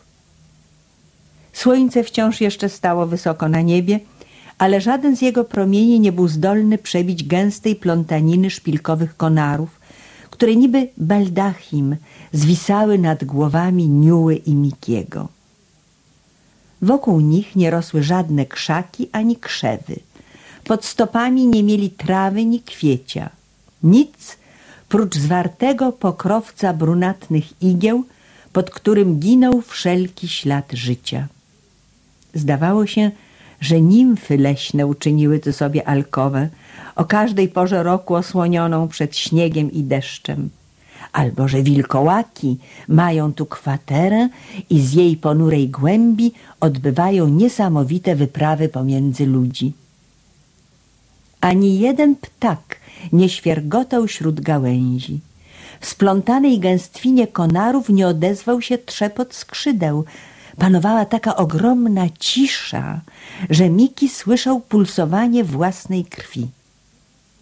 Spojrzał na Niuę. W mroku ślepia niedźwiadka miały dziwaczne lśnienia. Zresztą żaden z nich się nie bał, ale w tej ogromnej pustce silniej zadzierzgnęły się między nimi węzły przyjaźni. W półdzikich duszyczkach zniknęła bolesna pustka wywołana śmiercią matki Niuły i stratą pana Mikiego. Szczeniak zaskomlił pieszczotliwie, a niedźwiadek mruknął cicho, kończąc przemowę zabawnym chrząśnięciem podobnym do głosu prosiaka. Przylgnęli do siebie wzajem i stali ramię przy ramieniu, spoglądając na świat Boży. Potem zrobili parę nieśmiałych kroków, niby dwaj malcy zwiedzający opuszczony dom. Nie myśleli o łowach, ale instynkt myśliwski przesycał ich zmysły, więc przystawali często, rozglądając się w koło, wietrząc i nasłuchując. Ponure otoczenie przypomniało niedźwiadkowi ciemną pieczarę, w której się urodził. Zdawało mu się, że lada chwila nuzak wyjdzie nagle spośród kolumnady drzew. Może śpi gdzieś w cichym ostępie, tak jak spała w głębi jaskini? W oddaleniu mrok gęstniał, tworząc wszędzie niby czarne sztolnie. Indianie nazywają takie miejsca munidu i wierzą, że obecność złego ducha wypłoszyła z nich wszelkie objawy życia. Istotnie, chyba tylko demon kazał drzewom róść tak gęsto, by słońce nigdy nie mogło dotrzeć do ich podnóża. Jedynie sowy dotrzymują towarzystwa diabłom. Tu, gdzie stali Niua i Miki, dorosły wilk zatrzymałby się i zawrócił.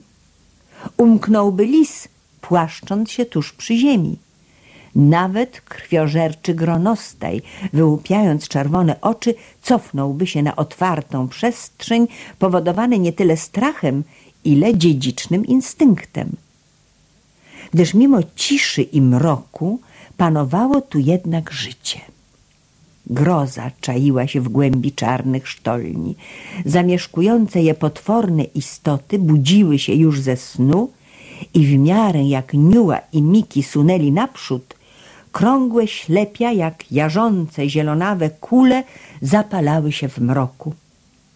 Wśród konarów nic się nie poruszyło, nie było słychać najlżejszego szmeru. Olbrzymie sowy Złe duchy Munidu spoglądały w dół leniwie, obmyślając dalsze plany i wyczekując odpowiedniej chwili. Nagle wielki cień wypłynął z mrocznego chaosu i przemknął tak blisko nad głowami Niuły i Mikiego, że usłyszeli groźny łopot ogromnych skrzydeł. Gdy niesamowita zjawa znikła, zdali dobiegł jeszcze krótki syk i trzask zamykanego dzioba. Miki zadygotał. Niejasny dotąd instynkt przemówił w nim teraz wyraźnie. W jednej chwili wyczuł bliskość nieznanego, lecz okropnego niebezpieczeństwa. Ponad nimi ozwały się rozliczne dźwięki, szelest gałęzi, upiorne falowanie powietrza i metaliczny trzask dziobów. Miki zobaczył znowu wielki cień krążący raz dalej, to znów bliżej. Przyłączyły się doń inne mary, sklepienie drzew zdawało się roić od nich. Z każdą nową zjawą stukot potężnych dziobów brzmiał głośniej i wyraźniej. Miki na podobieństwo wilka lub lisa przypadł brzuchem do ziemi i rozpłaszczył się na niej zupełnie. Ale nie skomlił już jak wylękłe szczenie. Zebrał się cały w sobie, naprężając mięśnie jak postronki, a gdy jeden z ptaków opadł ponad nim tak blisko, że uczuł wiew jego skrzydeł, Miki warknął groźnie i obnażył kły. Niła sapnął głośno. Sapnięcie to w późniejszym wieku byłoby wyzywającym wchów jego matki. Jako niedźwiedź nie kładł się, lecz stał prosto. Na niego właśnie runął jeden z wielkich cieni, niby rzucony z mroku potworny, pierzasty pocisk. Płonące ślepia Mikiego widziały, jak o parę stóp zaledwie od niego Niua padł na ziemię, przygnieciony szarą lawiną. Przez chwilę szczeniak trwał bez ruchu, pełen lęku i oszołomiony łomotem potwornych skrzydeł. Niua ani się odezwał. Leżąc na grzbiecie, szarpnął pazurami puch, tak miękki i gęsty, iż zdawało się, że wcale nie ma pod nim ciała. Czuł nad sobą obecność śmierci. Uderzenia skrzydeł były jak ciosy maczugi, zapierały mu oddech, mąciły zmysły. Walczył jednak bez ustanku, rwąc pazurami pierś opancerzoną pierzem. Przypuszczając pierwszy atak, uchuł misiu, którego skrzydła miały pięć stóp rozpiętości, chybił o cal swój śmiertelny chwyt. Jego potężne szpony, zamiast jak ostre noże wniknąć w głąb ciała niedźwiadka, utonęły w zwartej masie futra i luźnych fałdach skóry więc tłukł teraz skrzydłami swoją zdobycz, wyczekując odpowiedniej chwili, by zakończyć dzieło strasznym uderzeniem dzioba. Jeszcze pół minuty i z łebka niuły pozostałyby tylko strzępy. Właśnie dlatego, że niuła wcale się nie odzywał, że nie wydał najmniejszego dźwięku, Miki skoczył na równe nogi, obnażył kły i warknął. W jednej chwili lęk go opuścił.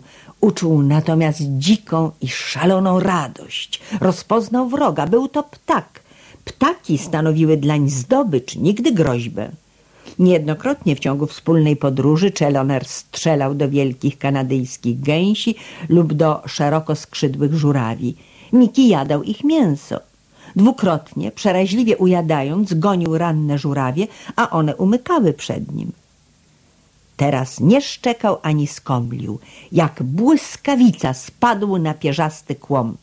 Czternaście funtów kości i mięśni uderzyło z impetem niby kamień i uchu misiu runął na bok z wielkim łopotem skrzydeł. Nim się opamiętał, Miki dopadł go ponownie, chwytając od razu za łeb, tak jak w swoim czasie chwytał rannego żurawia.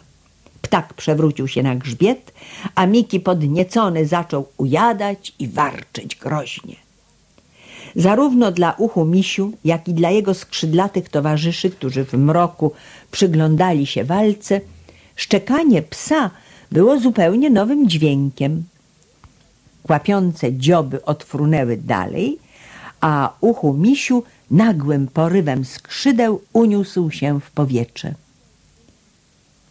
wbijając mocno w igliwie przednie łapy, zwracając ku mrocznemu sklepieniu rozjuszony pysk, Miki ujadał i warczał w dalszym ciągu. Pragnął powrotu sowy, chciał drzeć i szarpać jej pierze.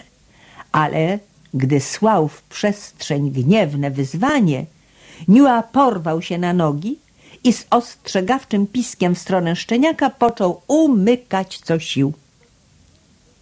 Jeśli Miki dotąd nie ocenił sytuacji, on doskonale zdawał sobie z niej sprawę. Działał tu dziedziczny instynkt. Niua wiedział, że w mroku ponad nim unosi się śmierć. To też zmiatał jak nigdy w życiu. Gdy Miki zdecydował się wreszcie pójść za jego przykładem, ponure cienie opadły już znów niżej ku ziemi. Obaj zobaczyli w dali migotanie słońca. Drzewa stały rzadziej i wkrótce blask dnia przedarł się między gałęźmi, rozpraszając groźną ciemność. Gdyby zamiast zawrócić, szczeniak i niedźwiadek posunęli się naprzód o dalsze sto yardów, znaleźliby się u skraju wielkiej doliny, łowieckiego terenu sów. Ale Niua miał doskonały instynkt samozachowawczy. Tu, gdzie szpony uchu misiu porwały mu boki, czuł piekący ból. To też zaledwie spostrzegł stos drzew zwalonych wiatrem i poplątanych ze sobą. Wślizgnął się do tej kryjówki tak szparko, że przez chwilę Miki nie mógł zrozumieć, gdzie się podział jego towarzysz. Gdy pojął wreszcie, co się stało, wlazł do kryjówki w ślad za niedźwiadkiem, ale obrócił się w niej tylko i znów wystawił łeb na zewnątrz. Był niezadowolony. Wciąż jeszcze ściągał wargi, obnażając kły i warczał bez ustanku. Zwyciężył wroga. Powalił go w uczciwej walce i napełnił pysk jego pierzem. Wobec tego triumfu tym bardziej haniebna była późniejsza ucieczka. To też chciał teraz wrócić i zakończyć bój. Ozwała się w nim nieznająca trwogi krew Ayerdela i Szpica. Ozwała się krew ojca myśliwskiego psa olbrzyma Heli. I gdyby nie to, że Niua wtulił się jeszcze głębiej między pnie, Miki byłby wyskoczył na zewnątrz i ujadając rzucił wyzwanie pierzastym istotom, przed którymi obaj umknęli. Zbolały niedźwiadek nie miał najmniejszej ochoty do dalszej utarczki z groźnymi mieszkańcami powietrznych sfer. Począł lizać swoje rany, a po chwili Miki zbliżył się do niego i powąchał ciepłą krew. Warknął. Wiedział, że to jest krew Niuły. I gdy spojrzał teraz w stronę otworu, przez który weszli do kryjówki, oczy jego lśniły jak dwa płonące żużle. Potem trwał całą godzinę bez ruchu i w ciągu tej godziny, tak jak po zabiciu królika, rósł. Gdy wreszcie wypełzł ostrożnie z podwału drzew, słońce poczęło już zachodzić za szaniec borów. Miki spoglądał wokoło, starając się dojrzeć wszelki ruch i ułowić wszelki dźwięk. Nie miał już chwiejnych i niezdarnych ruchów szczenięcych. Jego wielkie łapy były rozstawione szeroko i pewnie, mięśnie sterczały jak sęki na gałęzi drzewa, ciało miał sztywne, uszy uniesione ku górze, łeb siedział twardo na potężnych barkach, które już dziś zapowiadały ogromną siłę. Wiedział, że świat wkoło jest pełen niezwykłych przygód. Życie przestało być sielanką. Wkroczył w nie nowy, niezmiernie ciekawy czynnik. Po chwili Miki legł na brzuchu tuż obok zwału drzew i począł ogryzać koniec rzemienia, który mu jeszcze zwisał u szyi. Słońce osiadło niżej, wreszcie znikło zupełnie. Miki wciąż czekał pełen nadziei, że Niua wnet się zjawi i legnie u jego boku. Gdy miejsce zmierzchu zajęła głęboka ciemność, szczeniak wlasł z powrotem do kryjówki i znalazł w niej niedźwiadka. Razem wyjrzeli teraz na świat Boży. Początkowo panowała zupełna cisza, jak zwykle o pierwszej godzinie mroku na dalekiej północy. Na pogodnym niebie zakwitały gwiazdy, na razie pojedynczo lub parami, potem w jarzących konstelacjach. Księżyc, młodzik, wyglądał spoza zrębu puszczy, oblewając kraj strugą złotych blasków. A w tej poświacie żyły tysiące niesamowitych cieni, pozbawionych ruchu i głosu. Potem cisza została zerwana. Z ostępów nawiedzonych przez sowy nadbiegł dziwaczny, głuchy dźwięk. Miki słyszał już nieraz ostry wrzask i ponure tu hu hu, tu hu hu małych suwek złodziejaszków, napadających czasem drobną zwierzynę pojmaną w sidła. Ale nie znał jeszcze hasła ich potężnych krewniaków, tych prawdziwych zbójów nocnych. Był to zdławiony, gardłowy głos, wycie raczej niż krzyk, wycie stłumione i krótkie, jakby ten, co je niebacznie wydał, bał się zdradzić swoją obecność.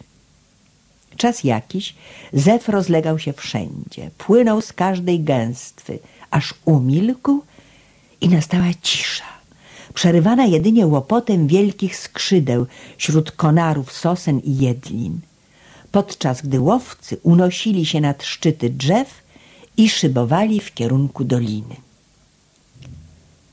Wyprawa sów była jedynie preludium nocnych harców. Niua i Miki trwali długi czas ramię przy ramieniu, nie śpiąc, lecz nasłuchując. Opodal przemknęła wydra. Poczuli jej ostrą woń. Z dala dobiegł szczek lisa, a potem ryk klępy pasącej się u brzegu jeziora na przeciwległym krańcu równiny. Aż wreszcie stało się coś, co sprawiło, że krew w ich żyłach popłynęła szybciej, a serca im drgnęły. Na razie byli przekonani, że ten głos, krwiożercze wycie wilków mknących świeżym tropem, płynie z ogromnej odległości. Ale zatoczyło łuk po równinie i zew jego poszybował z wiatrem wiejącym z północnego zachodu. Teraz wycie stało się zupełnie wyraźne i w mózgu szczeniaka mgliste obrazy i niejasne wizje zwolna nabierały określonych kształtów. To, co słyszał, nie było głosem Czelonera, a jednak on ten głos znał. To przemawiał Hela, jego olbrzymi ojciec, to przemawiała Numa, jego matka – to przemawiali członkowie jego plemienia od setek i tysięcy pokoleń. Z czasem dopiero doświadczenie miało go pouczyć o różnicy między psem a wilkiem. Na razie wierzył, że to przemawia głos jego krwi. Brzmiał ostro wokół, dziki, chciwy żeru i mordu. Miki zapomniał o niedźwiadku. Nie zważał na to, że Niua cofa się dalej w głąb kryjówki. Stanął i czekał sprężony w sobie, sztywny, nieświadomy otoczenia, pochłonięty jedynie przejmującą do głębi pieśnią wilczej zgrai. Zziajany, osłabły, nieprzytomnymi oczyma wypatrujący śród mroku nocy tafli wody, która by go mogła ocalić, Atik, młody samiec Karibu, walczył na śmierć i życie, mknąc o sto yardów przed stadem. Wilki rozbiegły się właśnie na dwie strony, tworząc podkowę, której oba końce wyprzedzały już Atika. A lada chwila miały się przed nim złączyć, zacisnąć w koło jak stryczek i zdławić go. Jak zwykle w ostatnich minutach walki zdyszane gardziele umilkły i Karibu wyczuł początek końca. Oszalały ze strachu, skoczył raptem w prawo i dał nurka w las. Miki usłyszał trzask konarów oraz gałęzi i przywarł ciasno do zwału drzew. W dziesięć sekund potem Atik przemknął w świetle księżyca o piętnaście stóp od niego, niby wielkie, a niezdarne zjawisko, rzężąc chrapliwie w przeczuciu bliskiej agonii. Znikł równie szybko, jak się pojawił a miejsce jego zajęło pół tuzina milczących cieni, lecących chyżo jak wiatr. Miki stał potem długi czas, nasłuchując bacznie, ale cisza znów niepodzielnie zawładnęła światem. Więc wrócił do kryjówki i legł obok niedźwiadka. W ciągu następnych paru godzin nawiedzały go sny. Śnił o rzeczach już zapomnianych. Doznawał chłodu zimowych nocy i ciepła ogniska. Słyszał głos Pana, widział Czelonera. Włóczęgi północy, taśma trzecia, koniec ścieżki pierwszej.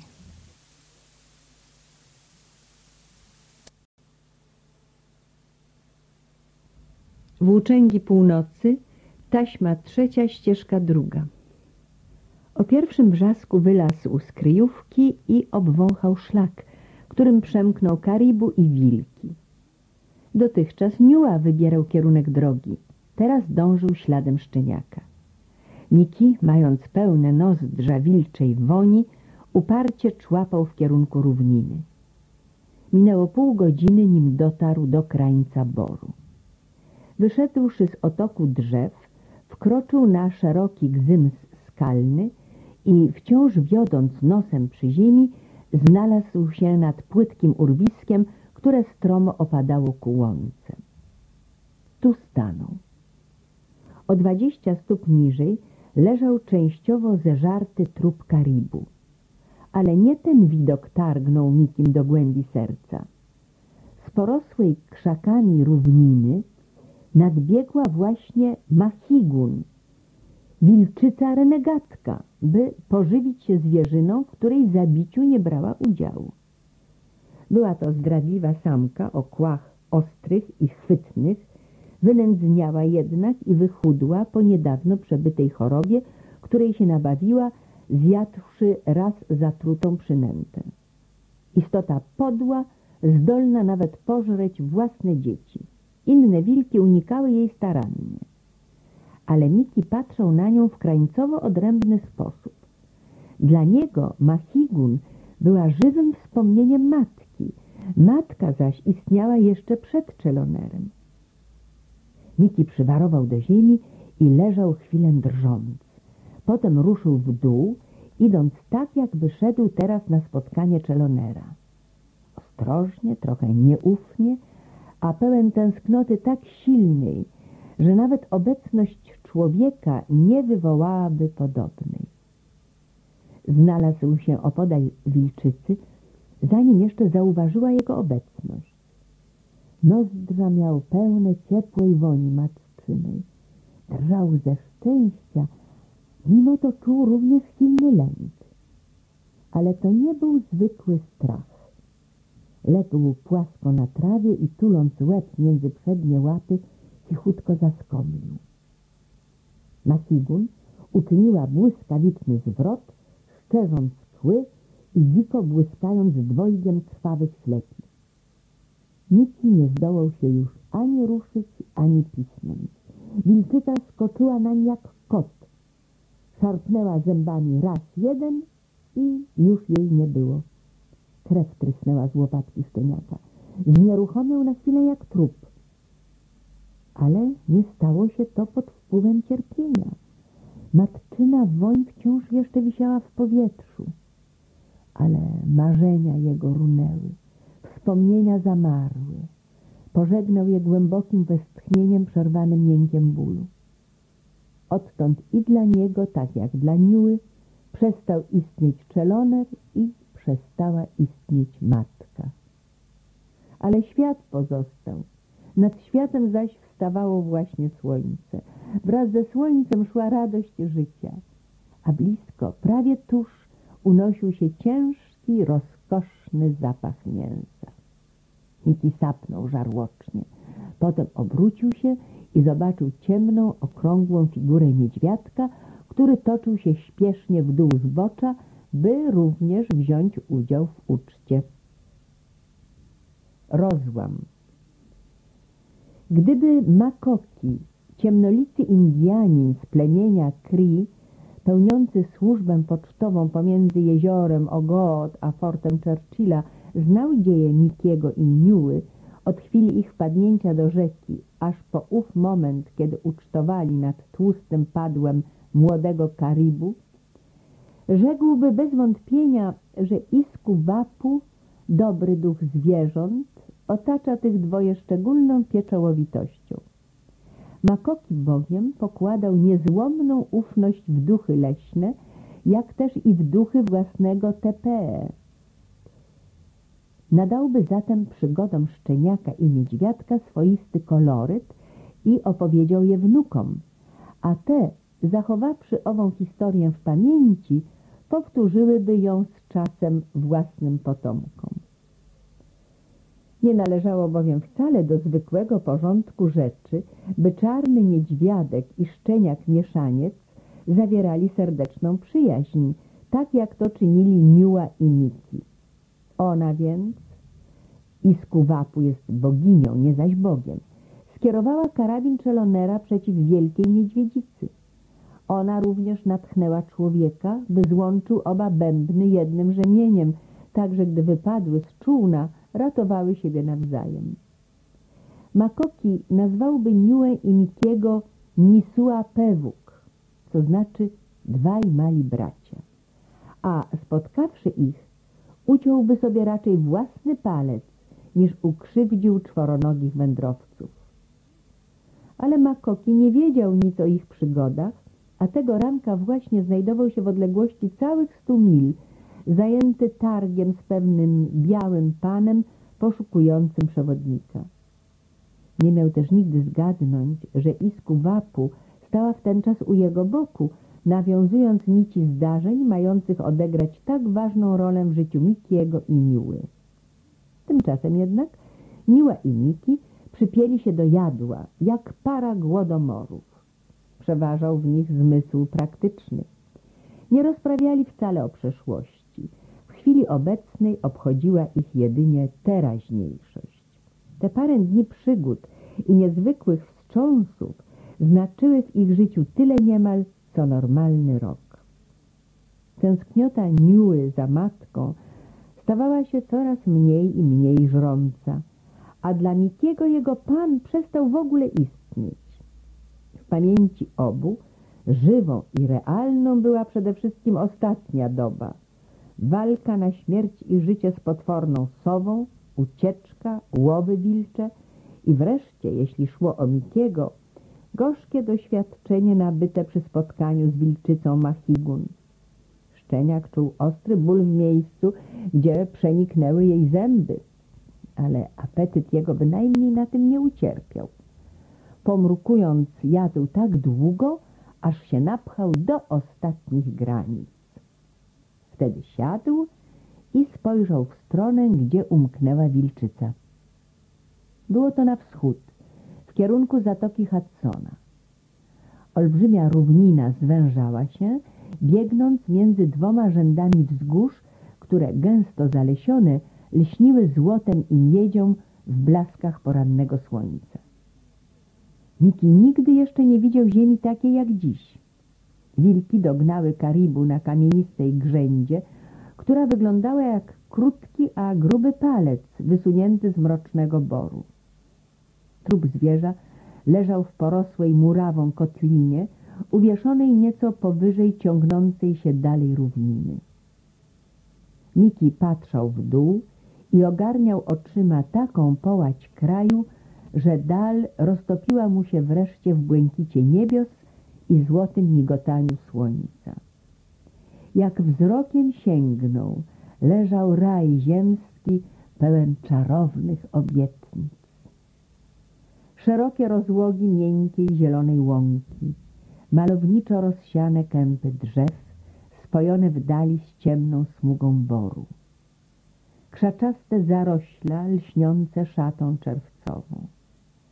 Tu i ówdzie połysk wody, a o pół mili dalej jezioro, sprawiające wrażenie ogromnego zwierciadła i obramione purpurowo-zieloną frędzlą jedliny i cedrów. Tam właśnie umknęła wilczyca Machigun. Miki ważył możliwość jej powrotu. Wciągnął powietrze, szukając znajomej woni. Ale w sercu wygasła mu już tęsknota do matki. Poza tym jął właśnie pojmować ogromną różnicę między psem a wilkiem. Niewiele brakło, by zęby Machigun zmiażdżyły mu łopatkę lub rozdarły tętnicę. Kibe Gon Gevin, jedyne wielkie prawo, dawało znać o sobie, budząc w duszy szczeniaka poczucie, że musi dostosować się do otaczających go warunków. Aby żyć, należało walczyć i zabijać, należało zwyciężać wszelkie istoty czworonożne lub skrzydlate. Ziemia i powietrze były pełne gruźb. Od chwili, gdy Miki stracił Czelonera, nikt z wyjątkiem niedźwiadka sieroty nie okazał mu przyjaźni. Więc zwrócił się teraz w stronę Niuły, który warczał właśnie na jaskrawo upierzonego ptaka polującego uparcie na strzępek mięsa. Przed chwilą jeszcze Niła ważył około 12 funtów. Teraz miał 14 do 15 funtów wagi. Brzuch mu nabrzmiał jak przeładowany worek. Siedział szeroko rozparty w ciepłym zalewie słonecznych blasków, oblizując się raz po raz, głęboko zadowolony z siebie i z całego świata. Miki otarł się o niego bokiem i Niła chrząknął przyjaźnie. Potem przewinął się na grzbiet i zapraszał szczeniaka do zabawy. Zdarzało się to po raz pierwszy. Miki szczeknął radośnie i nie dawał się długo prosić. Drapiąc się wzajem, gryząc i szarpiąc, przy czym Miki warczał niby groźnie, a Niła kwiczał jak prosię, zjechali na brzeg kotliny. Strome zbocze porosłe murawą, długości przeszło 30 metrów, opadało ku niżej położonej łące i obaj polecieli nagle w dół jak dwie duże piłki. Dla Niuły nie było w tym nic strasznego. Gruby i tłusty toczył się lekko. Sprawa szczeniaka przedstawiała się gorzej. Składał się on z kanciastych gnatów, skóry i nadmiernie wyrosłych łap, to też leciał w podrzutach i skrętach, obijając boki, a gdy wylądował wreszcie u stóp wzgórza, na gliniastej platformie zamroczyło go i nie mógł prawie tchu złapać. Kurczowo chwytając powietrze, chwiejnie stanął na łapach. Przez chwilę świat kołował mu w oczach. Wreszcie jednak oprzytomniał i o parę metrów dostrzegł niedźwiadka. Niła dopiero teraz zaczął pojmować cały urok mimowolnego wynalazku. Nikt chyba, z wyjątkiem saneczkującego dziecka oraz bobra ślizgającego się na ogonie, nie uwielbia tak dalece podobnych sportów jak mały czarny niedźwiadek. Podczas gdy Miki zwolna zbierał rozproszone zmysły, Niła wgramolił się kilkanaście metrów w górę zbocza i dobrowolnie zjechał znowu w dół. Miki aż pysk rozwarł ze zdumienia. Niła powtórnie wlazł na pochyłość i powtórnie z niej się stoczył, a Miki przestał prawie oddychać. Trzykrotnie jeszcze widział, jak niedźwiadek pnie się na stok porosły murawą i zjeżdża po nim. Za trzecim razem zniecierpliwiony skoczył na niuę, szturchnął go, przewrócił i cała historia omal, że się nie skończyła prawdziwą walką. Miki począł zwiedzać od nogi wzgórza, przy czym Niua towarzyszył mu dobrowolnie na przestrzeni mniej więcej stu yardów. Natomiast uparcie odmawiał przekroczenia tej granicy. Mając poza sobą zaledwie cztery miesiące życia, Niua nie znał większej rozkoszy nad bezustanne opychanie się dobrą strawą. Dla niedźwiadka posiłek był jedynym celem i jedyną przyczyną istnienia.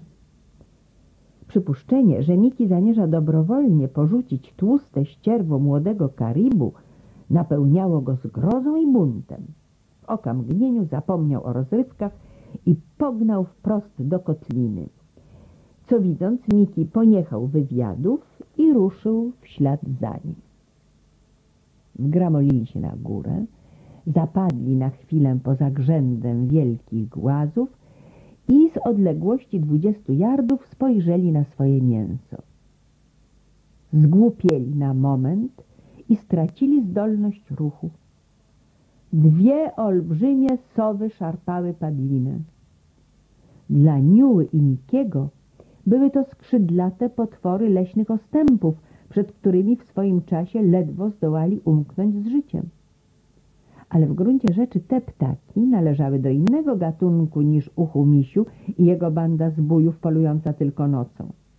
To były śnieżne sowy, tym się różniące od pokrewnych stworzeń, że przy dziennym świetle miały wzrok iście sokoli. Mispun, wielki samiec, lśnił niepokalaną bielą. Jego samka nosiła tu i ówdzie brunatne smugi. Oba ptaki miały łby zupełnie okrągłe, pozbawione nawet kępek puchu nad uszami. Mispun, rozpostarszy wspaniałe skrzydła nad ścierwem Karibu, rwał mięso tak żarłocznie, że Niua i Miki słyszeli odgłos darcia. Samka jego, Niuwisz, ukryła niemal cały łeb we wnętrznościach Atika. Widok pierzastych potworów i odgłos ich uczty mogły wstrząsnąć nerwami nawet starego niedźwiedzia. To też Niła tak się skulił za głazem, że jedynie część łba wystawała mu ponad krawędzią. W gardle szczeniaka zabulgotał ponury warkot. Zdławił go jednak i przywarował do ziemi. Krew ojca, wspaniałego myśliwego, buszowała w nim jak pożar. Padło Karibu stanowiło jego własność i gotów był walczyć o nie.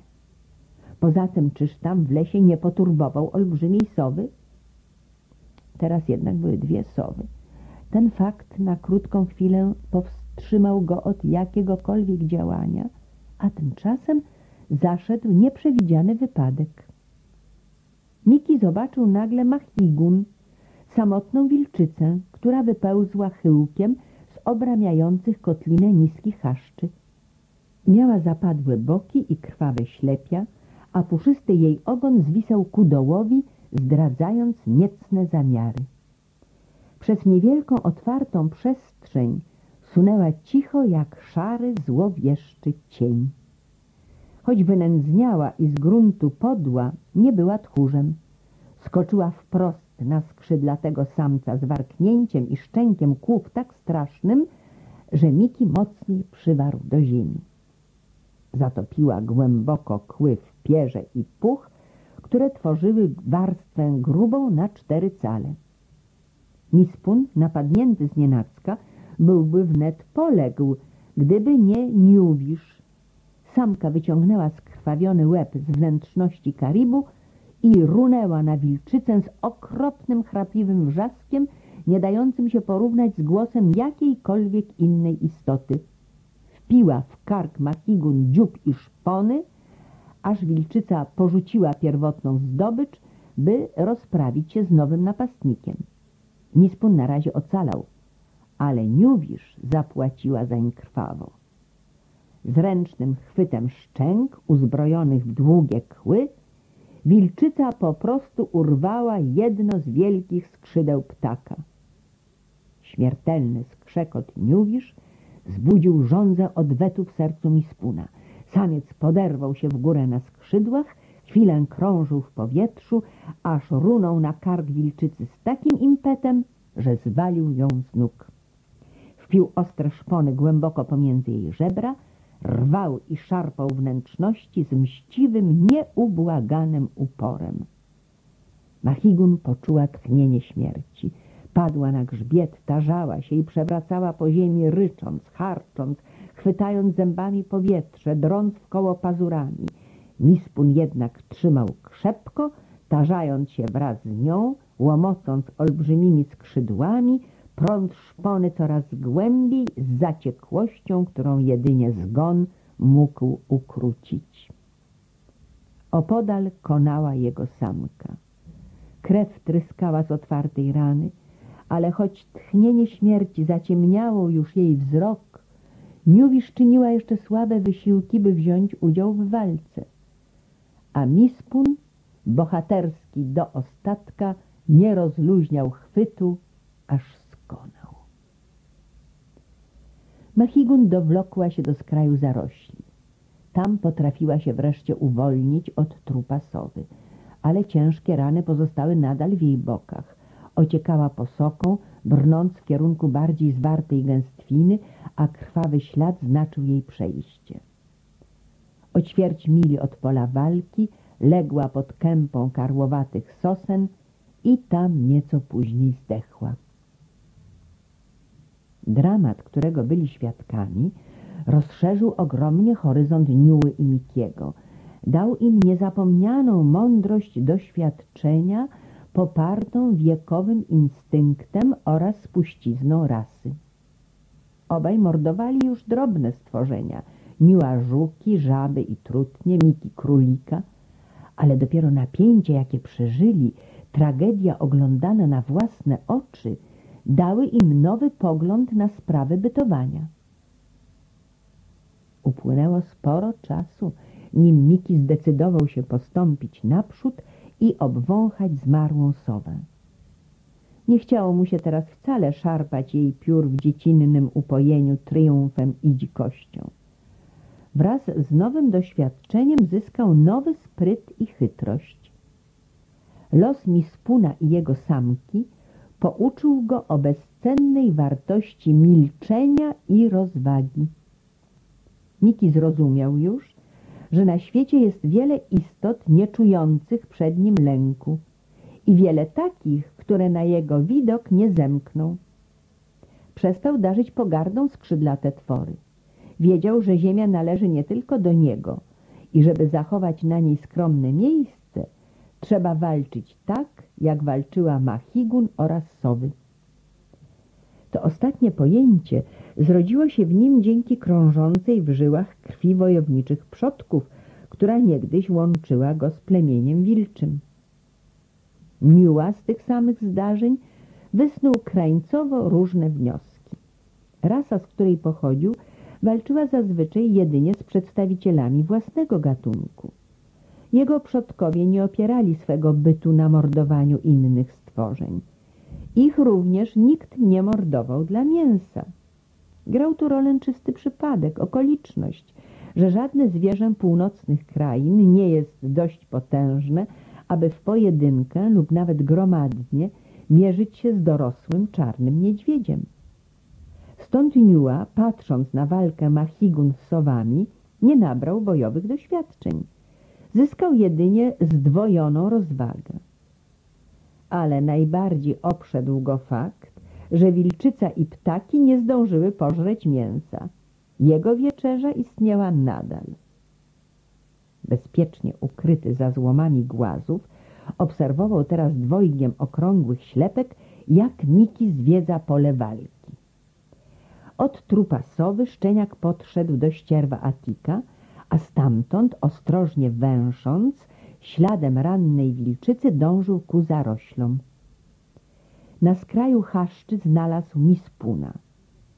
Nie poszedł już dalej, tylko zawrócił do Niuły, który tymczasem domyślił się, że można już wyjść bezpiecznie na otwartą przestrzeń. W ciągu tego dnia Miki chyba z pięćdziesiąt razy rzucał się na ratunek śpiżarni. Kanadyjskie sójki były najbardziej uprzykrzone.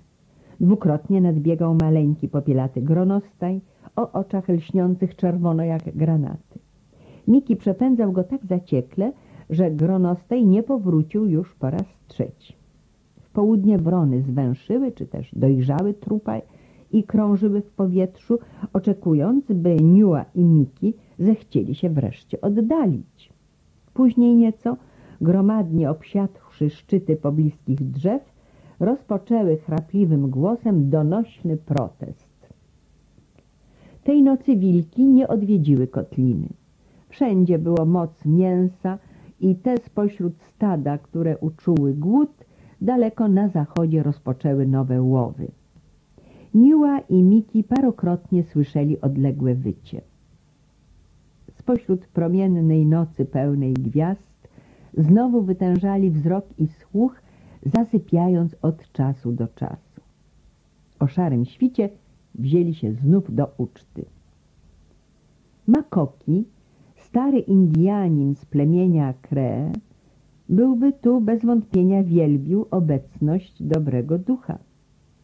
Szedł bowiem dzień za dniem, noc szła za nocą, a mięso Atika żywiło szczeniaka i niedźwiadka, rozwijając w nich niezwykle wzrost i siłę. Na czwarty dzień Niua stał się tak okrągły i spaśny, że ważył teraz niemal dwa razy więcej niż kiedy wypadł z czółna. Miki również tył. Z daleka trudno by już było policzyć jego żebra. Pierś stała się szersza, a łapy straciły kanciastą koślawość. Na gnatach Atika rozwinął siłę szczęk. W miarę jak rósł fizycznie, czuł coraz rzadziej dziecinną chętkę zabaw. Natomiast umacniał się w nim ruchliwy instynkt myśliwego. Czwartej nocy usłyszał ponownie przeciągły łowiecki zew wilczego stada i schwytał w nim dziką, przejmującą do głębi nutę. Co się tyczy Niuły, to zadowolenie i pogoda ducha szły dlań zawsze w parze z pełnym żołądkiem. Jak długo trwał zapas mięsa, daleki świat nie przedstawiał dlań żadnych pokus. Dwa lub trzy razy w ciągu dnia stępował ku rzece, a rankiem i wieczorami, szczególnie zaś o zachodzie słońca, używał ślizgawki w dół zbocza. W dodatku urządzał sobie poobiednie drzemki w rozwidleniu konarów niewielkiej sosny. Ponieważ Miki nie znajdował w saneczkowaniu żadnej przyjemności, a nie umiał się gramolić na drzewa, począł spędzać coraz więcej czasu na wałęsaniu się u stóp wzgórza. Z przyjemnością zapewniłby sobie na te wycieczki towarzystwo Niuły. Ilekroć ruszał w drogę, zawsze najpierw zapraszał niedźwiadka do opuszczenia drzewa lub też próbował go odciągnąć z jedynej drogi, którą Niua wydeptał chodząc ku rzece i z powrotem. Upór Niuły nigdy zresztą nie wywołałby między nimi prawdziwego rozłamu. Miki przywiązał się zbyt silnie do małego przyjaciela.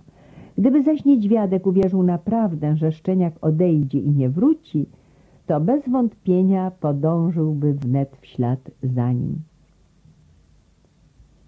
Pierwszy poważny zatarg miał o wiele głębsze podstawy niż zwyczajna kłótnia. Poszło o to, że Miki należał do rasy zwierząt lubiących świeże mięso. Niła zaś jadł najchętniej dobrze odleżały pokarm. Otóż począwszy od czwartego dnia resztki Atika zaczęły się psuć. Na piąty dzień Miki uznał, iż jedzenie nie sprawia mu żadnej przyjemności. Szóstego dnia nie mógł już mięsa przełknąć. Niła natomiast wyczuwał tym głębszą rozkosz, im ostrzejszy stawał się smak ścierwa i silniejszy jego zapach. Szóstego dnia wielce uradowany wytarzał się w gnijącym mięsie. Tej nocy Miki po raz pierwszy nie mógł spać obok niedźwiadka. Po tygodniu nastąpił kryzys. Woń Atika sięgała niebios. Ciepły czerwcowy wiatr roznosił zapach zgnilizny po całej okolicy, gromadząc niezliczone zastępy wron. Miki, jak sponiewierany kundel, powlókł się nad brzeg strumienia. Gdy Niua po obfitym rannym posiłku zeszedł ku wodzie, chcąc ugasić pragnienie, szczeniak obwąchał go podejrzliwie i co prędzej uskoczył w bok. Prawdę mówiąc, między padłem karibu a niedźwiadkiem nie było obecnie prawie żadnej różnicy, z wyjątkiem tej, że Atik leżał bez ruchu, a Niła przenosił się z miejsca na miejsce. Obaj śmierdzieli okrutnie. Nawet wrony polatywały nad głową Niły, zdziwione wielce, że rusza się, jakby żyw jeszcze. Tej nocy Miki spał sam jeden, opodal rzeczki pod osłoną krzewów. Był głodny, opuszczony i po raz pierwszy od wielu dni czuł pustkę i bezmiar świata. Pragnął towarzystwa Niły. Skomlił z tęsknoty za nim w długie, gwiezdne, a milczące godziny pomiędzy zmierzchem a świtem. Słońce stało już wysoko na niebie, gdy Niła zszedł z pochyłości wzgórza. Skończył przed chwilą śniadanie i wytarzał się w gnijącym padle, to też śmierdział gorzej niż kiedykolwiek. Miki zrazu próbował go namówić do porzucenia tych miejsc, ale Niua ani myślał rezygnować dobrowolnie z resztek mięsa. Tego dnia nawet szło mu o możliwie prędki powrót do kotliny. Od wczoraj już musiał starannie odganiać wrony od swego mięsa, a dziś ptaki kradły ze zdwojonym uporem. To też powitawszy szczeniaka przyjaznym pomrukiem i chrząknięciem, szybko zaspokoił pragnienie i pośpieszył na opuszczone stanowisko. James Oliver Curwood, Włóczęgi Północy. Taśma trzecia, koniec ścieżki drugiej.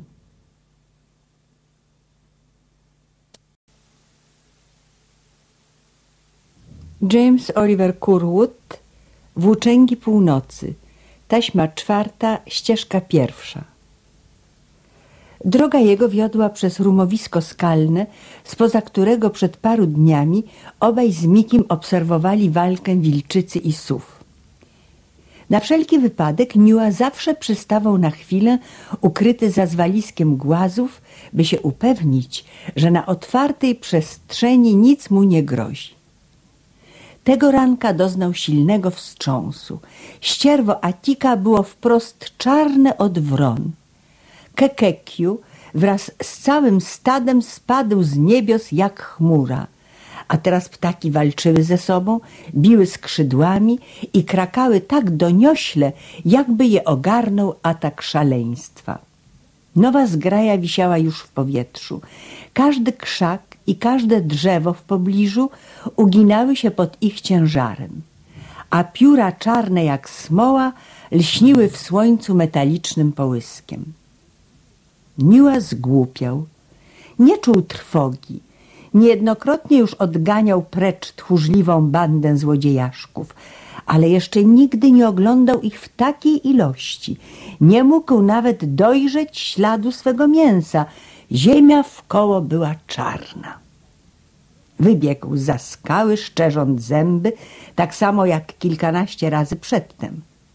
Ozwał się potężny łopot skrzydeł. Niebo pociemniało, a chrapliwy wrzask rozszedł się chyba o milę wokoło.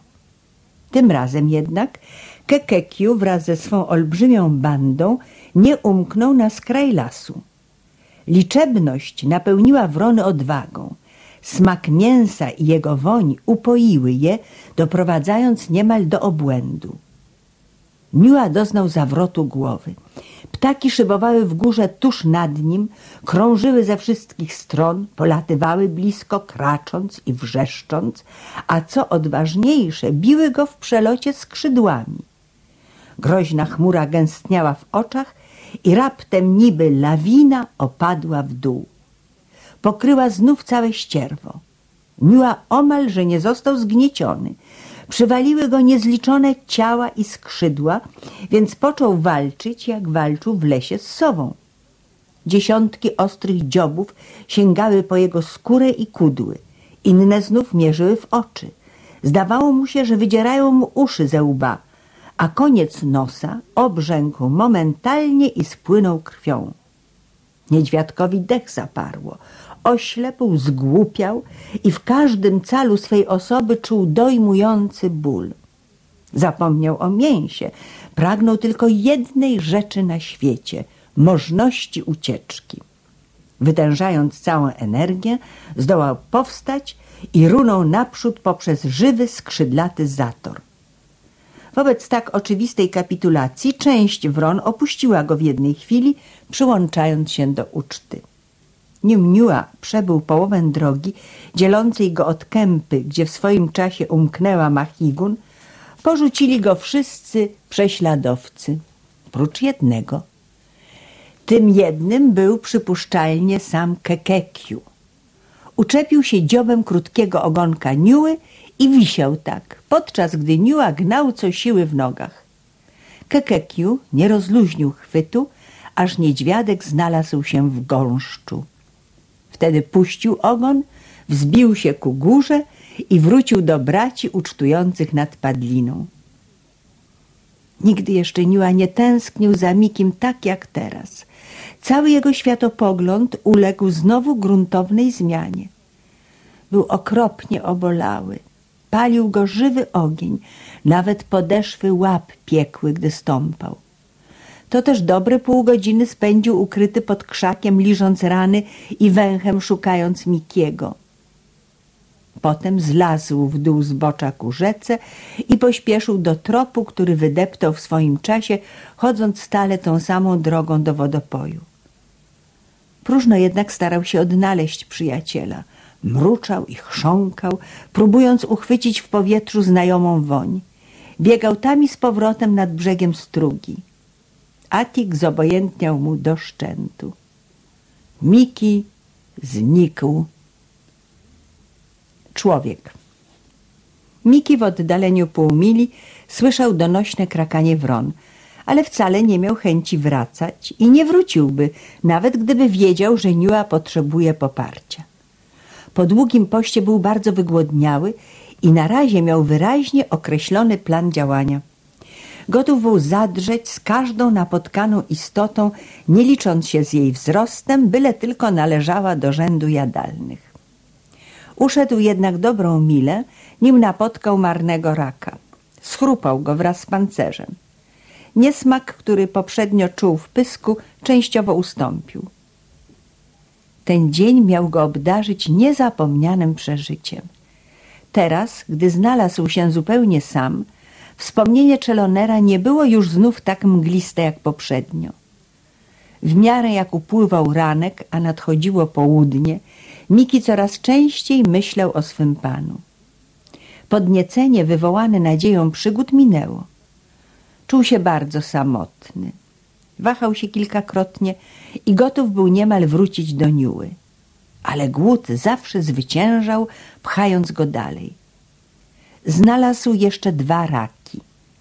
Potem rzeczułka stała się głębsza, a ciemny nurt zwolnił biegu.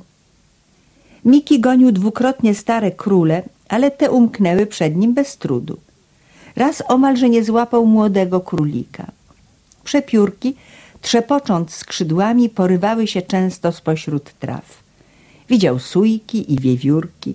Wszędzie wokoło było mięso, którego nie mógł dostać. Wreszcie jednak los uśmiechnął się do niego. Wsunąwszy łeb w dziuplę powalonego pnia, zdybał królika z tak bliska, że ten w żaden sposób nie mógł uciec. Wnet też Miki zabrał się do uczty pierwszej od trzech dni. Był tak pochłonięty jedzeniem, że nie zauważył przybycia nowego stworzenia. Nie dosłyszał nadejścia wydry uczak i nie zwęszył jej na razie. W naturze uczaka nie leżało robienie awantur. Z urodzenia i przekonania był on myśliwym i dżentelmenem. To też gdy zobaczył Mikiego, którego wziął za młodego wilka, pożerającego świeżą zdobycz, nie próbował nawet uzyskać dla siebie części mięsa. Nie próbował też uciec. Bez wątpienia w krótkim czasie ruszyłby w swoją drogę, gdyby nie to, że Miki zwietrzył wreszcie jego obecność i spojrzał nań. Uczak nadszedł z drugiej strony pnia i stał oddalony zaledwie o dwa metry. Dla kogoś, kto wiedział o wydrach tak mało jak Miki, nie było w tym zwierzątku nic groźnego. Przypominał pokrewne sobie łasicę, kunę i skunksa. Długością ciała dorównywał szczeniakowi, ale był odeń o połowę niższy. To też jego łapy robiły wrażenie koślawych, jak i łapy jamnika. Ważył zapewne 8 do 10 funtów i miał okrągły łeb, prawie pozbawiony uszu. Miał też puszysty ogon i maleńkie oczki, świdrujące zda się każdy przedmiot. W jego nagłym pojawieniu się Miki wyczytał wyzwanie i groźbę. Zresztą Uczak wyglądał na słabego przeciwnika. To też szczeniak obnażył kły i warknął. Uczak przyjął to jako wezwanie do oczyszczenia placu, a ponieważ zwykł po dżentelmeńsku szanować cudze prawa, bez zwłoki zabrał się do odwrotu. To przekraczało granicę pojęć Mikiego, który nie znał jeszcze etykiety leśnych szlaków. Uczak zląkł się, uczak ucieka. Miki szczeknął triumfalnie i skoczył w pogoń. Prawdę mówiąc, był to krańcowo mylny sąd. Uczak bowiem, jakkolwiek nie wchodzący zazwyczaj w drogę innym, należał do najdzielniejszych małych zapaśników Ameryki Północnej. Miki nie mógł nigdy dobrze pojąć, co właściwie zaszło w ciągu następnych paru sekund. Ściśle biorąc, nie była to nawet walka. Była to jednostronna klęska, zupełny pogrom. Wydało mu się w pierwszej chwili, że zaatakował nie jedną wydrę, ale cały tuzin. Potem przestał rozumować, a nawet widzieć cokolwiek. Został pokiereszowany tak, jak nigdy przedtem ani później w życiu. Był podarty, pocięty, zbity, był zdławiony i poszarpany. Był zmasakrowany tak okropnie, że choć uczak się oddalił, Miki jeszcze leżał na grzbiecie, gmerając łapami w powietrzu. Nie wiedział na razie, że zło już minęło. Wreszcie otworzył oczy, zobaczył, że jest sam i wpełzł do dziupli, w której poprzednio zdybał królika. Przeleżał tam dobre pół godziny, próżno starając się zrozumieć, co właściwie zaszło. Gdy wygramolił się z dziupli, Słońce opadało już ku zachodowi. Kulał. Jedyne całe ucho miał przegryzione na wylot. Tu i ówdzie, w miejscach, gdzie uczak zdarł mu sierść, świecił nagą łysiną. Bolały go kości, w gardle zaschło, a nad okiem tkwił potężny guz. Tęsknie spojrzał wstecz na szlak wiodący ku domowi. Tam był Niua. Wraz z wieczornym zmierzchem ogarnęła Mikiego straszna samotność i chęć powrotu do małego przyjaciela. Ale tą drogą właśnie oddalił się Uczak, a Miki nie miał najmniejszej chęci spotkać się z nim na nowo. Pokulał tedy na południowy wschód i uszedł może z ćwierć mili zaledwie, gdy słońce ostatecznie zgasło. W gęstniejącym roku dotarł do przejścia Big Rock, wiążącego z sobą Beaver i Lon. Nie był to nawet utarty szlak. Z rzadka jedynie używali go podróżnicy nadchodzący z północy, gdy chcieli się przedostać z jednej rzeki do drugiej. Wilcze nozdrza najwyżej trzy lub cztery razy do roku mogły tu ułowić woń ludzką. Ale tej nocy trwał tak wyraźny zapach człowieczy, że Miki stanął raptem, jakby mu nowy uczak zastąpił drogę. Potężne wzruszenie na chwilę zmieniło go w kamień. Wszystko poszło w niepamięć wobec faktu, że znalazł trop ludzki, zatem trop swego pana Czelonera.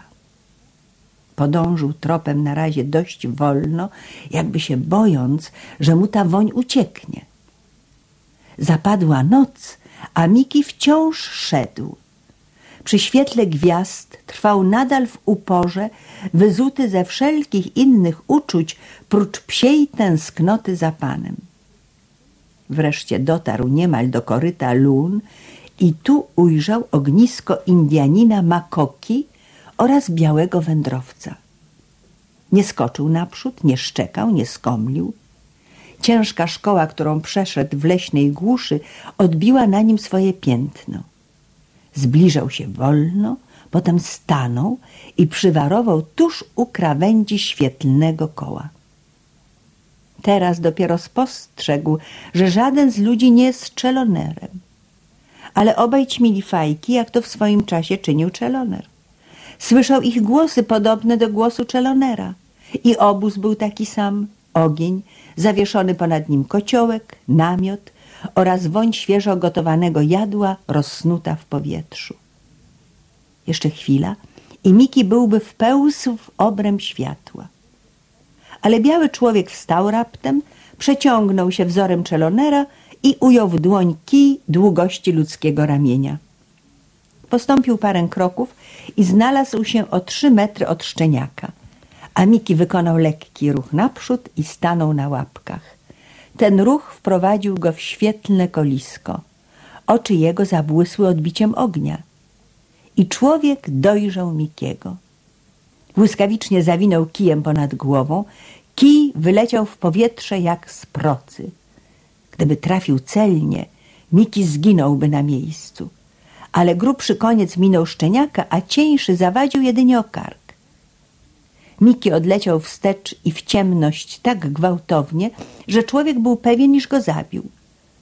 Krzyknął więc głośno do Indianina, że udało mu się dostać młodego wilka czy też lisa i skoczył w las na poszukiwanie zwierzyny. Siła ciosu rzuciła szczeniaka pod zwarty splot gałęzi karłowatej jodły. Leżał tam, nie wydając najmniejszego dźwięku, chociaż w zranionej łopatce czuł straszny ból. Widział, jak nadbiega Makoki z nowym kijem w ręku, skulił się więc pod gałęźmi jeszcze bardziej. Przejmował go lęk. Teraz bowiem rozumiał już prawdę. Żaden z tych dwóch nie jest czelonerem. Pojął też, co znaczy kij. Kości miał niemal przetrącone. Leżał cichutko, kiedy ludzie szperali w krąg. Indianin wsunął nawet swój kij między zwartą jedlinę. Biały twierdził uparcie, że na pewno dobrze trafił, a raz stanął tak blisko, że nos szczeniaka dotykał prawie jego nóg. Potem wrócił do ogniska i dorzucił doń naręcze brzozowego suszu, aż płomień buchnął wyżej, dając jaskrawe światło. W Mikim zamarło serce. Ale ludzie szukali teraz w innej stronie i wreszcie wrócili do obozu. Miki trwał dobrą godzinę bez ruchu. Ogień przygasł. Stary Kry owinął się kocem, a biały podróżnik wszedł do namiotu. Dopiero w ten czas Miki odważył się wyleść z ukrycia. Kulejąc co krok z powodu obolałej łopatki, umykał z powrotem po tym samym szlaku, którym niedawno biegł z taką nadzieją. Woń człowieka nie budziła już w jego sercu radosnych dreszczy. Niosła groźbę, przestrogę. Chciał uciec przed nią. Wolał raczej stawić czoło sowom lub wydrze, niż ludziom zbrojnym w kije. Z tamtymi mógł walczyć, ale kij miał nad nim przygniatającą przewagę. Noc była ogromnie cicha, gdy dobrnął do spróchniałego pnia, w którego dziupli zabił królika. Wlazł do wnętrza i aż do świtu lizał swoje rany. O wczesnym brzasku wyszedł z dziupli i zjadł resztki mięsa. Potem spojrzał na północny zachód, gdzie przebywał Niła. Nie wahał się już. Chciał zobaczyć niedźwiadka i oblizać jego pyszczek, choćby nawet śmierdział po dawnemu. Chciał słyszeć jego przyjazny pomruk i zabawne pokrząkiwanie. Chciał polować z nim wespół, bawić się i usnąć razem w słonecznym cieple. Odnalezienie Niuły stało się dlań obecnie koniecznością życiową. Ruszył w drogę. Aniuła daleko w górze rzeczułki, uparty i pełen nadziei, szedł tropem Mikiego. Spotkali się na otwartej łące pełnej słońca, w połowie odległości między spróchniałym pniem a kotliną. Nie było żadnego niezwykłego okazywania uczuć. Stanęli i chwilę przyglądali się sobie wzajem, jak gdyby chcąc nabrać pewności, że nie zachodzi tu żadna pomyłka. Niła chrząknął, Miki machnął ogonem. Obwąchali sobie nosy. Niła kwiknął cichutko, Miki zaskomlił, jak gdyby jeden drugiemu rzekł – dzień dobry, Miki, dzień dobry, Niła. Potem Niła legł w cieple słonecznym, a Miki rozpłaszczył się obok. Świat był jednak piękny. Co prawda czasem coś się w nim zepsuło, ale ostatecznie najgorsze nawet dało się naprawić. Dziś na przykład wszystko szło jak najlepiej. Raz jeszcze byli przyjaciółmi i było im dobrze. Bitwa w Parowie W całej krainie Kiwatin, jak długa i szeroka, panowało senne, upalne lato, zwane przez Indian porą ulatującego w górę księżyca. Od zatoki Hudsona po Athabaskę i od wysokiego kraju po wielkie Baren Lasy, łąki i mokradła trwały w cichej martwocie zarówno podczas słonecznych dni, jak i śród gwiaździstych sierpniowych nocy. Księżyc na niebie rósł w oczach, a dołem wszelkie dzikie istoty wchodziły raz jeszcze w swoje prawa. Bowiem ścieżek tej ziemi, rozesłanej tysiące mil ze wschodu na zachód i z północy na południe, nie deptały ludzkie stopy faktoriach kompanii Zatoki Hudsona, rozsianych tu i ówdzie po bezmiernym państwie szponów i kłów, zgromadziły się setki traperów i myśliwych wraz z żonami i dziećmi, by wyspać się, naplotkować i zabawić przez te kilka tygodni ciepła i dobrobytu, nim nadejdzie nowa zima, pełna dramatów i walk. Dla leśnych ludzi było to Muku Sewain, wielkie, doroczne święto. Teraz właśnie zaciągali po faktoriach nowe długi, ustalali nowy kredyt, kochali się i zawierali małżeństwa oraz tyli w lenistwie na zapas przed długim pasmem zimnych, głodnych i ponurych dni. I dlatego właśnie dzikie bractwo chwilowo rządziło swoją krainą. W całej kniei nie ułowiłbyś zapachu człowieka. Ustały ludzkie łowy. Sidła nie chwytały zwierzęcych łap, nie nęciły zwierząt zdradzieckie zatrute przynęty. Na jeziorach i mokradłach ptactwo radosnym świergotem lub kwakaniem porozumiewało się z młodzieżą, próbującą właśnie mocy skrzydeł. Ryś igrał z kociętami i nie przerywał zabaw, by niespokojnie szukać w powietrzu ludzkiej woni. Łosza wiodła otwarcie swoje cielęta w chłodną toni jeziora. Rosomak i kuna biegały po dachach pustych chat. Bóbr i wydra pluskały się radośnie w ciemnych toniach. Szczebiotały ptaki i ponad całym krajem stała dźwięczna pieśń przyrody, czyniąc go takim, jakim zapewne pragnął go mieć Stwórca. Przyszły na świat nowe pokolenia leśnych istot. Był to okres młodzieńczy. Dziesiątki i setki tysięcy zwierząt rozpoczynały pierwszą fazę zabaw, brały pierwsze lekcje i rosły chyżo, by w pełni sił spotkać grozę pierwszej w życiu zimy. A dobry duch leśny, wiedząc co je czeka, raczył je teraz hojnie.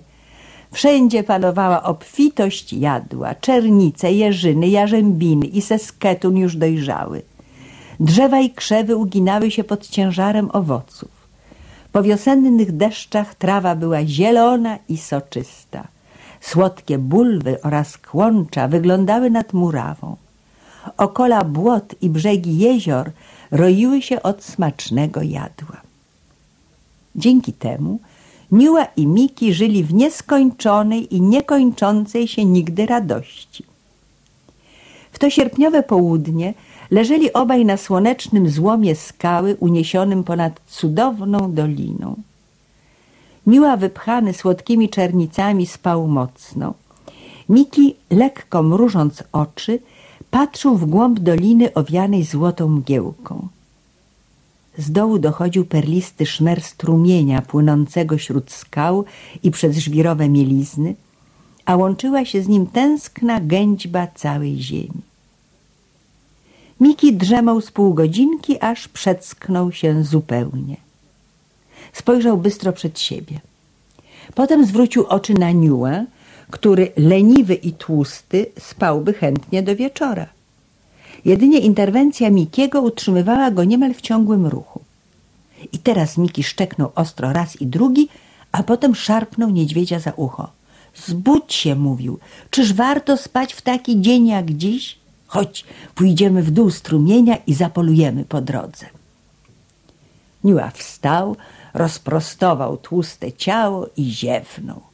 Małymi ślepkami sennie objął dolinę. Miki ruszył naprzód i wydał cichy, lękliwy skowyt, którym zawsze objawiał chęć ruchu. Niła odpowiedział przyjaznym chrząknięciem i obaj poczęli stępować w dół zielonego stoku ku żyznej łące leżącej pośród dwóch zboczy. Niła i Miki mieli teraz każdy około sześciu miesięcy, a jeśli szło o wzrost, przestali niemal być szczeniakiem i niedźwiadkiem. Byli to już prawie niedźwiedź i pies. Niezdarne łapy Mikiego jęły przybierać określoną formę – Pierś mu się wypełniła, ogromny łeb i potężne szczęki nie raziły w zestawieniu z szerokim karkiem. Ciało zaś rosło puty wzwyż i wzdłuż, aż stał się niemal dwukrotnie większy niż przeciętny pies w jego wieku. Stracił okrągły, klockowaty wygląd, chociaż wciąż jeszcze o wiele bardziej niż Miki ujawniał wiek młodzieńczy. Jednakże nie lubił już tak bardzo spokoju, jak za dziecinnych czasów. Krew Suminitika wchodziła w swoje prawa. Teraz Niła w czasie walki nie myślał wyłącznie o bezpiecznej kryjówce. Uciekał tylko wtedy, gdy ponura konieczność zmuszała go do tego. Prawdę mówiąc, wbrew niedźwiedziej naturze lubił bitwy. Zresztą Miki prześcigał go pod tym względem. Obaj byli pokryci bliznami, które mogły stanowić dumę każdego weterana. Dzioby wron i sów, kły wilka i pazury wydry pozostawiły na nich ślady, a Miki nosił na karku ośmiocalową łysinę, pamiątkę po zębach rosomaka. Z biegiem czasu w zabawnym, okrągłym łbie Niuły wzrosła przemożna chęć, by zmierzyć się raz wreszcie z przedstawicielem własnego gatunku. Dwukrotnie nadarzyła mu się już okazja, ale nie mógł jej wykorzystać, gdyż spotykane niedźwiadki znajdowały się jak dotąd zawsze w towarzystwie matek. To też obecnie, ilekroć Miki ruszał w dalszą włóczęgę, Niua dążył za nim pchany innym pragnieniem, nie tylko jak bywało dawniej chęcią żeru. Nie znaczyło to jednak, że Niua stracił apetyt, bynajmniej mógł zjeść więcej w ciągu dnia, niż Miki zjadał w ciągu trzech. Głównie dlatego, że Mikiemu wystarczały dwa lub trzy posiłki dziennie – gdy tymczasem Niua wolał jeden ciągnący się bez przerwy od świtu do zmroku. W drodze cały czas coś żuł. O ćwierć mili w dół zbocza, w kamienistym parowie, którego dnem sączył się wąski strumień, rosły najpiękniejsze dzikie porzeczki, jakie tylko można było znaleźć w całej krainie Schamatawy. Wielkie jak wiśnie, czarne jak atrament, napęczniałe słodkim sokiem, wisiały w tak obfitych gronach, że Niua mógł je zgarniać całą paszczą. We wszystkich kniejach północy nie ma nic równie dobrego, jak owe dobrze dojrzałe czarne porzeczki. To też Niua uważał, że parów, w którym one rosną tak hojnie, stanowi jego wyłączną własność. Miki również nauczył się łykać jagody. Poza tym znajdował tu moc innych smacznych rzeczy. Jar roił się od kuropatw i królików, dzikich kur o delikatnym i aromatycznym mięsie, które dały się łowić niezmiernie łatwo, oraz koszatek i wiewiórek. Obaj przyjaciele szli teraz w kierunku parowu, gdyż porzeczki można było jeść, mając nawet pełny żołądek. Dziś ledwo poczęli łykać pierwsze soczyste grona, dobiegł ich dźwięk, który nie budził żadnych wątpliwości. W jednej chwili każdy poznałby, o co chodzi. O kilkadziesiąt yardów w górę parowu ktoś obierał krzaki z porzeczek. Jakiś złodziej zakradł się do skarbca, to też Miki natychmiast obnażył kły, a Niua zmarszczył nos, sapiąc groźnie. Ostrożnie jęli się posuwać naprzód, aż doszli do niewielkiej, otwartej przestrzeni, gładkiej jak stół. Wśród tej polany znajdowała się mała kępa krzaków, wprost czarna od jagód. U stóp porzeczek, szeroko rozparty, garnąc ramionami ciężkie gałęzie, siedział młody, czarny niedźwiedź, czterokrotnie prawie wyższy niż niua. Niua, ogarnięty szałem i rozpaczą, nie zważał w tej chwili wcale na wzrost przeciwnika. Czuł się jak człowiek, który po powrocie do domu zastał mieszkanie i mienie we władzy intruza. Poza tym mógł teraz stanąć do walki z osobnikiem własnej rasy, a to pragnienie od dawna nosił w sercu. Miki jak gdyby zrozumiał to wszystko. Zazwyczaj on pierwszy rozpoczynał bój. Nim Niua zdołałby uczynić pierwszy krok, Miki już by zawisł u gardła bezczelnego złodziejaszka. Teraz jednak coś trzymało go na miejscu. Za to Niua runął naprzód jak czarny pocisk i gruchnął wprost w żebra niespodziewającego się napaści wroga. Stary Makoki z plemienia Kri, widząc ten atak, wnet znalazłby imię dla drugiego niedźwiedzia. Nazwałby go Pitut Ewepis Kum, co znaczy dosłownie zbity z nóg. Może w skróceniu nadałby mu imię Pit.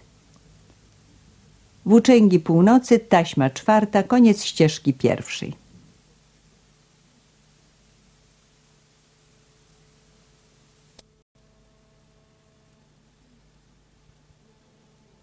Włóczęgi północy, taśma czwarta, ścieżka druga. Pit, zaskoczony z nienacka, z pyskiem pełnym jagód, uległ gwałtownej napaści i przewrócił się jak zbyt wyładowany wór. Na razie jego klęska była tak widoczna, że Miki w skupieniu przyglądający się jej z boku nie mógł powstrzymać radosnego szczeknięcia. Porzeczki sypały się jeszcze z rozdziawionej mordy Pikta, i nie zdążył zrozumieć o co chodzi, a już Niua capnął go za gardło i rozpoczęła się komedia. Niedźwiedzie, zwłaszcza młode, mają odrębny rodzaj walki. Przypomina to nieco darcie kudłów między dwiema niewiastami o gorącej krwi. Nie ma tu żadnych przyzwyczajeń ani żadnych praw. Gdy Niua i Pit wzięli się za bary, obaj puścili w ruch tylne łapy i zaraz strzępy futra jęły fruwać w powietrzu. Pit, leżąc na grzbiecie, znajdował się w świetnej pozycji i wnet zyskałby przewagę, gdyby nie to, że Niua trzymał go za gardło. Niua wpijał kły jak najgłębiej i zaciekle darł wroga ostrymi pazurami. Na widok latających z wiatrem kudłów Miki przysunął się nieco bliżej i patrzał radośnie. Potem Pit jął pracować jedną łapą, w minutę później drugą i kły Mikiego szczęknęły kurczowo. Obaj wojacy tarzali się to tu, to tam. Niła uwieszony był wciąż u gardła przeciwnika, ale żaden z nich się nie odezwał. Żwir i gałązki fruwały zmieszane z kłakami sierści. Kamienie z trzaskiem toczyły się w dół parowu. Nawet powietrze drżało, jakby podniecone walką. W wyczekującej postawie Mikiego widać było teraz podejrzliwość i niepokój. Gdy osiem kudłatych łap szarpało i darło wściekle, gdy dwaj zapaśnicy tarzali się, skręcali i wiercili jak oszalałe skrzydła wiatraka, było prawie niepodobieństwem orzec, kto bierze gorsze lanie, Niua czy Pit. W każdym razie Miki trwał parę chwil w niepewności. Potem poznał głos Niuły. Był bardzo słaby, ale czuło się w nim wyraźnie nutę bólu. Zduszony teraz pod ciężkim ciałem Pita, Niua jął wreszcie pojmować, że zadarł z mocniejszym od siebie. Grał tu rolę jedynie wiek Pita, nie zaś jego bojowe zdolności, gdyż Niua był niezaprzeczenie lepszym szermierzem. Walczył zapalczywie, wierząc w zmienny uśmiech fortuny. Aż wreszcie Pit począł mu obrabiać boki tak zaciekle, że gdyby nie Miki, Niła w ciągu najbliższych paru minut zostałby odarty ze skóry. Jeszcze chwila i Miki capnął Pita za ucho. Był to straszny chwyt. Nawet stary Suminitik ryknąłby z bólu. Pit zawył rozpaczliwie. Zapomniał o całym świecie, wiedząc jedynie, że coś drze mu ucho na strzępy. Lament jego bił w niebo nieprzerwaną burzą dźwięków i Niła wiedział, że Miki wystąpił już czynnie. Wygramolił się więc pod ciała młodego rabusia, a był po temu najwyższy czas. Mknąc w dół parowu, jak wściekły bawół, gnała matka Pita. Miła uskoczył w bok, niby zając w chwili, gdy miała go już trzepnąć. Cios chybił i stara niedźwiedzica ruszyła na ratunek sponiewieranego syna. Miki, radośnie uczepiony swej ofiary, dostrzegł niebezpieczeństwo dopiero wtedy, gdy oszalała samka siedziała mu już niemal na karku. Zobaczył ją w chwili, gdy długą łapą zamachnęła się na jak cepem. Nurknął w bok, a cios przeznaczony dla niego trafił z taką siłą w łeb nieszczęsnego Pita, że ten potoczył się jak piłka dwadzieścia jardów w dół parowu. Niki nie czekał dłużej. Jak błyskawica wpadł w gąszcz porzeczek i wyrywał w ślad za niłą. Razem znaleźli się na łące i w ciągu dobrych dziesięciu minut nie zwolnili biegu o tyle, by móc spojrzeć wstecz. Gdy wreszcie przystanęli, parów leżał już o mile. Siedli ciężko dysząc. Czerwony ozorek niuły wiewał mu u zziajanego pyska. Był skrwawiony i cały pokryty szramami, a wydarte kudły zwisały mu po bokach. Gdy spojrzał na Mikiego, w bolesnych jego ślepkach było smętne wyznanie gorzkiej prawdy. Pit odniósł nad nim zwycięstwo. Wielka przemiana. Po bitwie w Parowie Niła i Miki zrezygnowali już z raju pełnego słodkich czarnych porzeczek. Miki był typowym włóczęgą od końca ogona po czubek nosa i wzorem dawnych nomadów czuł się szczęśliwy jedynie wtedy, gdy wędrował z miejsca na miejsce. Dzika kraina wywarła na nim swoje piętno, odcisnęła niezatartą pieczęć na jego duszy i ciele, więc na równi z Niuą unikał w owym czasie zbliżania się do osiedli ludzkich. Ale w życiu zwierząt, zarówno jak w życiu ludzi, przeznaczenie gra dominującą rolę. To też zaledwie wkroczyli obaj w obręb krainy wielkich rzek i jezior, rozpoczął się dla Mikiego najcięższy bodaj okres istnienia. U schyłku lata oraz wczesną jesienią Miki i Niua spędzili sześć cudownych, słonecznych tygodni w zachodnich połaciach kraju. Szli w stronę Jackson's Knee, Touchwood, Clearwater i jeziora Ogot. Zobaczyli wiele ciekawych rzeczy. Dłoni natury uczyniła z tych stron prawdziwe królestwo dzikich istot. W ciemnych, milczących zakątkach spotykali wielkie żeremia bobrowe. Przyglądali się igrającym wydrom, widywali tak często stada karibu i łosi, że nie obawiali się już ich wcale, lecz otwarcie brnęli środkiem łąk lub brzegiem moczarów, gdzie pasły się ogromne zwierzęta. Miki poznał wielką prawdę, że pazury i kły stworzone są po to, by żyć kosztem rogów i racic. Wilki bowiem snuły się tu w znacznej ilości, bądź stadami, bądź pojedynczo i częstokroć napotykano ślady ich mordów, a częściej jeszcze słyszano dziki zew łowiecki. Od czasu przygody z Machigun Miki nie tęsknił do ich towarzystwa. Niła zaś nie upierał się wcale, by długo pozostawać obok znalezionej padliny. Niedźwiedź czuł instynktownie nadchodzącą kłeski chao, czyli wielką przemianę. Aż do pierwszych dni października Miki nie dostrzegł w towarzyszu prawie żadnych zmian. Tylko w miarę jak chłodły noce i jesień wyraźniej snuła się w powietrzu, Miła stawał się mniej ociężały. Teraz już on kierował stale wspólną wędrówką i wciąż zdawał się czegoś szukać, jakiejś wielce tajemniczej rzeczy, której Miki nie umiał ani wyczuć, ani dojrzeć.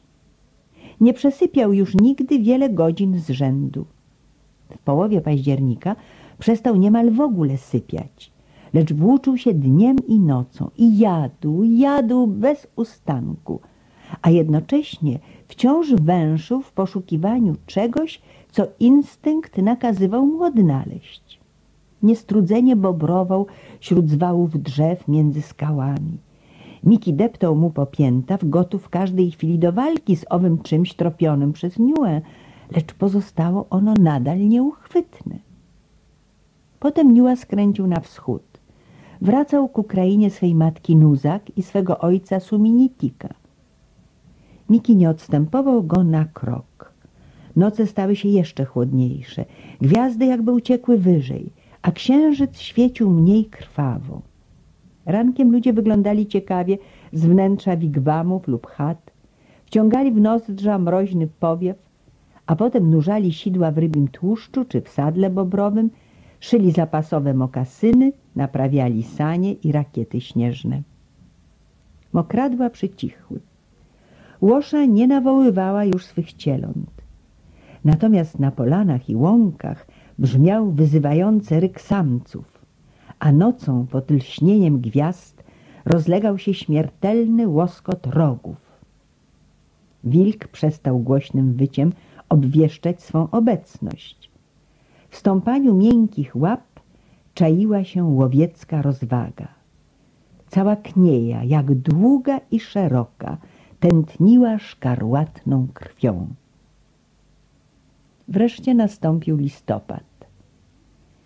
Miki nie miał, zdaje się, nigdy zapomnieć dnia, w którym ujrzał pierwszy śnieg.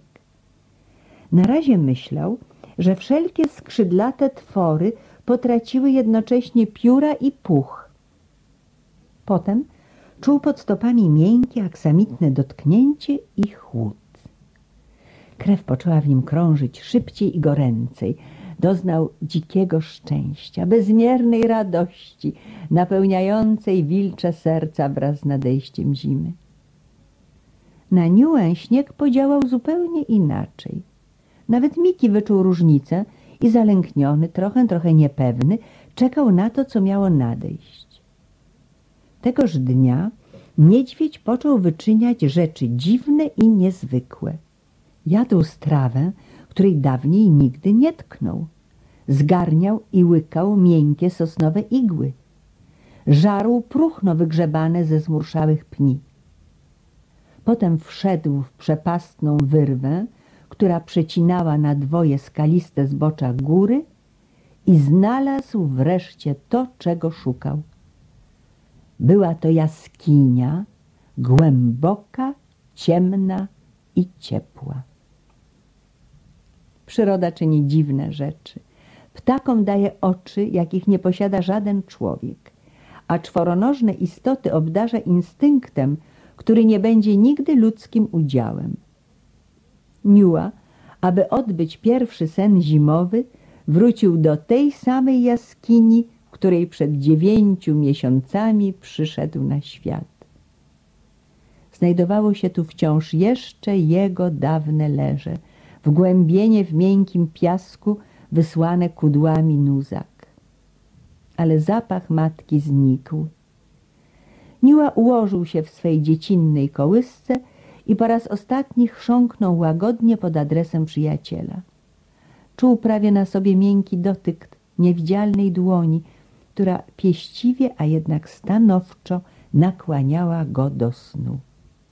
Nie mógł się już uchylić od tego nakazu i mówił teraz Mikiemu dobranoc. Tej nocy z północnych stron nadleciała Pajpu Kestin, czyli pierwsza śnieżyca. Wraz z nią przybył wiatr, który wył jak tysiąc bawołów i w całej kniei żadne zwierzę nie opuściło swego legowiska.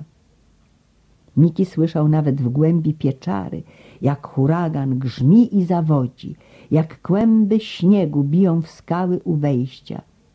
I tulił się do boku Niuły, ogromnie rad, że mają tak dobrą kryjówkę. Rankiem podszedł do wyrwy i zdziwił się tak dalece, że nie mógł nawet wydać głosu, lecz stał i patrzał na świat zupełnie inny niż ten, który oglądał wczoraj. Wszędzie królowała oślepiająca biel. Słońce już wzeszło, rażąc oczy Mikiego tysiącem migotliwych strzał. Ziemia jak okiem sięgnąć okryta była diamentowym płaszczem. Ze skał, z drzew i krzewów biły płomienie. Ogień śnił w konarach zgiętych pod ciężarem śniegu. Dolinę zalewało morze tak jaskrawego światła, że niezamarzły strumień płynący jej środkiem wydawał się czarny. Miki nigdy jeszcze nie oglądał tak pięknego dnia. Jeszcze nigdy serce nie biło mu na widok słońca tak silnie jak dziś, a krew nie pulsowała tak dziką radością. Zaskowyczał i pobiegł z powrotem do Niuły. Szczeknął w głąb jaskini, a potem trącił niedźwiedzia nosem. Niua chrząknął sennie, przeciągnął się nieco, uniósł łeb i znów zwinął się w kłębek. Próżno Miki nacierał, tłumacząc, że już dzień, że pora ruszać. Niedźwiedź nie reagował na to wcale, więc po chwili pies wrócił znów do wejścia pieczary i spojrzał wstecz, by stwierdzić, czy Niua podąża za nim. Potem rozczarowany i trochę zniechęcony stąpnął w dół na śnieg. W ciągu godziny mniej więcej nie oddalał się od pieczary dalej niż na parę metrów. Trzykrotnie jeszcze wracał do Niuły, nagląc go, by wstał i wyszedł na światło dzienne. W tym odległym kącie jaskini panował wieczny mrok i Miki chciał widocznie wytłumaczyć przyjacielowi, iż jest zupełnym idiotą, skoro leżąc tu w ciemności myśli, że i na świecie również nadal trwa noc. Nic jednak nie wskórał. Niła rozpoczynał już długą drzemkę i wkraczał właśnie do niedźwiedziej krainy snów. W pewnej chwili Miki uczuł napływ gniewu i wyraźną chęć, by zatopić zęby w uchu Niuły. Ale zwolna gniew minął. Instynkt, który między zwierzętami gra rolę ludzkiej mowy, odezwał się w nim wyraźnie i niepokojąco. Czuł ogromne zmieszanie. Z rozpaczą niemal krążył po grocie i wokół wejścia do niej. Jeszcze raz podszedł do Niuły, a potem ruszył sam jeden w dół doliny. Czuł silny głód, ale w pierwszym dniu po zamieci niewielka była szansa znalezienia jakiejś zwierzyny. Króliki zapadły w kotlinach pod zwałami drzew i śród skał, nie opuszczając wcale ciepłych gniazd. Od wczoraj nikt nie zmieniał miejsca pobytu. Miki nie mógł odnaleźć żadnych śladów żywych istot. Natomiast sam raz po raz tonął w zaspach aż po grzbiet. Udał się w stronę strumienia. Nie był to jednak wcale strumień znany poprzednio. Obrzeżał go lód. Wyglądał ponuro i tajemniczo. Szmer jego nie przypominał w niczym perlistej gęćby lata lub złotej jesiennej kapeli. Gwarzył groźnie i monotonnie, jak gdyby przeszedłszy we władanie zakazanych czarnych duchów, słał Mikiemu przestrogę, że czasy się zmieniły, że nowe prawa i nowe siły rządzą teraz wszechwładnie jego krajem rodzinnym. Pies ostrożnie począł chłeptać wodę. Była zimna, lodowato zimna. Zwolna ją pojmować, że nowe piękno ziemi pozbawione jest życia i ciepła. Był sam, zupełnie sam. Wszystko inne ginęło pod śniegiem, wszystko inne zdało się martwe. Wrócił do Niuły i przeleżał cały dzień tuż obok niego. Nie ruszył się z pieczary również i całą noc następną.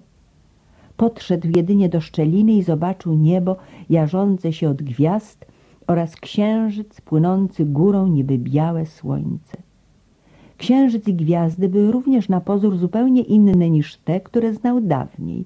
Były straszliwie dalekie i chłodne, a ziemia leżała u ich stóp odziana w śmiertelną biel i ciszę. Z nadejściem świtu Miki raz jeszcze spróbował rozbudzić Niuę. Tym razem jednak czynił to mniej natarczywie i bez przekonania. Nie miał wcale ochoty szarpać niedźwiedzia za kudły. Zaszło coś, czego absolutnie nie mógł pojąć. Czuł zmianę, ale jej nie rozumiał. Ogarniał go przy tym dziwny lęk. Zszedł znów w dolinę na łowy. Nocą pod światłem księżyca i gwiazd króliki wyprawiały szalone harce i miejscami ich łapki twardo ubiły całe połacie śniegu. Tego ranka zatem Miki bez trudu zdobył śniadanie, zabił i zjadł. Potem zabijał jeszcze i jeszcze.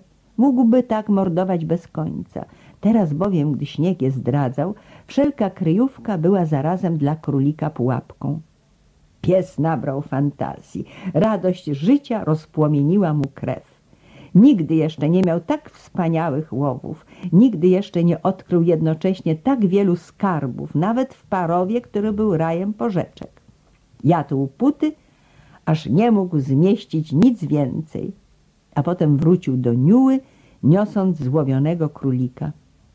Rzucił go przed niedźwiedziem i zaskomlił ale Niua milczał w dalszym ciągu, tylko westchnął głęboko i ułożył się wygodniej. Po południu jednak, po raz pierwszy od wielu godzin, Niua wstał, przeciągnął się i obwąchał martwego królika. Ale nie jadł nic. Ku rozpaczy Mikiego skulił się znów w swym piaszczystym gnieździe i ponownie usnął. Nazajutrz, o tej samej mniej więcej porze, Niua zbudził się ponownie. Tym razem wyszedł na zrąb pieczary i łyknął trochę śniegu. Ale stanowczo nie chciał próbować mięsa. Instynkt mówił mu, że nie powinien naruszać igieł, suchej kory i próchna, którymi napchał sobie kiszki i żołądek. I znowu legł spać. Teraz już nie wstał. Płynął dzień za dniem i Miki coraz bardziej opuszczony polował samotnie. W ciągu listopada co noc wracał do pieczary i spał u boku Niuły. Niedźwiedź był jak martwy, tyle że ciało miał ciepłe i nieraz bulgotało mu coś w gardle. Ta milcząca obecność nie zaspokajała żrącej tęsknoty psa. Miki chciał mieć żywego towarzysza łowów i wędrówek. Kochał Newell. W ciągu pierwszych tygodni zimy wiernie przynosił mu mięso. Był pełen ogromnego smutku. Cierpiał bardziej niż gdyby Niła zmarł. Miki bowiem wiedział, że Niła żyje, ale nie mógł absolutnie pojąć, co mu jest. Śmierć byłby zrozumiał, trupa porzuciłby raz na zawsze. I stało się, że pewnej nocy, zabrnąwszy daleko na łowy, Miki nie wrócił do pieczary, lecz spał pod wielkim zwałem drzew. Później już było mu coraz trudniej ujarzmić wołanie. Spędził z dala od Niuły drugą i trzecią noc, aż przyszła nieunikniona chwila, gdy pojął wreszcie, że nigdy, póki na świecie panować będą śnieg i chłód, Niuła nie pójdzie z nim w drogę ramię przy ramieniu, jak za dawnych dobrych czasów, kiedy obaj stawiali czoło komicznym i tragicznym perypetiom życia. Niuła ani podejrzewał, że Miki opuszcza pieczarę po raz ostatni. Być może jednak dobry duch nawet we śnie szepnął mu na ucho, że przyjaciel odchodzi, gdyż w ciągu paru następnych dni drzemka niedźwiedzia była bardzo niespokojna. Cicho, cicho, śpi, szeptał mu instynkt. Zima jest długa, rzeki są czarne i chłodne, jeziora okryte lodem, a wodospady zamarzły i wyglądają jak białe kolumny. Śpi. Miki musi iść swoim szlakiem, tak jak rzeki muszą biec ku morzu. On bowiem jest psem, ty jesteś niedźwiedziem. Śpi. Potwór. Od wielu lat nie pamiętano w krajach północnych takiej zamieci, jaka przyszła wnet po pierwszych śniegach. Kuskite Pajpun, czarny rok, przyniósł mrozy nagłe, a dziwnie ostre, przyniósł głód i śmierć. Zaczęło się w tydzień po opuszczeniu przez Mikiego jaskini, w której Niua spał tak smacznie. Las leżał pod białym całunem, słońce świeciło dzień po dniu, a księżyc i gwiazdy płonęły nocą niby małe złote ogniki. Wiatr dął z zachodu. Króliki hasały w tak znacznej liczbie, że na moczarach i śród chaszczy śnieg był twardo zbity ich skokami. Karibu i łosie pojawiły się obficie, a pierwszy zew łowiecki wilczej zgrai brzmiał jak muzyka w uszach tysięcy traperów. Nieoczekiwana groza nadeszła przeraźliwie szybko. Nic nie ostrzegło o katastrofie. Świt zaróżowił pogodne niebo i jaskrawe słońce obwieściło dzień. Potem zapadł zmrok tak nagle, że ludzie sprawdzający linię sideł przystanęli w zdumieniu. Wraz z gęstniejącą ciemnością nadbiegł niepojęty dźwięk, jakby grzechotał olbrzymi bęben, obwołując ponurą przepowiednię. Był to grzmot. Ostrzegał jednak zbyt późno. Nim ludzie zdołali wrócić do chat lub pobudować sobie schrony, dopadła ich zamieć. Szalała trzy dni i trzy noce niby wściekły bawu. Na otwartych przestrzeniach pustkowia żadna żywa istota nie mogła ustać na nogach. Waliły się lasy i ziemia szła w perzynę. Wszystkie stworzenia zagrzebywały się w śniegu lub marły. Śnieg bowiem, który tworzył ogromne zaspy i całe wzgórza, był twardy jak śród, a na dobitkę srożył się mróz okropny. Na trzeci dzień pomiędzy Jackson Kni a Schamatawą termometr spadł do 60 stopni poniżej zera. Dopiero czwartego dnia niektóre stworzenia odważyły się wyleść z kryjówek. Łosie i karibu wstały, strząsając grube warstwy śniegu, który chronił je dotychczas. Mniejsze zwierzęta ryły tunele wiodące z głębi zasp na powierzchnię. Połowa królików i ptactwa wymarła. Największe jednak straty poniósł rodzaj ludzki. Wielu spośród zaskoczonych zamiecią zdołało utrzymać w ciele iskrę życia i dotrzeć później do wigwamów i chat lecz wielu nie wróciło wcale. W roku Kuskitepajpun pomiędzy Zatoką Hadsena a Athabaską pastwą jednej śnieżycy padło pięciuset ludzi.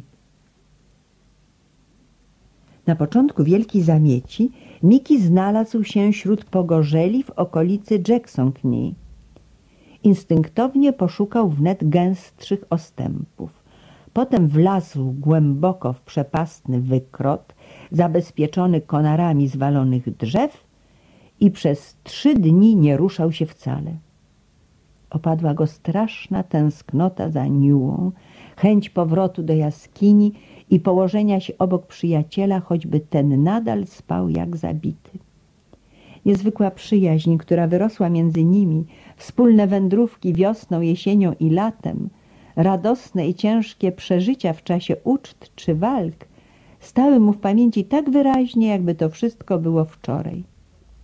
Leżąc w ciemnym wykrocie, coraz głębiej zasypywany śniegiem, Miki śnił.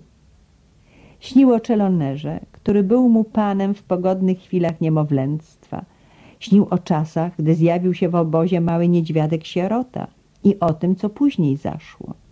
Śnił o utracie czelonera, o niezwykłych i przejmujących dreszczem przygodach w głuszy leśnej i wreszcie o tym, jak Niua pozostał w ciemnej grocie. Nie mógł tego pojąć. Zbudził się i nasłuchując wycia wichru, próżno rozważał, dlaczego Niua nie poluje nadal u jego boku, lecz zwinięty w kłębek śpi nieprzerwanym snem. W ciągu długich godzin zawieruchy żarła go bardziej samotność niż brak pożywienia. Gdy rankiem czwartego dnia wylazł z wykrotu, miał wystające żebra i krwawą błonkę na oczach. Przede wszystkim spojrzał na południowy wschód i wydał żałosny skowyt. Tego dnia przebył dwudziestomilową przestrzeń zasypaną śniegiem, by wrócić do pieczary, w której zostawił Niuę. Słońce płonęło na niebie jak rozpalone ognisko. Migotanie śniegu raziło mu oczy, że czerwieniały coraz bardziej. Gdy stanął wreszcie u celu podróży, zapadał zmierzch i na zachodzie widniała tylko słaba łuna.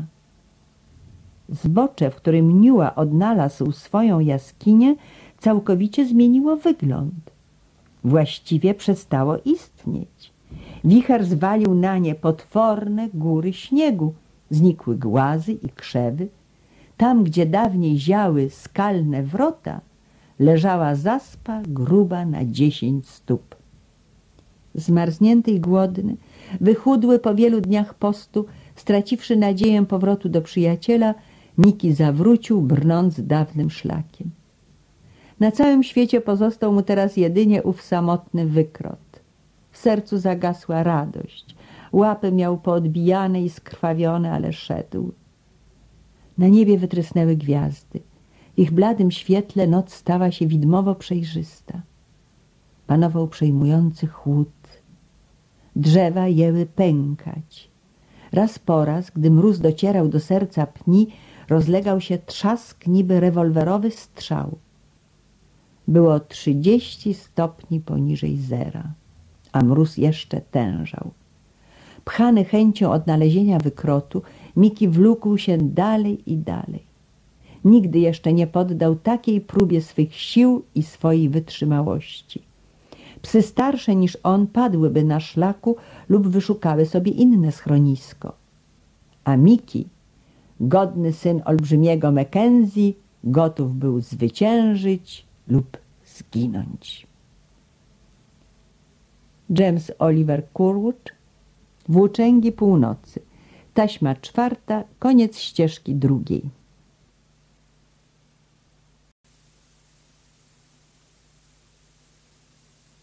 James Oliver Curwood Włóczęgi północy Taśma piąta, ścieżka pierwsza Stała się jednak rzecz dziwna. Miki uszedł już dwadzieścia mil od wykrotu do jaskini i piętnaście mil drogi powrotnej, gdy nagle śnieg ustąpił mu pod łapami i zwierzak runął w jakiś dół. Gdy oprzytomniał i wyprostował się, spostrzegł, że znajduje się w dziwnym miejscu. Wleciał w głąb stożkowatej budowli uczynionej z gałęzi sosnowego drzewa, a w nozdrza biła mu silna woń mięsa. Znalazł mięso o ćwierć metra zaledwie od własnego pyska. Był to zmarzły ochłap zatknięty na małym paliku. Nie zastanawiając się nad jego pochodzeniem, Miki począł jeść żarłocznie. Jedynie Jacques Lebeau, mieszkający o 8 lub 10 mil w kierunku wschodnim, mógłby wyjaśnić zagadkę. Miki wpadł do jednej z jego pułapek i obecnie pożerał przynętę. Nie było tego zbyt wiele, a jednak krew szybciej popłynęła mu w żyłach. Odzyskał dawny węch i począł rozkopywać śnieg. Po chwili szczęknął zębami o jakiś chłodny i twardy przedmiot. Była to stal, sidła wydrze. Wyciągnął je spod białego pokrowca, a wraz z nimi wielkiego królika. Królik dobrze okryty śniegiem, choć martwy od paru dni, nie był zamarznięty na kość. Miki schrupał go, nie zostawiając nawet łba ani gnatów. Potem powędrował do swego wykrotu i w ciepłej kryjówce przespał do rana. Tego dnia Jacques Le Beau, zwany przez Indian Muchit Te Eo, czyli człowiek o złym sercu, powędrował wzdłuż swej linii sideł, odbudowując pułapki, kładąc nowe przynęty i zastawiając wnyki. Polując o zmierzchu, Miki natrafił na jego ślad pośród mokradeł oddalonych o parę mil od wykrotu. W duszy psa nie drżała już dawna tęsknota za panem. Podejrzliwie obwąchał wgłębienia rakiet Lebo i, kiedy stojąc nieruchomo łowił wiatr, sierść jeżyła mu się na karku. Ostrożnie ruszył szlakiem trapera i o sto yardów zobaczył mały szałas osłaniający sidła, czyli tak zwany z indiańska kikik. I tu również był kawał mięsa umocowany na kołku. Miki sięgnął po nie. Spod przednich łap ozwał mu się raptem złowieszczy trzask i stalowe zęby sideł bryznęły mu w pysk śniegiem i igliwiem. Miki warknął i czekał chwilę, nie spuszczając oczu z pułapki. Potem wydłużył szyję, aż nie ruszając się z miejsca mógł chwycić mięso. Przypadkowo poznał ukrytą grozę stalowych szczęk, a instynkt mu doradził, jak ma ich unikać. Szedł później szlakiem Le Beau około ćwierć mili. Czuł obecność nowego niebezpieczeństwa, nie porzucał jednak śladów. Pragnienie, którego nie był w stanie opanować, pchało go naprzód. Znalazł drugie sidła i tym razem okradł je z przynęty, nie naruszając żelaza, które jak wiedział jest utajone tuż obok. Idąc dalej, szczęknął długimi kłami. Teraz chciał zobaczyć człowieka. Nie śpieszył się jednak. Zrabował mięso z trzeciej, czwartej i piątej pułapki. Nad wieczorem skręcił ku zachodowi i szybko przebył paromilową przestrzeń dzielącą jego wykrot od moczarów. W pół godziny później Le wracał wzdłuż linii sideł. Zobaczył pierwszy pusty kikik i ślady łap na śniegu. Toner, wilk zawołał i to w biały dzień. Potem zwolna wyraz zdumienia osiadł mu na twarzy. Ukląkł w śniegu i starannie obejrzał trop. No, wycharczał, to pies, dziki pies, który okrada moje sidła. Wstał klnąc. Z kieszeni kurty wyjął małe blaszane pudełko, a z pudełka kulkę tłuszczu. Wewnątrz kulki tkwiła porcja strychniny. Była to trucizna przeznaczona dla wilka lub rysia.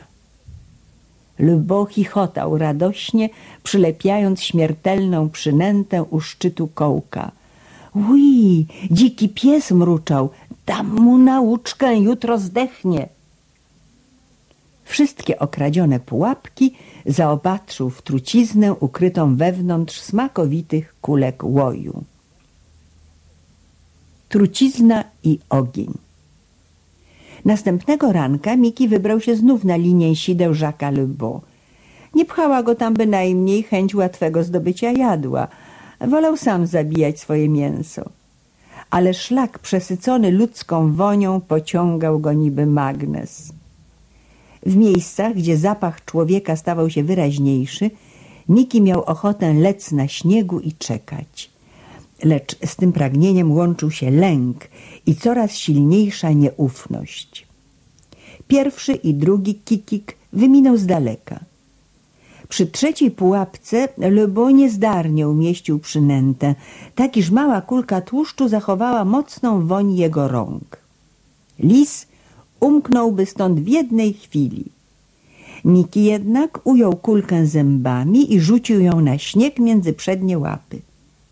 Potem obejrzał się i nasłuchiwał długą chwilę. Polizał przynętę. Zapach rąk Le Beau powstrzymał go od połknięcia sadła. Nieufnie zdusił kulkę w zębach. Tłuszcz był dobry. Chciał już zjeść wszystko, gdy uczuł inny, mniej miły smak, więc prędko wypluł w śnieg to, co mu zostało w pysku. Lecz ostra gorycz trucizny gryzła mu język i gardło, wżerała się coraz głębiej. Miki chwycił pełen haust śniegu i przełknął go, by zagasić żar, który już mu się dobierał do trzewi. Gdyby zjadł kulkę łoju jak inne przynęty, zdechłby w przeciągu kwadransa i Le bez trudu znalazłby jego ciało. Ta zaś niezjedzona całkiem trucizna wzięła go w obroty po upływie piętnastu minut. Przeczucie nieszczęścia odciągnęło go już poprzednio od linii sideł w kierunku wykrotu. Przebył jednak dopiero nieznaczną przestrzeń, gdy nogi ugięły się pod nim i runął na ziemię. Począł dygotać. Każdy mięsień w nim drżał, szczękał zębami. Oczy mu wylazły z orbit i nie mógł ruszyć się z miejsca. I raptem, niby potworna dłoń zdławiła mu krtań, kark zesztywniał, a powietrze świszcząc wydzierało się z gardła. Sztywność jak płomień ogarnęła jego mięśnie. Nie drżał już, ale stężał cały niby trup. Okropny skurcz wyprężył mu łeb tak silnie, że pysk godził prosto w niebo. Nie wydał najmniejszego dźwięku. Przez chwilę stał u progu śmierci. Potem nadeszła reakcja – jakby mu kto stryczek z szyi zerwał, minęła sztywność karku. Natomiast chwyciły go dreszcze i już w następnej chwili Miki rwał i szarpał śnieg, miotając się w obłąkanych konwulsjach. Atak trwał dobrą minutę. Gdy wreszcie ustał, pies dyszał jak wyjęty z wody. Ślina mu ciekła z rozwartego pyska. Ale żył! Śmierć ominęła go o włos. Po pewnym czasie chwiejnie stanął na łapach i powlókł się w kierunku wykrotu. Odtąd, choćby mu Jacques Le Beau kładł na szlaku tysiące zatrutych kulek tłuszczu, Miki nie tknąłby żadnej. W dwa dni później Le znalazł miejsce, na którym Miki walczył ze śmiercią i serce spłynęło mu wściekłością zawodu. Począł iść śladami psa. W południe dotarł do wykrotu i zobaczył ubity szlak, którym Miki gramolił się do wnętrza. Klęcząc, zajrzał w głąb czarnej jamy i nie spostrzegł nic. Lecz Miki, zawsze czujny, dojrzał twarz człowieka podobną do twarzy brodatego potwora, który kiedyś rzucił wękijem. Serce psa było również pełne zawodu, podświadomie bowiem tęsknił wciąż za utraconym panem, a ilekroć zaleciała go woń ludzka, zawsze spodziewał się ujrzeć Czelonera. Lebo usłyszał warknięcie i podniecony skoczył na równe nogi. Nie chciał leść do jamy w ślad za psem, nie mógł go stamtąd wywabić. Ale miał inny sposób. Wykurzy go dymem. Miki słyszał daleko w lesie chrzęst śniegu pod stopami trapera. Nieco później zobaczył znów brodatą twarz zaglądającą do wnętrza kryjówki. No i cóż ty, zwierzaku? zawołał kpiąco Lebo. A Miki warknął ponownie. Żak był rad. Wyklot miał zaledwie 10 metrów średnicy, a wysokopienny las w koło był pozbawiony poszycia. Dziki pies w żadnym razie nie mógł uniknąć kuli. Jeszcze raz zatoczył krąg wokół zwalonej masy drzew. Z trzech stron pnie i konary ginęły pod zaspą śniegu. Jedynym otworem był ten, którym właził Miki. Lubo, mając wiatr w plecy, podpalił isku z brzozowej kory oraz suszu i wsunął ją pod węgieł wykrotu. Zleżałe pnie i gałęzie zajęły się jak chubka i po upływie paru minut płomień już huczał i wył tak głośno, aż Miki się zdziwił.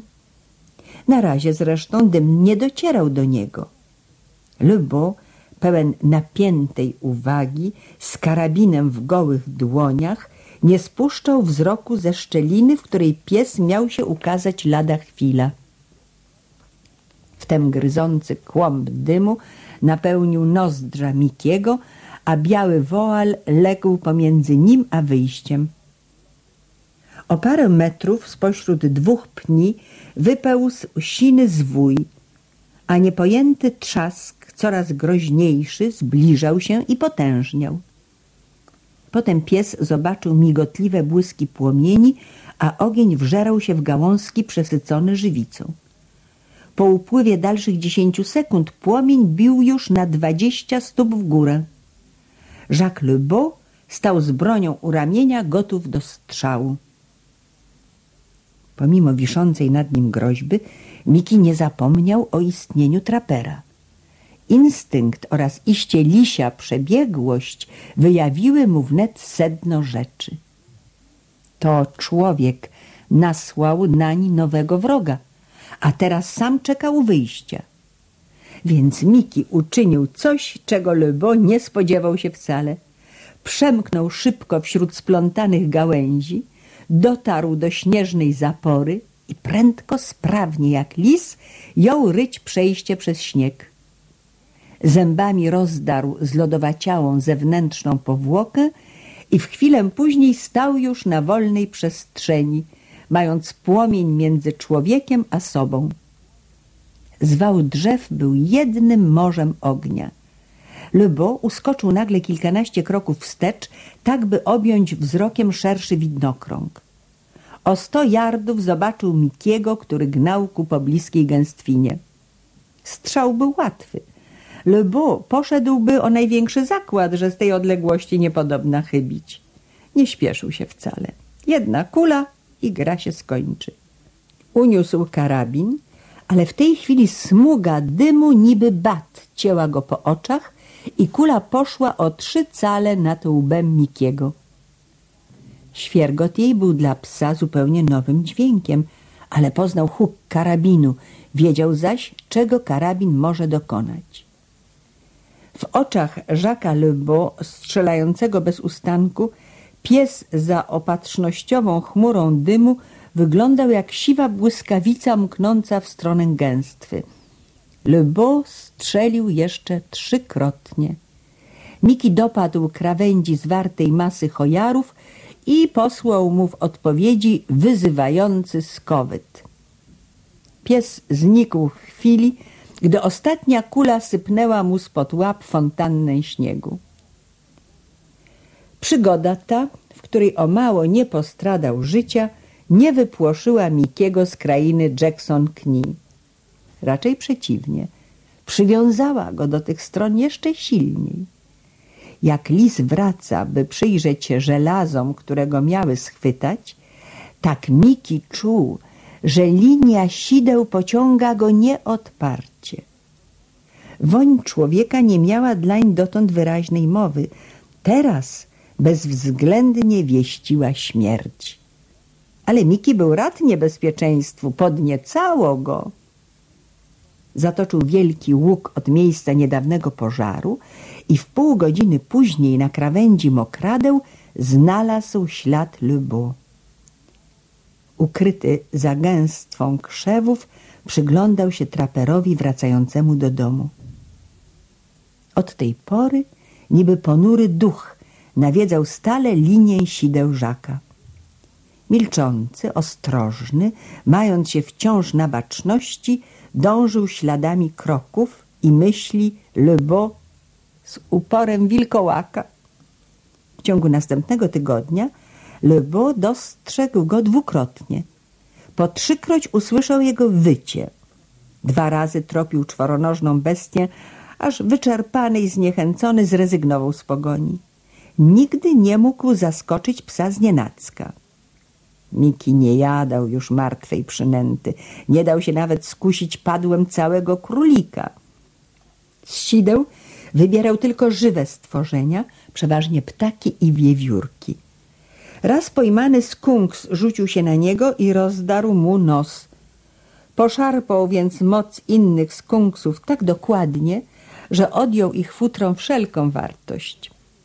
Znalazł sobie schronienie w innym wykrocie, ale i instynktownie nie udawał się tam nigdy prostą drogą, lecz kluczył przemyślnie, zarówno wtedy, gdy szedł do swej kryjówki, jak i wtedy, gdy ją porzucał.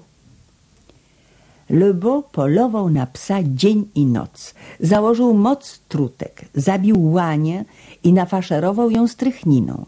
Budował zapadnie i na przynętę kładł mięso pieczone w tłuszczu. Sklecił szałas z jedliny oraz gałązek cedru i przesiedział w nim długie godziny z karabinem gotowym do strzału. Ale Miki wychodził zwycięsko z wszelkich opałów.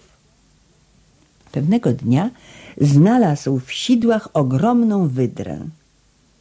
Nie zapomniał jeszcze walki z uczakiem ani cięgów, które wtedy dostał. Ale tego wieczoru nie miał w sercu krzty urazy ni chęci zemsty. Zazwyczaj już o zmierzchu udawał się do kryjówki. Dziś jednak poczucie ogromnej samotności nie pozwalało mu zaznać wypoczynku. Ciężył nad nim duch Kuskajetuma, bożka powszechnej przyjaźni. Ciało i krew psa były pełne tęsknoty, płonął jak w gorączce, zapomniał o głodzie i łowach. Właśnie wtedy znalazł wydrę. Być może był to ten sam uczak sprzed kilku miesięcy. Jeśli tak, wyrósł znacznie od tej pory. Wyglądał wspaniale, odziany w gęste, lśniące futro. Nie buntował się przy tym na swój los. Na Mikim zrobił wrażenie istoty miękkiej, ciepłej i potulnej. Przypomniał mu Niuę i noce przespane wspólnie. Zapragnął jego przyjaźni. Podszedł ku niemu, cicho skomląc. Bądźmy w zgodzie, mówił. Tęsknota tak mu gryzła serce, że gotów był przytulić się nawet do uczaka. Uczak milczał i nie czynił najmniejszego ruchu.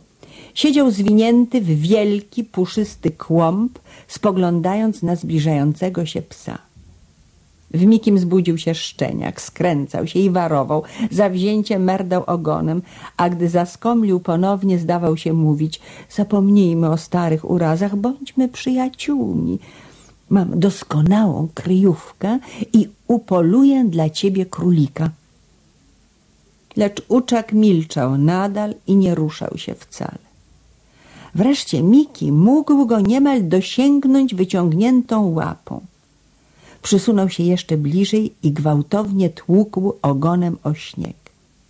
Oswobodzę cię z pułapki, zdawał się dowodzić. To człowiek ją zastawił, a ja nienawidzę tego człowieka. I raptem tak niespodziewanie, że pies nie zdołał zająć obronnej pozycji, uczak skoczył na całą długość łańcucha. Zębami i pazurami ostrymi jak brzytwy w jednej chwili głęboko przeorał mu pysk. Pies tak dalece nie miał chęci do walki, że i teraz jeszcze gotów był się z niej wycofać. Ale uczak wpił kły w jego łopatkę i nie puszczał. Miki rycząc starał się go pozbyć. Wreszcie zacisnął szczęki na karku wydry. Gdy zwolnił chwyt, uczak już nie żył. Miki porzucił trupa i umknął w gąszcz. Nie czuł radosnej dumy zwycięzcy. Zabił, ale ten mord nie cieszył go wcale. Ciążyło mu to, co na dalekiej północy doprowadza nieraz ludzi do obłędu. Znajdował się w sercu ogromnego kraju i ten kraj był dla niego pustynią. Miki był wyrzutkiem leśnego społeczeństwa. Całą duszą łaknął miłości i przyjaźni, a oto wszelki zwierz nienawidził go lub się go obawiał. Krzywdzony, wzgardzony, bezdomny włóczęga. I chociaż nie obejmował tego myślą, ponura rzeczywistość przygniatała go jak wieczna noc. Nie wracał do swego wykrotu. Zmęczony usiadł na małej polanie i patrzał w gwiazdy, które jedna po drugiej ukazywały się na niebie. Nad krawędź boru wypłynął księżyc w pełni, drżący, krwawy dysk i Miki ponuro zawył mu w twarz. Później powlókł się przez wielkie pogorzelisko, gdzie noc była jasna jak dzień, kikuty pni kładły na śniegu ostre cienie, a cień Mikiego wędrował w ślad za nim. I nagle w poszumie wiatru złowił od dawna znajomy dźwięk. Nadlatywał z bardzo daleka i w pierwszej chwili brzmiał prawie jak szept. Miki słyszał wycie wilków już chyba ze sto razy. Od czasu, gdy wilczyca Mahigun pokaleczyła go z taką zajadłością, ustępował im z drogi. Nienawidził ich niemal. Ale krwiożerczy zew mimo woli zawsze go podniecał. Dzisiejszej nocy wstrząs, jakiego doznał słuchając wycia, był silniejszy niż lęk i nienawiść. Tam daleko mknęła gromada, tam skąd płynął głos, dzicy bracia biegli parami, biegli razem. Miki zadygotał. Szczeknął w odpowiedzi, kończąc ponurym skowytem. Nastała cisza. W ciągu najbliższej godziny wiatr już mu nie donosił wycia wilków. Stado skręciło na zachód, zataczając tak wielki łuk, że głosy zamarły w dali. W świetle księżyca przeleciało tuż obok chaty Metysa Pierota. W chacie Pierota znajdował się biały człowiek idący od fortu Ogod. Zobaczył, że Pierot kładzie na piersi znak krzyża i zdziwił się. To obłąkane stado, wyjaśnił Metys. Już na nowiu dostały szału. Każdy wilk ma w sobie diabła. Uchylił nieco drzwi chaty i wycie buchnęło ku nim pełną falą. Gdy je znów zamknął, miał w oczach wyraz trwogi. W czasie głębokiej zimy wilki dostają nieraz napadów szaleństwa, szeptał. Przed trzema dniami było ich dwadzieścia. Widziałem na własne oczy i policzyłem potem ślady na śniegu. Od tej pory niektóre padły zamordowane i poszarpane przez resztę stada. Słyszy pan, jak wyją? Czy wytłumaczy mi pan, dlaczego wilki szaleją zimą, choć nie ma przecież upałów ani zgniłego mięsa? Nie? Ale ja za to wiem. To są wilkołaki. Noszą w sobie diabła i będą nosić puty, aż zdechną. Bo wilki, które szaleją w czasie mrozów, giną zawsze. Tak, tak, giną. Oszalałe wilki z Jackson Kni, skręcając od chaty Metysa Pierota na wschód, trafiły w okolice wielkich błot, gdzie drzewa nosiły znak podwójnego X, wyciętego siekierą Jacques Le Beau. W świetle księżyca mknęło czternaście bestii. Nikt nie mógł dotąd stwierdzić, co właściwie powoduje zimą szaleństwo wilków. Być może początek daje zły wilk. Bywa przecież, że zły pies pociągowy puty szarpie i dręczy towarzyszy, aż posieje w karnym zaprzęgu ziarno niezgody i zmieni go we wstrętną, obłąkaną hordę. Doświadczony pogania czy zabija takiego psa albo przepędza na cztery wiatry.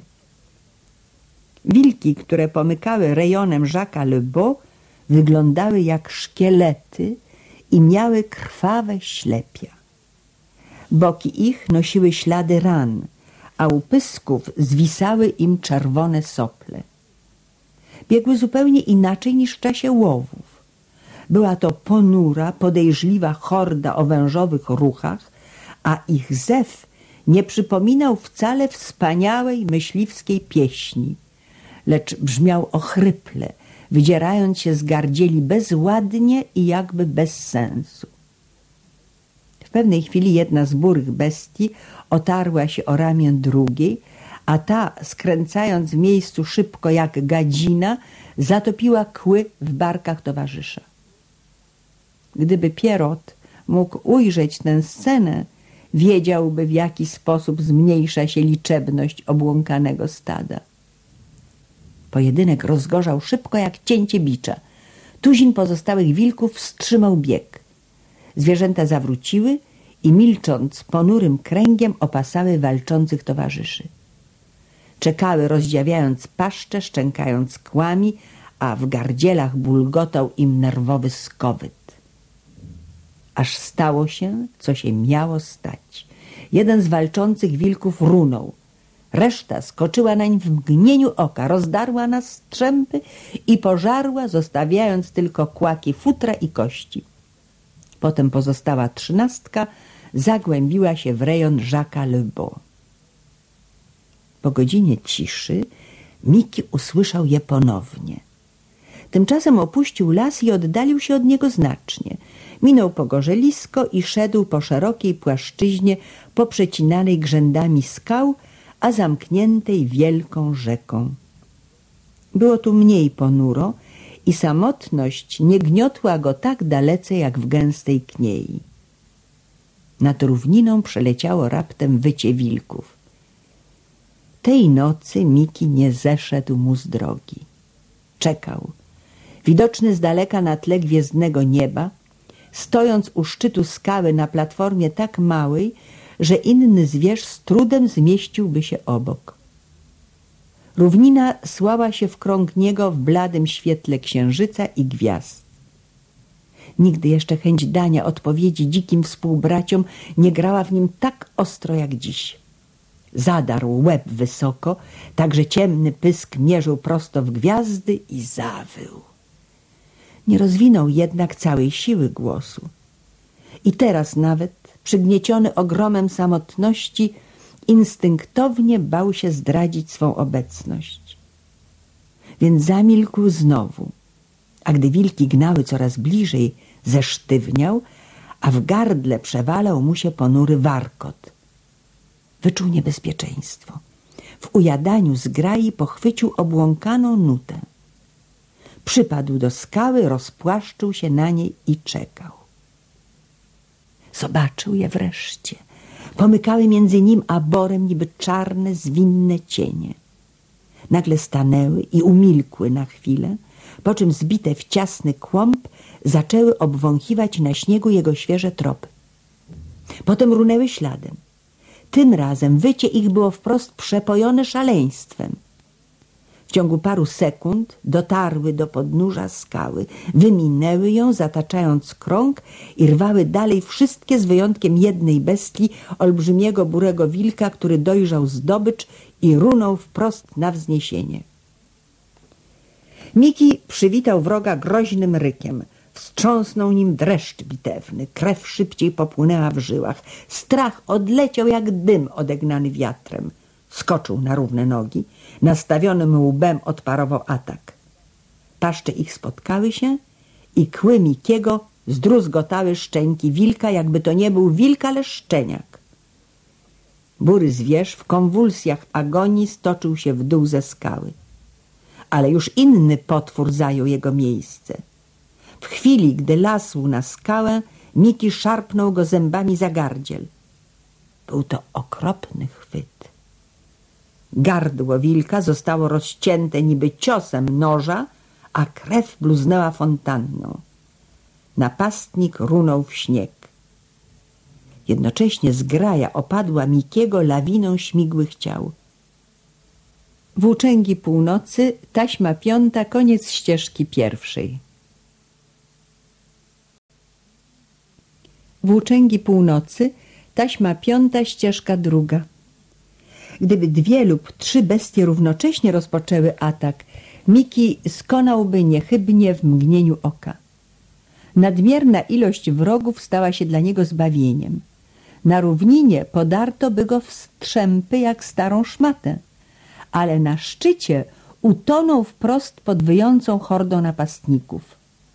Kły ostrzone na jego skórę rwały mięśnie innych wilków. Szał zażartej zgrai zmienił się w ślepy obłęd i zamiast szukać psa, oszalałe zwierzęta jęły się wzajemnie mordować. Miki leżąc na grzbiecie, zgnieciony przez zajadłą tłuszczę, ciął i gryzł bez przerwy. Czyjeś szczęki wpiły mu się w pachwinę. Był to śmiertelny chwyt. W samą porę inny wilk schwytał tamtego za gardziel i kły trzymające Mikiego zelżały. W tejże chwili Miki poczuł, że leci w dół po stromym zboczu, a w ślad za nim runęły pozostałe przy życiu bestie. W okamgnieniu Miki zdławił w sobie chęć walki. Zbudził się w nim natomiast lisi spryt, który w chwilach niebezpieczeństwa przysłużył mu się nieraz bardziej niż siła mięśni i odwaga. Ledwie znalazł się na ziemi, już stał na łapach. Ledwie uczuł pod łapami twardy grunt, już gnał jak wicher w kierunku rzeki. Nim wilki spostrzegły jego ucieczkę, odsadził się o dobre pięćset yardów. Osiem bestii rzuciło się w pogoń. Spośród trzynastu zaciekłych zwierząt pięć zdechło już lub konało właśnie u stóp skały. Miki zabił dwa wilki, reszta padła pod ciosami towarzyszy. O pół mili dalej w głębokim parowie płynęła rzeka, a na urwistym brzegu znajdował się labirynt wielkich głazów, w którym Miki wyszukał sobie niegdyś doskonałą kryjówkę. Nie zapomniał dotąd o istnieniu skalnego tunelu, ani o tym, jak łatwo było się w nim bronić. Mógł stanąć u wejścia i mordować napastników jednego po drugim, gdyż ze względu na ciasnotę miejsca mogliby atakować tylko w pojedynkę. Nie brał jednak pod uwagę olbrzymiej, szarej bestii zasługującej na miano błyskawicy – najdzikszej i najszybszej spośród bandy obłąkanych wilków. Ogromny zwierz jak piorun wystrzelił na czoło towarzyszy i Miki, przebywszy zaledwie połowę drogi dzielącej go od labiryntu, usłyszał tuż za sobą zziajany dech. Nawet wspaniały Hela nie mógłby biec szybciej niż Miki, ale błyskawica gnał jeszcze prędzej. Gdy przebyli dwie trzecie odległości, Pysk wilka sięgał niemal karku psa. Miki zebrał wszystkie siły i odsadził się o krok. Ale błyskawica jął wnet nadrabiać stracony teren, sunął coraz bliżej, jak ponury i bezlitosny cień. Tunel znajdował się o sto yardów i nieco w prawo. Ale Miki nie mógł skręcić w tym kierunku, gdyż właśnie tam czyhały szczęki błyskawicy. Pojął także, że jeśli nawet dopadnie kryjówki, to nim się w niej obróci, wróg siądzie mu już na karku. W obecnej chwili nie mógł stanąć, by podjąć walkę, albowiem reszta stada gnała tuż za nim. Jeszcze dziesięć sekund i zaczerniał przed nim urwisty brzeg rzeki. Nagle Miki skręcił w bok i skoczył na błyskawicę. Czuł, że nadchodzi śmierć i ześrodkował całą nienawiść na łbie burej bestii. Runęli obaj.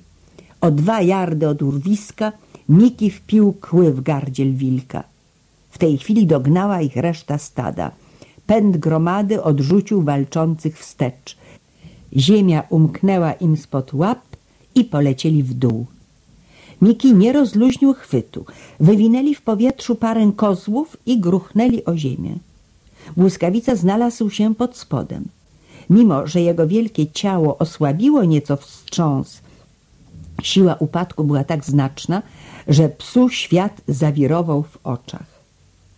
Upłynęła dobra minuta, nim zdołał wstać. Błyskawica zmiażdżony trwał bez ruchu. Nieco dalej leżały ciała dwóch innych wilków, które w obłąkanym pędzie również skoczyły w przepaść. Miki spojrzał w górę. Wysoko nad sobą, na tle gwiazd, widział zębaty szczyt urwiska. Obwąchał jedno po drugim trzy martwe zwierzęta. Potem pokuśtykał wolno wzdłuż skalnej ściany, aż znalazł dużą szczelinę. Wlazł w jej głąb i począł lizać rany. Prawdę mówiąc, były jednak na świecie rzeczy gorsze niż pułapki Jacques Lebeau. Były może nawet gorsze istoty niż on sam. Po pewnym czasie Miki położył wielki łeb między przednie łapy, światło gwiazd zwolna zmierzchło mu w oczach, zszarzała biel śniegu i usnął. Nanetta w zgięciu rzeki Three Jack Pine pomiędzy Szamatawą a Zatoką Hudsona okryta mrocznym borem stała chata Jacques Lebeau. Był to najpodlejszy i najbardziej zbrodniczy typ spośród wszystkich ludzi żyjących w tej dzikiej krainie. Mógł się z nim porównać chyba tylko Henryk Durand, który o sto mil w kierunku północnym polował na lisy olbrzymiego wzrostu, z ponurą twarzą o zielonych ślepiach, którymi zdawała się wyzierać okrutna dusza, jeśli Le Beau w ogóle miał duszę, był prawdziwym wyrzutkiem społeczeństwa. Indianie twierdzili po cichu, że w tym człowieku tkwi legion diabłów. Straszne zrządzenie losu dało Jacquesowi Le Beau żonę. Gdyby to była wiedźma, zła w myśli i uczynkach. Rozdźwięk nie zaznaczałby się tak ostro. Ale tych dwoje, mieszkając pod jednym dachem, krańcowo różniło się od siebie. Kobieta miała słodką twarz, a na bladych policzkach i w zmęczonych oczach jaśniały wciąż jeszcze resztki niezwykłego piękna. Drżała, gdy mąż się do niej zbliżał. W jego obecności była korną niewolnicą.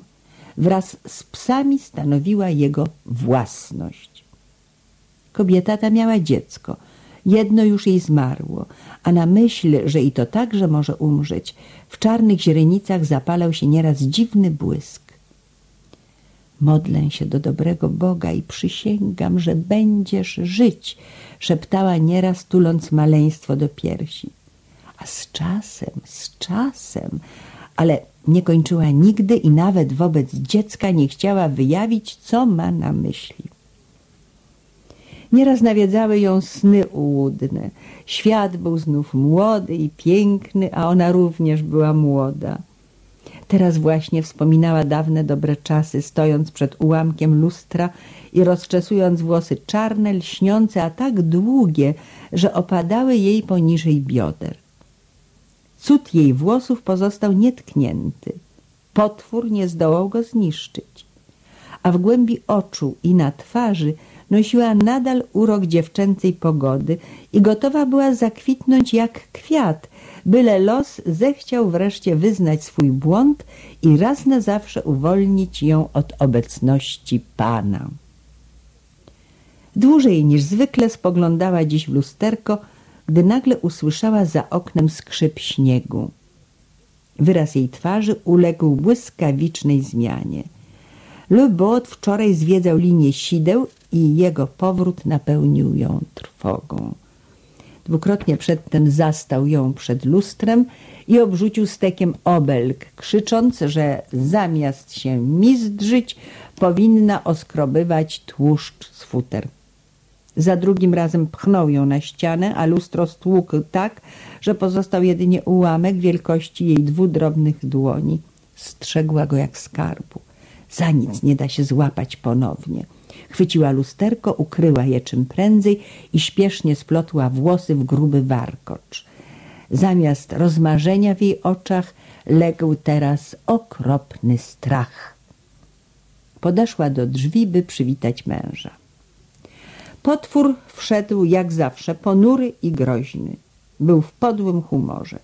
Rzucił na podłogę świeżo zdobyte futra – Wskazał je palcem i spojrzał na żonę, złowieszczo mrużąc oczy. Ten bies był znowu, warknął. Patrz, poszarpał wydrę, rozrzucił przynęty i zniszczył schrony sideł. Parle mil corn du diable, dostanę go jednak. Przysiągłem już, że potnę go nożem na drobne kawałki. Słapię go jutro. Daj mi jeść i obejrzyj futra. Zeszyj wydrę, i dobrze pokryj szef tłuszczem tak, aby agent nie zauważył, że skóra rozdarta. Do pioruna z tym bębnem, dlaczego pozwalasz mu wrzeszczeć, ilekroć wrócę do chaty? Odpowiedz, że głupia. Takie było jego przywitanie. Cisnął rakiety w kąt izby, otrząsnął śnieg z butów i z półki zawieszonej nad piecem wziął nową prymkę tytoniu. Potem znów wyszedł, a kobieta z twarzą pełną bezsilnej rozpaczy, czując w sercu lodowaty dreszcz, zabrała się do przyrządzania posiłku. Lubo poczłapał teraz do swojej psiarni, zagrody sosnowych bali, pośród której stał wielki szałas. Szczycił się ogromnie tym, że ma najdzikszy zaprząg pomiędzy wszystkich, jakie istnieją od Zatoki Hudsona po Atabaskę. Kwestia ta była powodem nieustannej kłótni między nim a traperem Durand. Lebo marzył, by wychować psa, który by zdołał zwyciężyć bojowe huski Duranta. Huski to są psy eskimoskie. Tej zimy na wielkie noworoczne zapasy w porcie Ogod Lebo przeznaczył Netacha, zabójcę. W dniu, kiedy zamierzał rzucić na szalę pieniądze i honor, pies miał skończyć rok i jedenaście miesięcy. Lebo wszedł do zagrody i zawołał Netacha. Pies zbliżył się doń chyłkiem, cicho warcząc i po raz pierwszy coś na kształt radości błysnęło na twarzy Lebo. Lubił ten głos. Lubił widzieć krwawy, zdradziecki błysk ślepi Netacha i słyszeć groźne kłapanie jego szczęk. Jeśli Netach posiadał kiedy dźbło godności, kij człowieka wyplenił ją w nim doszczętnie. Teraz obaj byli równi, obaj pozbawieni dusz. Netach był diabłem w psiej skórze. Dlatego właśnie Le Beau uczynił go swym szermierzem. Jacques spojrzał w dół na czworonożną bestię i odetchnął głęboko zadowolony. Oho, ho, ho, doprawdy wspaniale wyglądasz, Netach, cieszył się. Krew ci niemal tryska z tych diabelskich ślepi, krew płynna i gorąca jak ta, którą wytoczysz z gardła posa duranta. Pos po indiańsku kociak.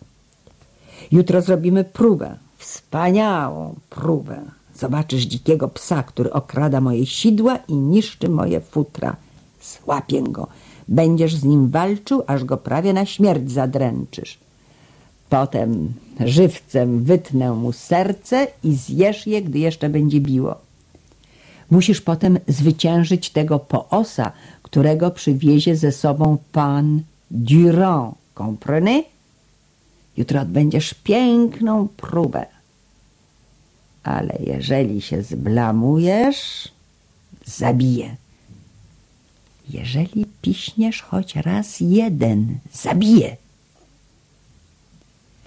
W mocy diabła.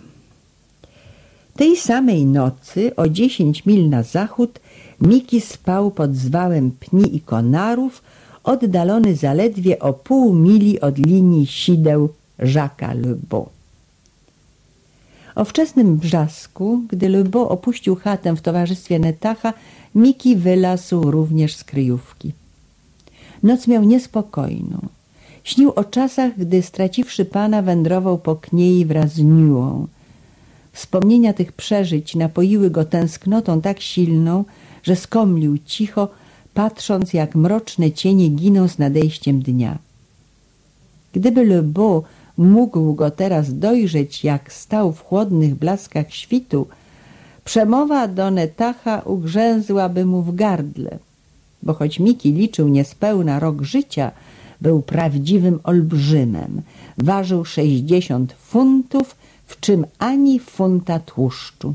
Ciało miał gibkie i suche jak wilk. Gdy wykonywał jakiś ruch, to na potężnych barkach mięśnie nabrzmiewały mu jak postrąki. Łapy wziął po ojcu wspaniałym Heli. W mocarnych szczękach miażdżył kość równie łatwo, jak Le Beau rozbijał gnat kamieniem. Spośród jedenastu miesięcy istnienia osiem spędził w głuchej dziczy. Ten byt zahartował go na żywą stal. Bezlitosna szkoła puszczy robiła go na swój sposób. Kazała mu walczyć o życie. Kazała mordować w obronie własnego ja. Kazała puszczać w ruch najpierw spryt, a potem dopiero kły. Miki, choć o połowę młodszy, był równie potężny jak Netach, a prócz siły posiadał taką szybkość działania i chytrość, jakiej Netach nigdy nie mógł osiągnąć. Surowa knieja przysposobiła go godnie na dzień próby. Gdy chłodny promień słońca wytrysnął nad borem, Miki ruszył w kierunku sideł Jacques Lebeau. Doszedł do tropu, który Lebeau wydeptał wczoraj i podejrzliwie wciągnął woń ludzką, wyraźnie zalegającą ślady rakiet. Przywykł już do tego zapachu, ale zawsze usposobiony był doń nieufnie. Był mu wstrętny, ale pociągał go nieodparcie, pojął niejasnym lękiem, lecz Miki nie mógł się z nim rozstać. W ciągu ubiegłych dziesięciu dni Miki widział trapera trzykrotnie. Raz, gdy leżał ukryty w gęstwinie jedliny, człowiek minął go w odległości zaledwie paru metrów. Miki dążył tego ranka wprost w kierunku bagien, poprzez które wiódł rząd sideł. Hasały tam niezliczone ilości królików, trafiając raz po raz do małych kikik, budowanych z patyków i jedliny, a mających ochraniać przynętę od śniegu. Króliki stanowiły istną klęskę. Ilekroć Lebo zwiedzał pułapki, stwierdzał zawsze, że dwie trzecie sideł zatrzasnęło się już nad tą marną zdobyczą i tym samym nie mogły złowić żadnej wartościowej zwierzyny.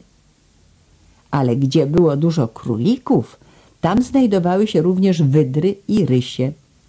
To też klnąc plagę gryzoniów, Lebo nadal umieszczał żelaza na powierzchni moczarów.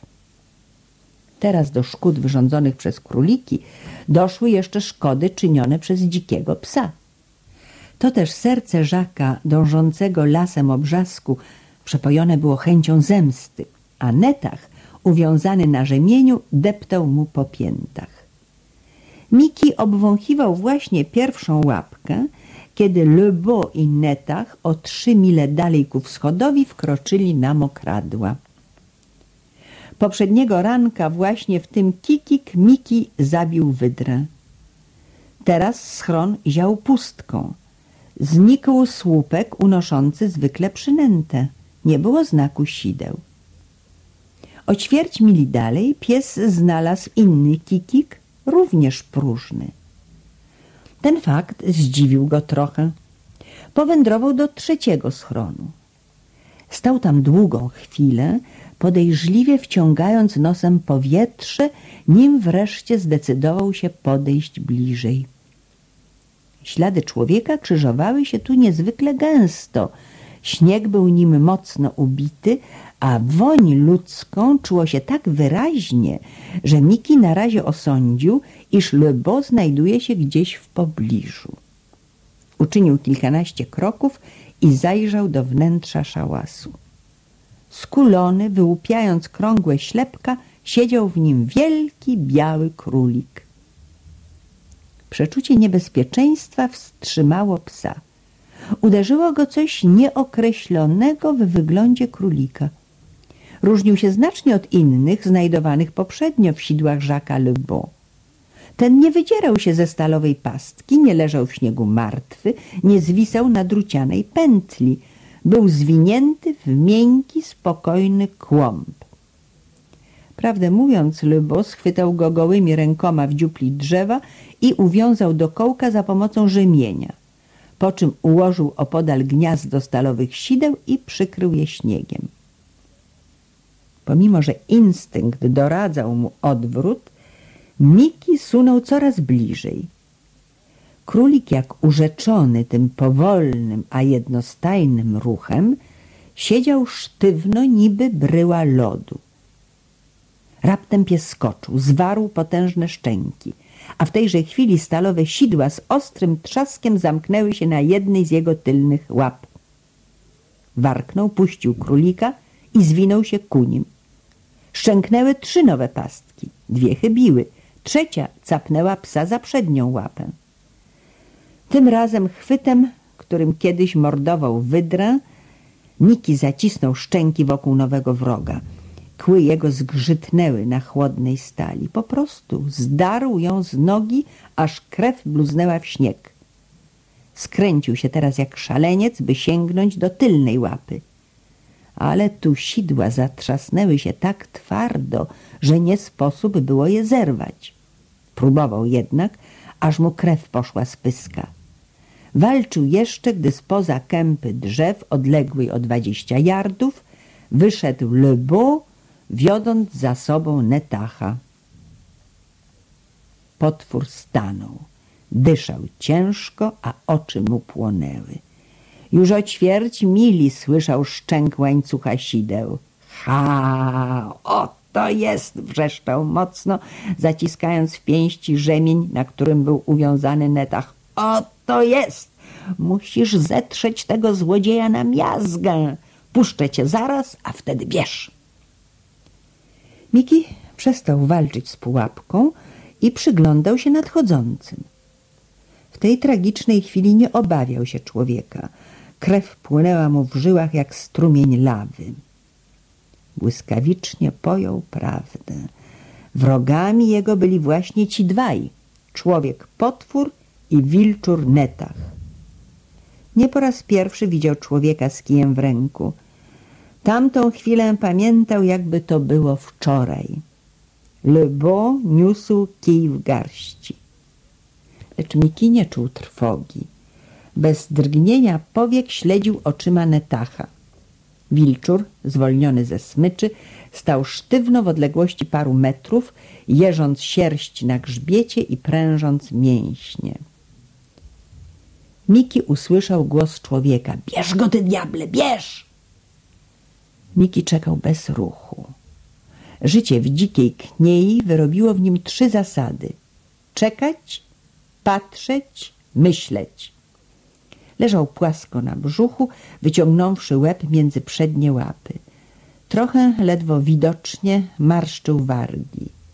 Milczał jednak, a oczy mu płonęły jak dwa żużle. Le Beau gapił się zdziwiony. Uczuł naraz nowy wstrząs, lecz nie była to zaspokojona chęć zemsty.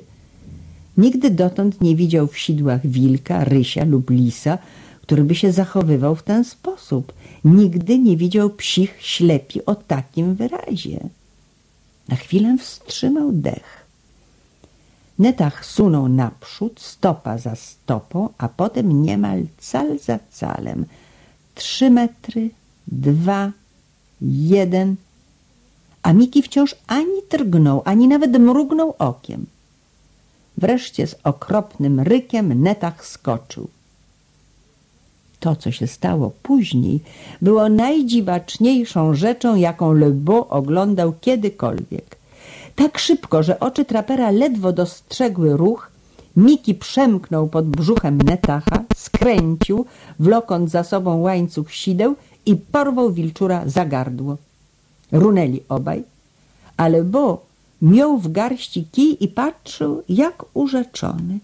Słyszał okropny zgrzyt kłów i wiedział, że to kły dzikiego psa. Słyszał charkot przechodzący zwolna w rozpaczliwy jęk konania i wiedział, że dźwięk ten płynie z piersi Netacha. Krew uderzyła mu do głowy. Radosne uniesienie zmąciło mu oczy. Tonnerre de Dieu, ależ on morduje Netacha, wrzasnął. No, nigdy nie widziałem takiego psa. Zostawię go przy życiu. Będzie walczył z poosem Duranta w faktorii nad jeziorem Ogot, a do diabła. Jeszcze minuta, a Netach by zginął. Lebo podniósł kij i ruszył naprzód. Wpijając kły coraz głębiej w gardło wilczura, Miki kątem oka dojrzał nowe niebezpieczeństwo. Rozluźnił szczęki i w chwili, gdy kij opadał, skoczył w bok. Tylko połowicznie uniknął ciosu. Uderzenie trafiło go w łopatkę i rzuciło na ziemię. Błyskawicznie porwał się na nogi i runął na człowieka. Le był mistrzem we władaniu kijem. Używał go bezustannie i tym razem, zamachnąwszy się, ze straszliwą siłą ugodził psa w łeb. Z nozdrzy i pyska Mikiego trysnęła krew. Pociemniało mu w oczach, skoczył raz jeszcze i znów kij go dosięgnął. Usłyszał dziki krzyk radości. Trzeci raz, potem czwarty i piąty padał pod ciosami maczugi. Lebo już się nie śmiał. Wymakiwał pałką z wyrazem prawie lęku w oczach. Za szóstym razem kij chybił i zęby psa szczęknęły u piersi człowieka, rwąc jak papier grubą koszulę i kurtę oraz pozostawiając na skórze krwawą szramę. Jeszcze parę cali i rozszarpałby mu krtań. Le Beau wrzasnął dziko, uczuł bliskość śmierci. Netach, netach! krzyknął obłędnie wymachując kijem. Netach nie reagował na wołanie pana. Może w tej chwili właśnie pojął, że to człowiek uczynił z niego potwora? Las w koło rozwierał wrota ku wolności. Gdy traper krzyknął ponownie, Netach umykał w dal, krwawiąc co krok. I Le Beau nie zobaczył go już nigdy więcej. Zapewne przystał do wilczego stada, gdyż Netach był w trzech czwartych wilkiem. Le Beau raz jeszcze zamachnął się kijem i chybił haniebnie. Uratował go czysty przypadek. Łańcuch sideł zaczepił się o pień i Miki wywrócił się w chwili, gdy jego gorący dech owiewał niemal gardło człowieka. Padli na bok. Nim zdołał wstać, kij wtłoczył mu głowę w śnieg. Świat pociemniał w oczach, nie mógł się już ruszyć. Półmartwy wciąż jeszcze słyszał nad sobą zdyszany, triumfalny śmiech Jacques'a Le Beau. Wyzwolenie. Już o zmierzchu Nanetta dostrzegła męża wychodzącego spośród drzew i wlokącego po śniegu jakiś ciężar. Gdy Jacques Le Beau po raz pierwszy wspomniał przy niej o dzikim psie, Nanetta prawie nieświadomie poczuła gorącą sympatię dla bezdomnego zwierzęcia. Niegdyś, jeszcze nim została matką, polubiła psa. Tylko ten pies dał jej poznać prawdziwą przyjaźń, ale Jacques wyrafinowanie okrutny odebrał go jej. Nanetta z czasem zdołała namówić sukę, by umknęła w las na swobodę, tak jak to dziś uczynił Netach. Teraz zaś modliła się prawie, żeby dziki pies mógł uniknąć zemsty jej męża. Kiedy Le podszedł bliżej, zobaczyła, że wlecze on za sobą sanki zbite z czterech konarów. A gdy po chwili spostrzegła leżący na nich ciężar, wydała głośny okrzyk. Łapy Mikiego były uwiązane do sań tak silnie, że nie mógł się wcale ruszyć. Szyję opasywał mu sznur również umocowany do poprzecznych drążków, a wokół pyska miał kaganiec z mocnych rzemieni. Le ubezpieczył jeńca w ten sposób, nim pies oprzytomniał po otrzymanych razach. Kobieta patrzyła z zapartym tchem. Widziała już niejednokrotnie, jak traper bił zwierzęta, ale nigdy jeszcze nie zmasakrował psa tak okrutnie. Łeb i barki Mikiego stanowiły jedną masę skrzepłej posoki. Dostrzegła jego oczy, patrzyły na nią. Odwróciła się co prędzej w obawie, że mąż dojrzy wyraz jej twarzy. Le Beau zawlókł zdobycz do chaty, potem wyprostował się i zatarł ręce z zadowoleniem. Nanetta widziała, że mąż jest w świetnym humorze. Czekała milcząc. Na Boga, gdybyś go tylko mogła zobaczyć, jak dławił Netacha, wykrzyknął. Tak, capnął za gardło szybciej, niż byś zdążyła mrugnąć okiem. A potem, gdy go obrabiałem kijem, dwukrotnie o mało nie pozbawił mnie życia. A cóż dopiero będzie z psem Duranta, gdy się spotkają w faktorii nad jeziorem Ogot. James Oliver Curwood, Włóczęgi Północy. Taśma piąta, koniec ścieżki drugiej. James Oliver Curwood, Włóczęgi Północy. Taśma szósta, ścieżka pierwsza. Postawię co kto chce o zakład, że zabije go najdalej w ciągu dwóch minut. Wspaniały okaz. Dopilnuj go na netto, a ja mu tymczasem urządzę więzienie. Muszę go trzymać osobno. Jeśli go posadzę z innymi psami, wymorduje mi w mig całą sforę. Miki śledził go oczyma, aż Żak znikł za progiem. Potem szybko spojrzał ku Nanetcie. Przysunęła się doń bliżej. Gdy pochylała się nad nim, oczy jej lśniły. Warknięcie wezbrało mu w gardle i wnet zamarło. Po raz pierwszy w życiu widział kobietę. W jednej chwili pojął olbrzymią różnicę. Serce mu przestało bić. Nanetta przemówiła. Nigdy jeszcze nie słyszał głosu o brzmieniu tak słodkim i łagodnym, a pełnym łez. W tem cudzie klękła obok i dłońmi dotknęła jego głowy.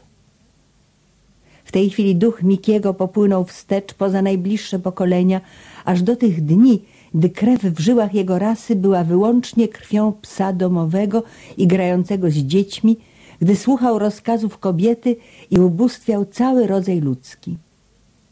Nanetta szybko podbiegła do piecyka i wróciła niosąc miskę ciepłej wody oraz miękką szmatę. Uklękła obok i poczęła mu obmywać łeb, przemawiając wciąż tym samym głosem drgającym pieszczotą i żalem. Miki do reszty wyzbył się lęku i przymknął oczy. Westchnął głęboko. Miał ochotę wysunąć język i polizać delikatne białe ręce, które mu niosły ulgę i spokój. Raptem stała się dziwna rzecz.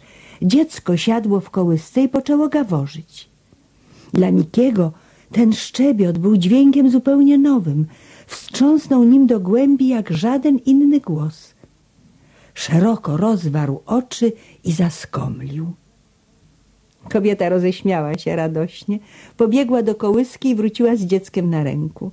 Teraz klękła ponownie obok psa, a dziecko na widok leżącej na podłodze dziwacznej zabawki wyciągnęło ramionka, jęło wierzgać nóżkami obutymi w małe mokasyny i świergotać i gaworzyć, aż Miki naprężył rzemienie, chcąc za wszelką cenę dotknąć nosem cudownej istotki. Zapomniał o bólu. Nie czuł już męki zmiażdżonych i zbitych szczęk. Zniknęło cierpienie w zmarzniętych i zesztywniałych od sznura łapach. Tym dwojgu, kobiecie i dziecku, poświęcił wszystkie swoje myśli. Nanetta wyglądała teraz prześlicznie. Pojęła duszę psa. Serce biło w niej radością, niepomnę tyranii męża. Oczy lśniły jak gwiazdy. Rumieniec zakwitł na bladych policzkach. Posadziła dziecko na ziemi i obmywała znów łeb Mikiego. Gdyby Lebo miał sobie choć iskierkę ludzkich uczuć, powinien był ją wielbić, taką właśnie jak teraz, śliczną, czystą w swej macierzyńskiej czułości, promienną chwili zupełnego zapomnienia o nim. Lebo wszedł właśnie tak cicho, że w pierwszej chwili nie zauważyła jego obecności. Patrzał więc na nią, a ona nadal śmiała się i gwarzyła, czasem prawie płacząc. Dziecko szczebiotało radośnie, wierzgając nóżkami i rozkładając rączki w szczęsnym upojeniu. Szerokie wargi trapera wykrzywił brzydki uśmiech. Zaklął ordynarnie. Nanetta zachwiała się, jakby w nią trafił cios. Wstań! syknął. Usłuchała i cofnęła się, tuląc dziecko do piersi. Miki zauważył nagłą zmianę w jej twarzy, a gdy dojrzał Jacques'a Le Beau, w jego ślepiach zapłonął znów zielony błysk. Warknął głucho jak wilk. Le Beau zwrócił się do żony. Na twarzy jej pozostał jeszcze ślad rumieńca, a w oczach jasny płomień. Pasmo włosów opadło na ramię, błyszcząc w świetle ginącego dnia jak aksamit. Lebo był jednak ślepcem, gdy szło o piękność Nanetty. Jeśli zmienisz go w niedołęgę, jeśli rozpieścisz go jak tamtą sukę, to ja... Nie skończył, lecz zacisnął pięści, w oczach zamigotał mu dziki błysk. Nanetta nie pragnęła dalszych wyjaśnień, już zrozumiała. Bił ją często, a jeden cios pozostał jej na zawsze w pamięci. Marzyła, iż jeśli trafi kiedy do fortu Ogot, a znajdzie dość odwagi, powiadomi o wszystkim agenta. Opowie mu, jak przed dwoma laty mąż zbił ją tak, że dziecko, które w ten czas karmiła, zmarło. Ale aby oskarżyć potwora, musiała wpierw mieć pewność, iż uniknie jego zemsty.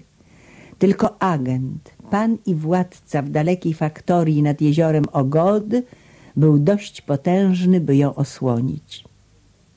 Dobrze się stało, że Lebo nie mógł czytać jej myśli. Rzuciwszy ostrzeżenie, zwrócił się do psa i wywlókł go za próg, a potem wsadził do klatki zbitej z młodych jedli, w której poprzedniej zimy chował parę żywych lisów. Opasał kark Mikiego łańcuchem długim zaledwie na dziesięć stóp, którego koniec przytwierdził do węgła klatki. Wreszcie przeciął rzemienie krępujące więźnia i zatrzasnął za nim drzwi. Miki leżał jakiś czas bez ruchu. Krew poczynała zwolna krążyć w jego sztywnych i zmarzniętych członkach. Wreszcie wstał z trudem, a wtedy Le Beau zachichotał radośnie i wrócił do chaty. Dla Mikiego nastały teraz dni pełne piekielnej męki, dni nierównej walki między duszą potwora a duszą psa. Muszę cię złamać, na Boga, złamię cię bezwzględnie, twierdził Le Beau, ilekroć pojawiał się obok klatki ofiary, niosąc w jednej dłoni kij, w drugiej bicz. Będziesz mi się czołgał u nóg i pójdziesz walczyć, gdy każę. Klatka była tak ciasna, że Miki w żaden sposób nie mógł uniknąć przeznaczonych dla nierazów. Bat i kij doprowadzały go niemal do szaleństwa, a podła dusza Lebo triumfowała, gdy pies rzucał się na drewnioną kratę, rwał ją zębami i toczył z pyska krwawą pianę niby wściekły wilk. Traper od dwudziestu lat zajmował się tresurą bojowych zwierząt i miał swoistą metodę treningu. W ten sposób właśnie poskramiał Netacha, aż wilczur na głos pana kornie przypadał mu do nóg. Naneta z okna chaty trzykrotnie przyglądała się ohydnej egzekucji. Za trzecim razem wybuchnęła płaczem, kryjąc twarz w dłoniach.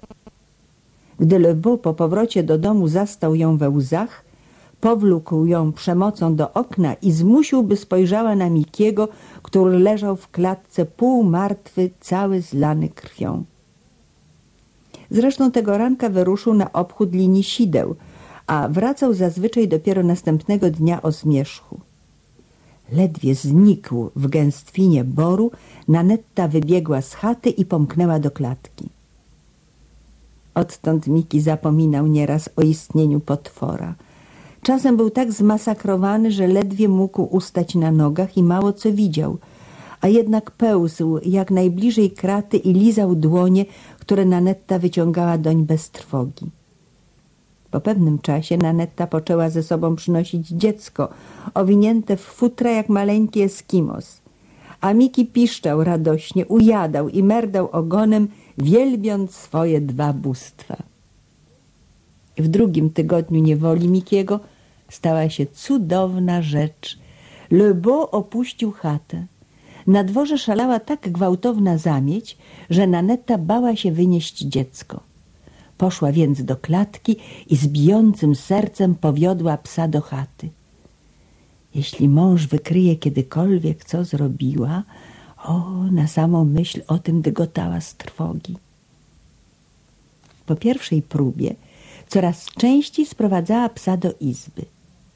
Raz Lebo dojrzał krew na podłodze i popatrzył na nią podejrzliwie. Serce w niej zamarło. Na poczekaniu skłamała, rozcięłam palec a w chwilę później zwrócona doń plecami wzięła nóż i zacięła się istotnie. To też, gdy przyjrzał się jej, zobaczył, że ma palec owiązany czerwoną szmatką.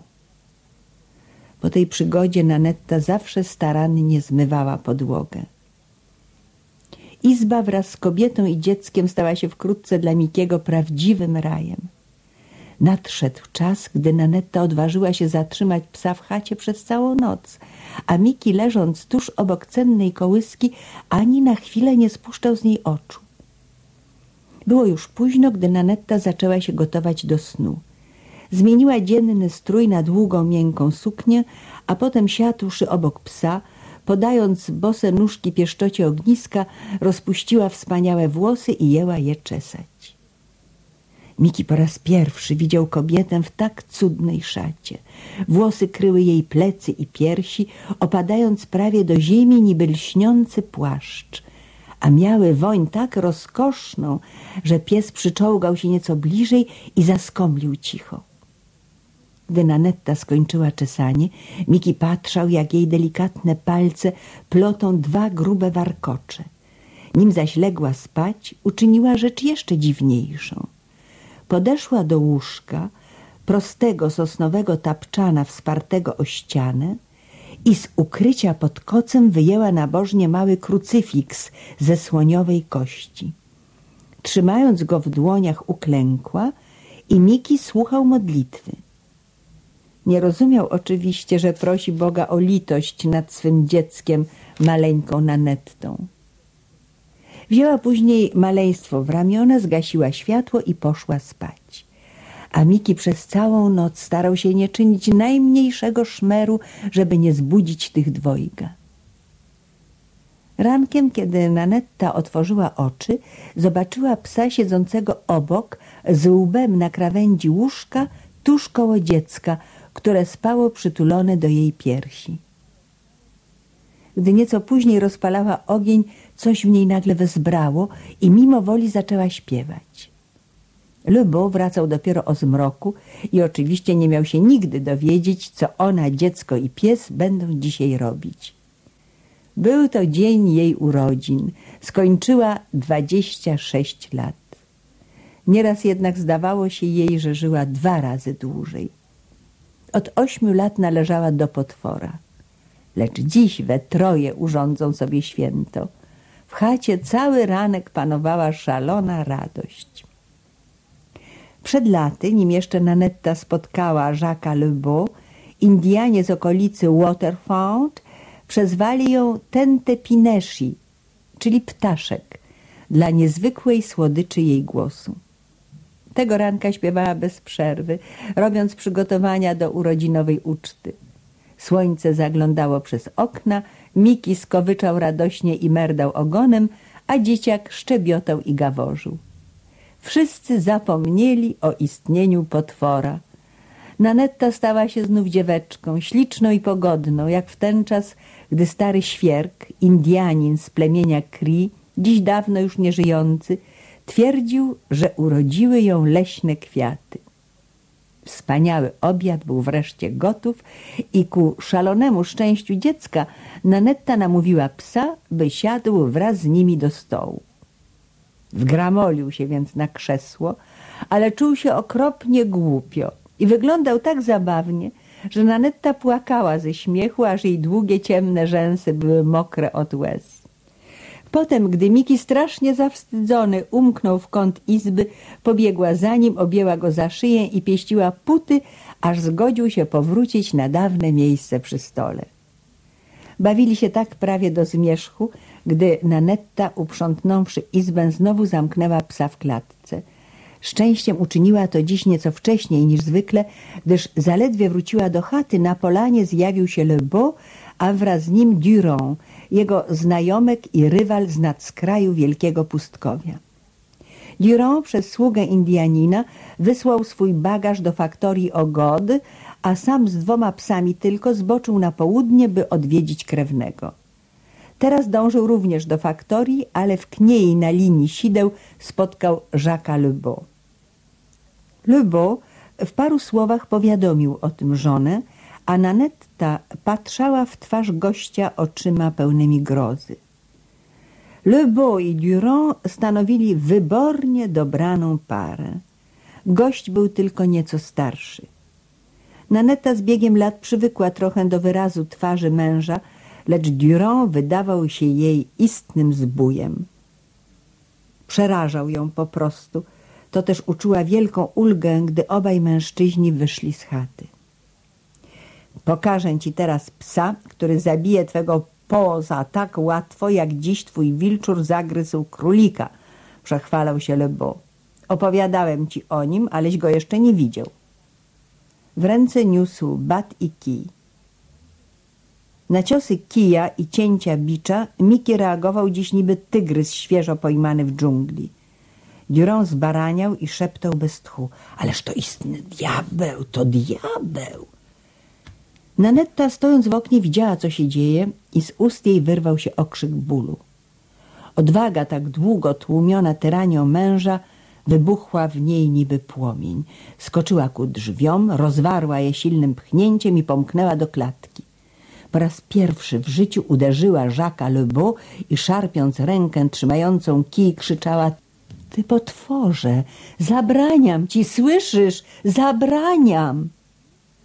Lebeau osłupiał i znieruchomiał na chwilę ze zdumienia.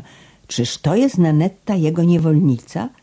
Widział istotę, której oczy miotały płomień, a twarz miała nigdy dotąd nieoglądany wyraz. Pojął wreszcie i wściekłość zawrzała w nim. Jednym pchnięciem ramienia rzucił kobietę w śnieg. Zaklął wściekle i otworzył drzwi klatki. Zabiję go teraz, zabiję! Wył prawie. Wywlekał psa z klatki, ciągnąc go za łańcuch. Uniósł kij w chwili, gdy łeb Mikiego ukazał się na zewnątrz. Jeszcze moment i rozwaliłby mu czerep, ale Nanetta skoczyła między męża a psa i cios chybił.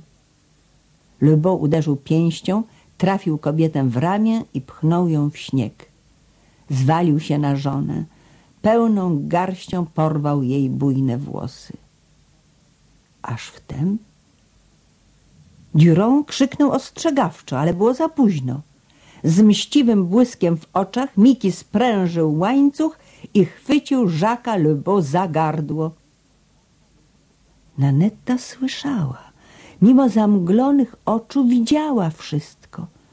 Wyciągnęła ręce, wstała chwiejnie i raz jeden spojrzała w dół na śnieg. Potem z okropnym krzykiem, zataczając się, uciekła do chaty. Gdy Durand odważył się wreszcie odciągnąć Jacques'a Lebeau na stronę, Miki nie próbował nawet temu przeszkodzić. Sam wrócił do klatki i leżąc na brzuchu spoglądał na Duranta. A Durand, patrząc na śnieg splamiony krwią i na martwe ciało potwora, powtórzył po raz drugi. Ależ to istny diabeł. W chacie Nanetta klęczała przed krucyfiksem. Znowu w niewoli. Zdarza się nieraz, iż śmierć powoduje silny wstrząs, lecz nie zostawia po sobie żalu. Tak było z Nanettą Lebeau. Choć własnymi oczyma oglądała straszny skon męża, nie płakała ani nie pragnęła jego powrotu. Wszechpotężny Bóg uczynił wreszcie sprawiedliwość. Myśląc bardziej o dziecku niż o sobie, Nanetta nie martwiła się tym wcale. Durand, którego dusza była niemal równie czarna jak dusza Jacques'a Lebeau, nie spytał nawet wdowy o radę, ani nie zmówił nad trupem pacierza. Wyrąbał jamę w zmarzłej ziemi i pochował ciało jeszcze niemal ciepłe. Nanetta nie gniewała się o to. Potwór znikł. Znikł raz na zawsze. Nie uderzy jej już nigdy. Spojrzała na śpiące dziecko i ofiarowała Bogu korną podziękę. Miki skulony leżał w klatce. Od chwili, gdy pozbawił życia Jacques'a Lebeau, rozdarłszy mu gardło, nie ruszał się prawie wcale. Gdy Durand unosił trupa, nie warknął nawet w jego stronę. Był straszliwie przygnębiony, lęk go zdjął. Nie myślał o katowni, którą przeszedł, ani o tym, że cudem uniknął śmierci. Nie czuł bólu zbitych mięśni, krwawiących szczęk i pociętych batem powiek. Myślał o Nanecie. Dlaczego uciekła z tak okropnym krzykiem? Przecież to potwór rzucił nią o ziemię i szarpał ją, nim naprężając łańcuch zdołał go porwać za gardło. Więc dlaczego uciekła i nie wraca? Zaskowyczał tęsknie. Minęło popołudnie i wczesny zmierzch północnej zimy jął otulać bór. O zmroku koło klatki psa zamajaczył cień Duranta. Miki nienawidził instynktownie tego łowcy lisów, tak jak nienawidził Jacques'a Lebeau, czując podświadomie, że obaj należą do jednej kategorii nędzników. Nie warknął jednak, gdy Durand zajrzał przez kratę. Nawet się nie ruszył. O, le diable! wzdrygnął się Durand. Potem zachichotał. Miał przykry śmiech, niski, tłumiony kudłatym zarostem. Miki uczuł dziwny dreszcz. Durand zawrócił i poszedł do chat. Na jego widok Naneta wstała, błyskając ciemnymi oczyma na tle twarzy białej jak śnieg. Choć tragiczna śmierć Lebeau wstrząsnęła nią do głębi, w tych oczach było już coś z jej dawnego wejrzenia. Gdy przed kilku godzinami Durand wszedł do izby w towarzystwie Żaka, nie dostrzegł nic podobnego. Stała przed nim, trzymając dziecko w ramionach, a on patrzał na nią dziwnie. Czuł się nieswojo. Nie mógł pojąć, dlaczego jeszcze niedawno śmiał się wesoło, słysząc jak Lebo klnie żonę, a teraz nie mógł znieść jej wzroku. Nie dostrzegł nigdy przedtem, jak jest piękna. Opanował się wreszcie i ułożył w myśli, co ma mówić. Nie zechce pani oczywiście zatrzymać psa, rzekł, więc go zabiorę. Nanetta milczała. Patrzała mu w twarz i zdawała się ledwie oddychać. Zdawało mu się, że w ten sposób żąda wyjaśnień i olśniła go myśl, że może skłamać. Pani nie wie, że jego pies i mój miały walczyć w forcie Ogod na nowy rok w czasie wielkich zabaw. Ciągnął dalej, przystępując z nogi na nogę. Dlatego właśnie Jacques, mąż pani, tresował swego psa. Ale kiedym zobaczył tego wilkołaka, jak szarpie kratę, wiedziałem już, że zdławi mego chuski niby lis zająca. Więc dobiliśmy targu i kupiłem go za te dwa mieszańce oraz dziesięć czerwonych lisów, które mam na saniach. Prawdopodobieństwo tego kłamstwa dodało mu odwagi.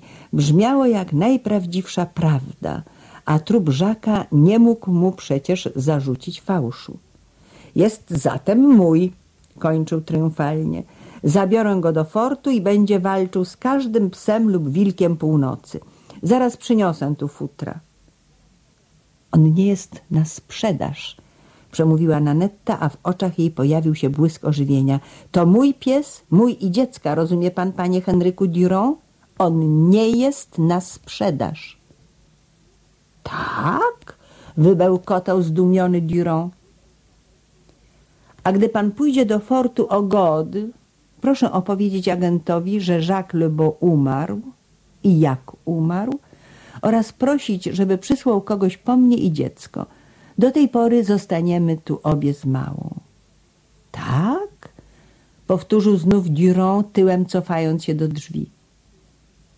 Nigdy jej takiej nie widział. Dziwił się, że Jacques Lebeau mógł kiedykolwiek na nią krzyczeć i bić ją. Czuł przed nią niepojęty lęk. Gdy tak stała z bladą twarzą i płonącymi oczyma, z dzieckiem w ramionach, odziana w płaszcz ciemnych włosów, przypominała mu oglądany kiedyś obraz Madonny. Wyszedł z chaty i powędrował do klatki, w której leżał Miki. Przemówił doń szeptem. Cóż, zwierzaku, rzekł, ona cię nie sprzeda. Chcecie mieć przy sobie, boś walczył w jej obronie i zabił mego przyjaciela Jacques'a Lebeau. Więc muszę ciebie dostać w inny sposób. Za chwilę wzejdzie księżyc, w ten czas zarzucę ci pętlę na kark i zdławię tak gracko, że nie wydasz głosu. I któż się domyśli, gdzie jesteś, jeżeli drzwi klatki pozostaną otworem? Będziesz walczył na mój rachunek, forcie ogody, Jakże ty będziesz wspaniale walczył. Ręczę, że duch Żaka uraduje się na tamtym świecie, widząc taki pojedynek. Powędrował na skraj boru, gdzie poprzednio zostawił swoje dwa psy i sanie i czekał, aż wzejdzie księżyc. Miki w dalszym ciągu trwał bez ruchu. W oknie chaty zapłonęło światło, więc utkwił w nim tęskne ślepia i skomlił cicho. Całą duszą był tam w izbie u nóg kobiety i dziecka.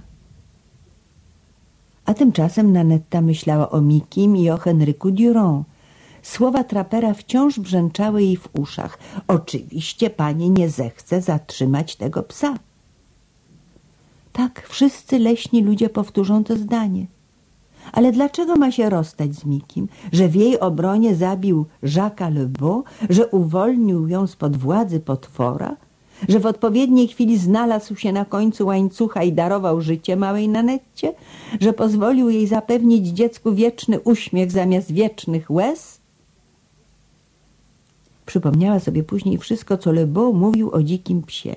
Jak ten w ciągu wielu dni okradał jego sidła i jak zaciekle walczył, gdy wreszcie trafił do pułapki.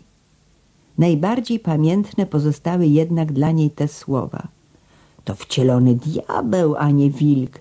Jestem pewien, że kiedyś należał do białego człowieka. Należał do białego człowieka. Serce w niej drgnęło. Dawnymi czasy Miki miał pana o białym sercu, tak jak ona sama miała radosne dzieciństwo, pełne zapachu kwiecia i śpiewu ptasząt. Usiłowała spojrzeć wstecz, ale wzrok jej nie sięgał zbyt daleko. Nie mogła znać zdarzeń tego dnia, gdy Miki niezdarne szczenie przybył wraz z szelonerem z dalekiej północy – nie umiała wyśnić dziwacznej przyjaźni łączącej szczeniaka z Niuą, małym czarnym niedźwiadkiem, ani przedstawić sobie tych tragicznych chwil, gdy oba szczeniaki wypadły z łodzi w nurt rzeki, która poprzez piekło wodospadu zaniosła je w kolisko wielkich przygód, zmieniając Mikiego w dzikiego psa, a Niuę w dorosłego niedźwiedzia. Nanetta wstała cichutko, by nie zbudzić dziecka śpiącego w kołysce i otwarła drzwi. Księżyc wypłynął właśnie ponad las i w jego blasku doszła do klatki. Usłyszała radosny skowyt psa, a potem wyczuła miękki dotyk jego języka, gdy lizał jej obnażone ręce wsunięte między kraty. Nie, nie jesteś diabłem, szeptała łagodnie głosem dziwnie drżącym. O mój Sukitao, puty się modliłam, aż przyszedłeś. Co noc na kolanach błagałam Matkę Boską, by miała litość nad mym dzieckiem i zlała na nie promienie swych łask. Miki, jakby pojmując te słowa, złożył krwawy, umęczony łeb na dłoniach kobiety. Durand śledził ich, ukryty na krawędzi boru. Dostrzegł na śniegu błysk ognia, kiedy Nanetta otworzyła drzwi, widział jak szła w stronę klatki i nie spuszczał z niej oczu, aż wróciła do izby. Śmiał się, gdy później siedząc przy ognisku wykańczał pętlę i przytwierdzał ją do długiego drąga.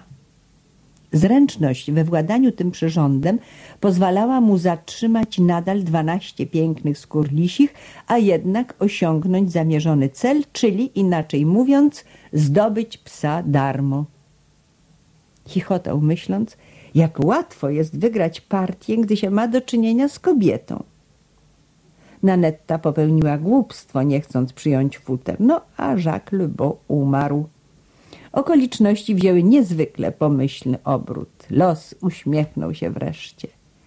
Na to zwierzę, tak określał dzikiego psa, postawi cały swój majątek i wygra. Wyczekał, aż światło w chacie zgasło i dopiero wtedy zbliżył się do klatki.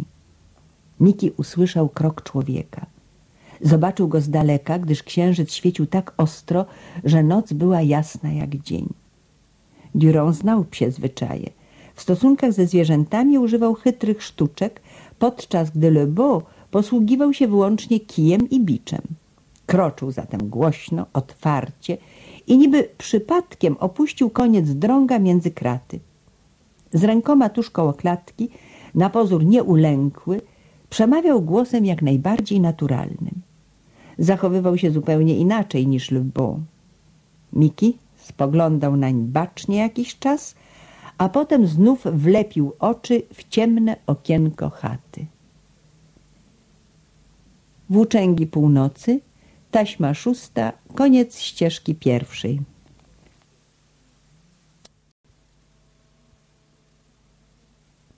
Włóczęgi północy, taśma szósta, ścieżka druga. Durand podstępnie wyzyskał sytuację – jął zwolna poruszać końcem drąga, aż ten znalazł się ponad łbem Mikiego, a rzemień i rozwarta pętla zwisły przed mordą psa. Durand był mistrzem we władaniu lasem. Złowił w ten sposób wiele lisów i wilków, a nawet jednego niedźwiedzia. Miki zesztywniały od mrozu, ledwie wyczuł na karku dotyk pętli. Nie zauważył, że Durand, opierając mocno nogi o fundament klatki, pręży się cały wstecz. Nagle człowiek podał się w tył i Miki doznał wrażenia, że potworne sidła chwyciły go za gardło. W jednej chwili zabrakło mu tchu. Walcząc rozpaczliwie o odzyskanie wolności, nie mógł wydać najmniejszego dźwięku.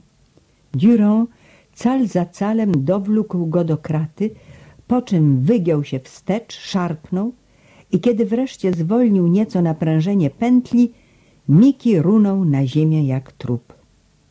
W parę sekund później Durand, ścisnąwszy uprzednio rozwarte szczęki psa, wsunął mu na pysk kaganiec. Wziął potem Mikiego na ręce i poniósł do sanek, zostawiając drzwi klatki otworem. Był pewien, że Nanetta nigdy nie odgadnie prawdy. Pomyśli, że pies umknął do lasu. Nie miał zamiaru zmuszać psa do posłuszeństwa kijem, tak jak to bezowocnie czynił Jacques Le Beau. Durand był o wiele sprytniejszy. Pomimo braku skrupułów i litości, posiadł jednak sporo tajemnic duszy zwierzęcej, a okrucieństwo nie zaślepiało go nigdy. To też zamiast uwiązać po prostu psa do sań, jak to Beau zrobił w swoim czasie, ułożył go możliwie wygodnie, przykrył ciepło i dopiero wtedy pomyślał o dalszej wędrówce na wschód. Upewnił się jednak jeszcze, że kaganiec Mikiego jest dość mocny i że koniec łańcucha poprzednio uwiązany do klatki teraz silnie opasuje kierownicę. Skończywszy wszelkie przygotowania, Francuz ruszył w kierunku fortu Ogod. Promieniał radością. Z pochodzenia i zamiłowania był przede wszystkim graczem, potem dopiero myśliwym. Zakładał sidła, by mieć czym kryć hazardowe stawki i w ciągu sześciu lat kolejno wygrywał wielki psi mecz w forcie Ogody. Ale w tym roku doznawał uczucia lęku.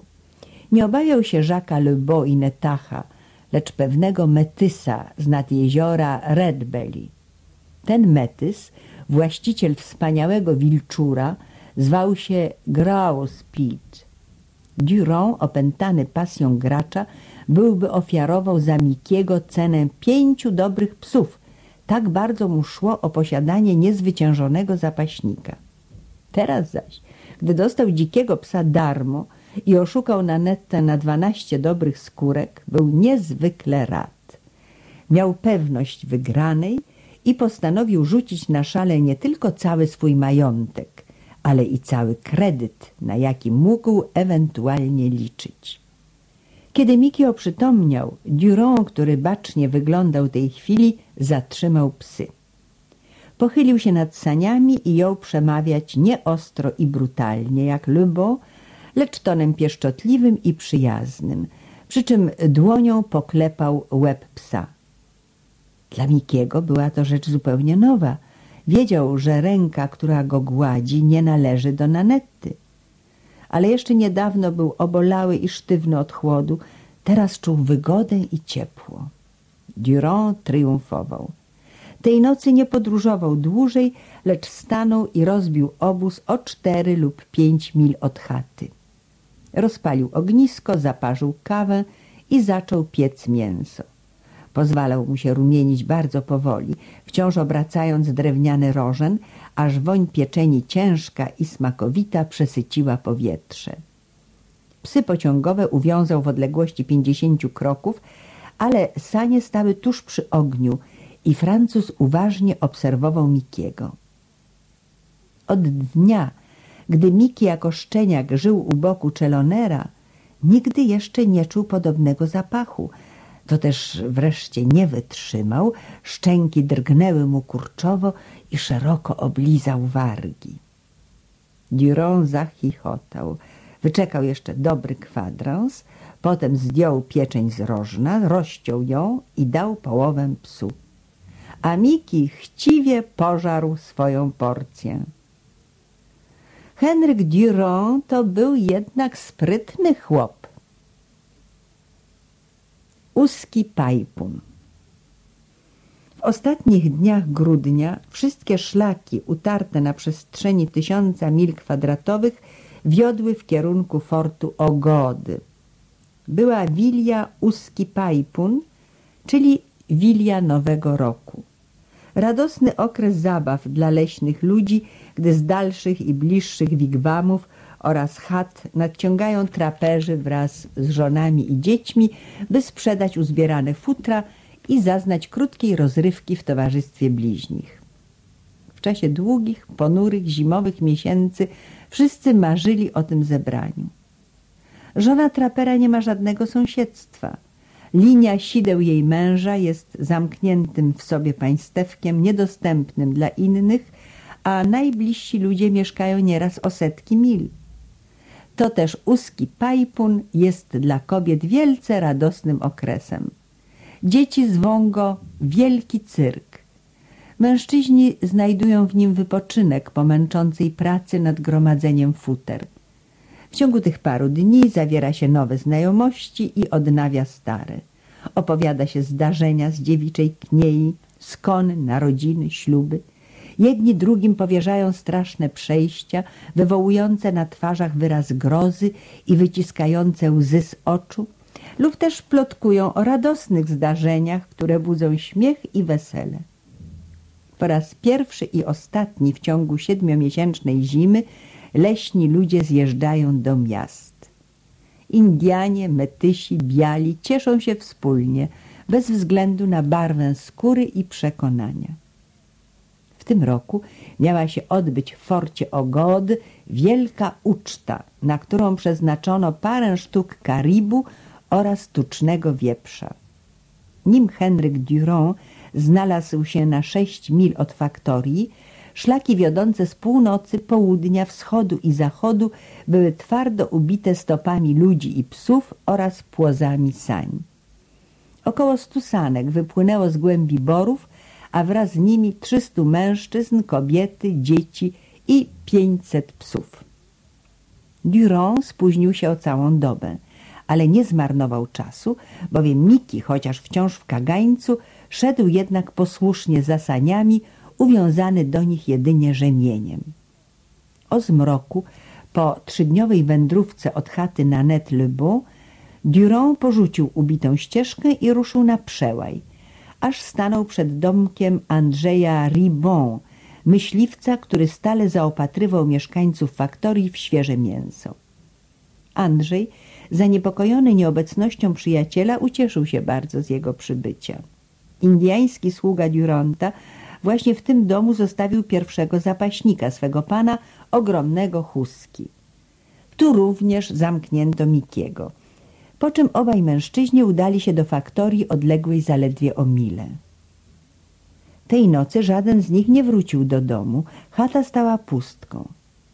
O zmierzchu Miki pochwycił jakieś dziwaczne, a czarowne odgłosy, coraz wyraźniejsze, w miarę jak gęstniał mrok wieczorny. Były to dźwięki zabawy w faktorii, daleki gwar ludzkich krzyków, splątany z wyciem setki psów. Miki nie słyszał nigdy nic podobnego i jakiś czas trwał bez ruchu. Potem stanął przy oknie jak człowiek, wsparty przed nimi łapami na ciężkiej framudze. Chata Andrzeja Ribon, zbudowana u szczytu małej wyniosłości, górowała nad zamarzłym jeziorem leżącym u jej stóp, a ponad gęstwą drzew iglastych porastających brzeg lodowej tafli. Miki dojrzał purpurową łunę, którą kładły na niebie dziesiątki wielkich obozowych ognisk. Zaskomlił i znów opadł na cztery łapy. Noc wydała mu się niezmiernie długa, ale chata była wygodniejszym pomieszczeniem niż klatka Jacques'a Le Beau. Miki drzemał gorączkowo aż do świtu, w marzeniach sennych oglądając wciąż Nanetę i jej dziecko. Durand i Ribon wrócili dopiero następnego dnia o wczesnym brzasku. Przynieśli ze sobą świeże mięso, które Miki chciwie pożarł, gdyż był bardzo głodny. Chociaż nie okazywał im żadnej przyjaźni, tolerował jednak uprzejme zabiegi tych dwóch ludzi. Dzień spędzili razem. Noc Miki przebył znów samotnie. Gdy o świcie Durand i Ribon zjawili się w chacie, przywieźli ze sobą klatkę, mającą zaledwie cztery stopy średnicy, a zbitą z mocnych brzozowych konarów.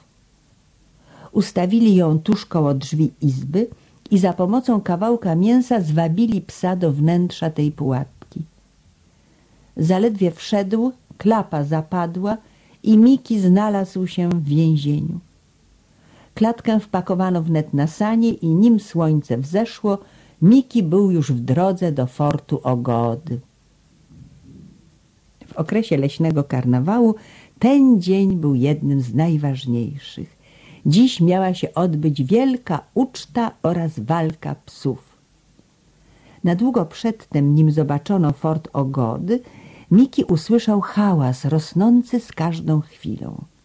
Zdziwił się i stanął w klatce wyprostowany, czujny, zapominając jakby o obecności ludzi, którzy go wlekli naprzód. Patrzał ostro ponad ich głowami i Durand zachichotał radośnie, usłyszawszy głuche warknięcie psa i szczęk jego kłów. Tak, będzie walczył. Walczyłby już teraz, rzekł. Szli brzegiem jeziora.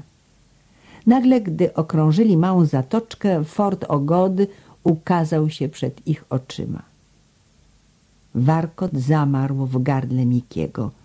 Mocno zwarł szczęki i po raz ostatni zgrzytnął kłami. Na chwilę serce przestało w nim bić.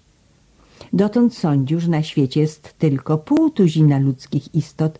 Teraz tak nagle, że nie zdołał przywyknąć do tej zmiany, zobaczył stu, dwustu, trzystu ludzi. Na widok Duranta i klatki cały tłum skoczył naprzeciw idącym. Tak wiele wilków wałęsało się wszędzie, że Miki prawie zgłupiał. Klatka, w której był zamknięty, jadąc w górę zbocza, stała się ośrodkiem wrzaskliwej, rozkołysanej hordy mężczyzn i chłopaków. Kobiety łączyły się z tłumem, a wiele spośród nich miało na ręku dzieci. Potem nadszedł koniec wędrówki Mikiego. Jego klatkę ustawiono tuż przy innej, w której siedział podobny zwierz. Obok tamtej klatki tkwił wysoki, śniady, kudłaty metys o wyglądzie bandyty. Był to Gross Pitt, rywal Henryka Durand. Metys spojrzał na Mikiego i na jego grubych wargach zaigrał pogardliwy uśmiech.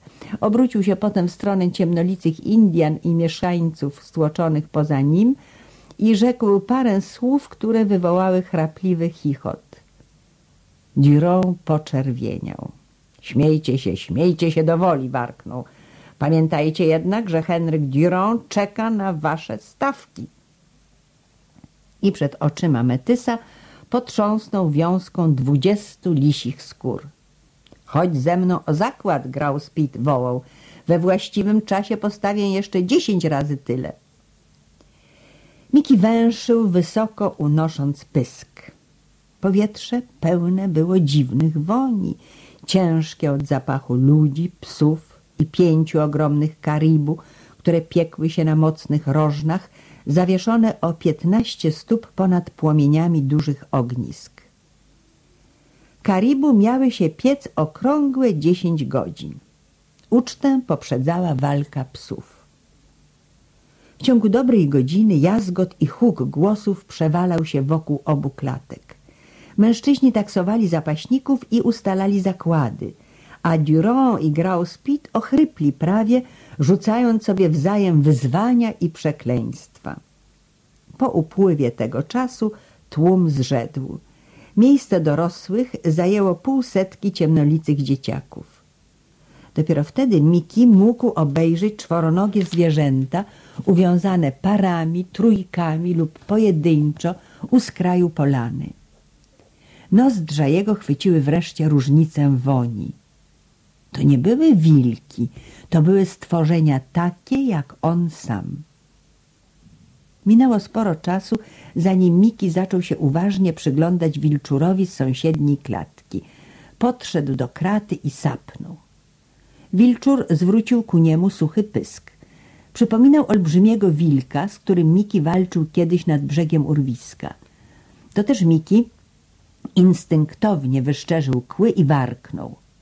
Wilczur warknął również. Henryk Durand radośnie zatarł ręce, a Graus Pitt zachichotał. Tak, będą walczyć, rzekł Durand. Mój będzie się bił, dodał Graus Pitt, ale pana pies, gdy przyjdzie do walki, osłabnie jak szczenie. Nieco później Miki zobaczył tuż koło swojej klatki białego człowieka. Był to agent, Szkot, imieniem McDonnell. Mętnymi oczyma patrzył na Mikiego i na Wilczura. W dziesięć minut potem w małym pokoiku służącym mu za biuro mówił do młodszego białego mężczyzny. Chciałbym zabronić, ale nie mogę, nie zgodzą się. Straciłbym na tym połowę zwykłej ilości futer. W forcie Ogod od pięćdziesięciu lat powtarzają się podobne walki i prawdę mówiąc nie są okrutniejsze od tych, które się widuje w krajach cywilizowanych, tylko że w tym wypadku zachodzi morderstwo, uzupełnił młodszy. Właśnie. Zazwyczaj jeden z psów ginie. Młody człowiek wytrząsnął popiół z fajki. Kocham psy, rzekł krótko. W mojej faktorii pozwolę walczyć między sobą chyba tylko ludziom. I nie pójdę patrzeć na tę zabawę, gdyż obawiam się, że zabiłbym kogo. Walka psów Była druga po południu. Karibu przybrały piękny, brunatny kolor. Za dwie godziny uczta miała się rozpocząć. Nadeszła pora walki. Pośród polany, wokół klatki zbitej z mocnych bali, mającej dziesięć stóp średnicy, zebrał się tłum kobiet, mężczyzn i dzieci. Tuż obok dużej ustawiono obie małe klatki. Koło jednej z nich tkwił Henryk Durand, koło drugiej grał Spit. Nie przekomarzali się już, twarze mieli skupione i groźne. Patrzało na nich trzysta par oczu. Trzysta par uszu czekało na mający paść sygnał. Dał go grał Spit. Durand szybko uniósł drzwi klatki Mikiego, potem nagle tknął psa z tyłu rozwidlonym kijem i Miki jednym susem znalazł się w dużej klatce. Wilczur grał spita skoczył również niemal w tej samej chwili i obaj zapaśnicy stanęli na placu boju. Durand ledwie nie zaklął. W ciągu najbliższej pół minuty Mikiego pochłonęło otoczenie. W lesie wilczur interesowałby go wyłącznie i przede wszystkim. Patrzałby nań jak na nowego netacha lub na dzikiego wilka ale w obecnych warunkach myśl o walce była dla niezmiernie daleka. Fascynował go stłoczony wokół klatki krąg ponurych i wyczekujących twarzy. Badał ludzkie oblicza, jakby starając się dojrzeć wśród nich Nanettę, dziecko albo nawet Czelonera, który pierwszy był mu panem. Grał Spit nazwał swego wilczura Taao ze względu na niebywałą długość jego kłów. Otóż gdy minął pierwszy moment wzajemnego przyglądania się, Miki zupełnie zda się o Taao zapomniał. Podreptał do krawędzi klatki i wsunął nos między pręty. Grał Spit zachichotał drwiąco. Miki począł obiegać klatkę w krąg, nie spuszczając badawczych ślepi z rojowiska milczących ludzkich twarzy. Taao stał na samym środku klatki i nie spuszczał z przeciwnika krwawych oczu. To, co się działo na zewnątrz, nie obchodziło go wcale. Rozumiał swą powinność i miał w duszy chęć mordu. W ciągu krótkiej chwili, gdy serce Duranta biło jak młot, Taao obracał się w kółko, śledząc ruchy Mikiego, a włosy na karku stały mu sztywno jak szczecina. Nagle Miki stanął i Durand ujrzał, jak w niwecz obracają się jego marzenia. Wilczur, nie wydając najmniejszego dźwięku, runął na przeciwnika. Grauspit krzyknął. Poprzez rzędy widzów przeszło głębokie westchnienie, a Durand uczuł zimny dreszcz. To, co się stało w następnej chwili, wstrzymało bicie wszystkich serc. Miki winien był polec momentalnie. Grał Spit miał tę pewność. Durand miał tę pewność również. Ale nim się zwarły szczęki wilczura, w ostatnim ułamku sekundy Miki zmienił się w istną błyskawicę. Nikt nie widział nigdy ruchu szybszego niż ten, jakim dziki pies odparował atak Taao. Zgrzytnęły kły. Rozległ się ohydny trzask kości i w następnej chwili oba psy tarzały się, przewracały po ziemi.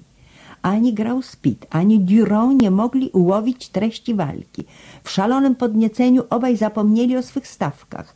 W forcie Ogody nigdy jeszcze nie było takiego widowiska.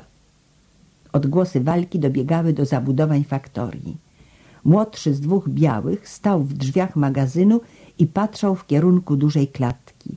Słyszał ryk, słyszał zgrzyt kłów i zacisnął szczęki, a w oczach jego płonął ponury ogień. Westchnął głęboko, a do diabła sapnął. Zwarł pięści, wolno zeszedł ze schodów i powędrował w kierunku klatki. Gdy przedarł się przez krąg widzów, walka była skończona. Ustała nagle, jak się zaczęła. I wilczur Metysa leżał na ziemi z przeciętą tętnicą. Miki wyglądał tak, jakby miał lada chwila skonać. Durand otworzył drzwi, opasał mu szyję rzemieniem i pies stał już poza klatką, chwiejąc się na łapach, zlany krwią na pół ślepy. W wielu miejscach poprzez poszarpaną skórę przeglądało żywe mięso, a czerwona struga sączyła się z pomiędzy szczęk. Biały człowiek, patrząc na to, wydał okrzyk grozy, lecz nagle niemal jednocześnie zawołał Mój Boże, Miki, Miki, Miki! Miki usłyszał ten głos, choć mu się zdawało, że płynie z bardzo daleka i przebija się z trudem poprzez tępy ból ran. Głos, głos, który towarzyszył mu w snach, głos, na który czekał, którego szukał, wierząc, że go kiedyś odnajdzie, głos jego pana, Czelonera. Przypadł do ziemi, skomląc, starając się coś dojrzeć poprzez krew zalewającą mu oczy. Śmiertelnie niemal ranny, bił ziemię ogonem na znak, że poznaje. I raptem, ku zdumieniu obecnych, Czeloner runął na kolana obok psa, opasał mu kark ramieniem, a poszarpany język Mikiego szukał dłoni pana, jego twarzy, jego odzieży. Miki, Miki, Miki. Durand położył ciężką dłoń na ramieniu Czelonera. Było to niby dotknięcie rozpalonego żelaza. Czeloner skoczył błyskawicznie na równe nogi i spojrzał w twarz Francuza. On jest mój! krzyknął, próżno starając się opanować wściekłość. On jest mój! Ty, ty diable! I nie mogąc się pohamować, trzasnął pięścią w szczękę Duranta, aż ten gruchnął w śnieg. Czeloner stał nad nim chwilę wyczekując, ale Durand nie ruszał się. Wtedy spojrzał na grał Spita i na tłum. Miki znów tulił mu się do stóp. Czeloner wskazał psa ręką i krzyknął tak głośno, by wszyscy mogli słyszeć. To jest mój pies. Nie wiem skąd ten potwór go dostał, ale on jest mój. Patrzcie sami, widzicie jak mi liże ręce? Czyż zrobi to jemu? I spójrzcie na to ucho. Na całej północy nie ma drugiego, które byłoby tak ucięte. Zgubiłem go prawie rok temu, ale poznałbym go wśród dziesięciu tysięcy innych. O Boże, gdybym tylko wiedział wcześniej.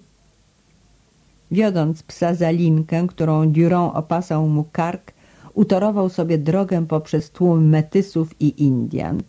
Poszedł do McDonella i powiedział, co zaszło. Opowiedział, jak zeszłej wiosny szczeniak i niedźwiadek wypadły mu z czółna do rzeki. Uprzedziwszy w ten sposób możliwą skargę Duranta, udał się do chaty, w której zamieszkał na czas pobytu w forcie Ogody.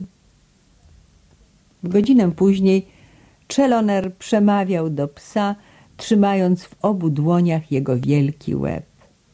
Poprzednio już obmył i przewiązał mu rany, tak że Miki mógł teraz patrzeć. Pies nie spuszczał oczu z twarzy pana i bił ogonem o podłogę. Obaj byli głusi na dochodzące z zewnątrz odgłosy zabawy, krzyki mężczyzn, wrzaski chłopaków, śmiech kobiet i nieustanne ujadanie psów. W oczach Czelonera lśnił ciepły błysk. Miki, stary chłopie, nie zapomniałeś, prawda? Nie zapomniałeś nic. Byłeś wtedy tylko niezdarnym szczeniakiem, a jednak pamiętasz, co? Przypominasz sobie, jak mówiłem, że ciebie i niedźwiedzia wiozę dla mojej siostrzyczki? Pamiętasz?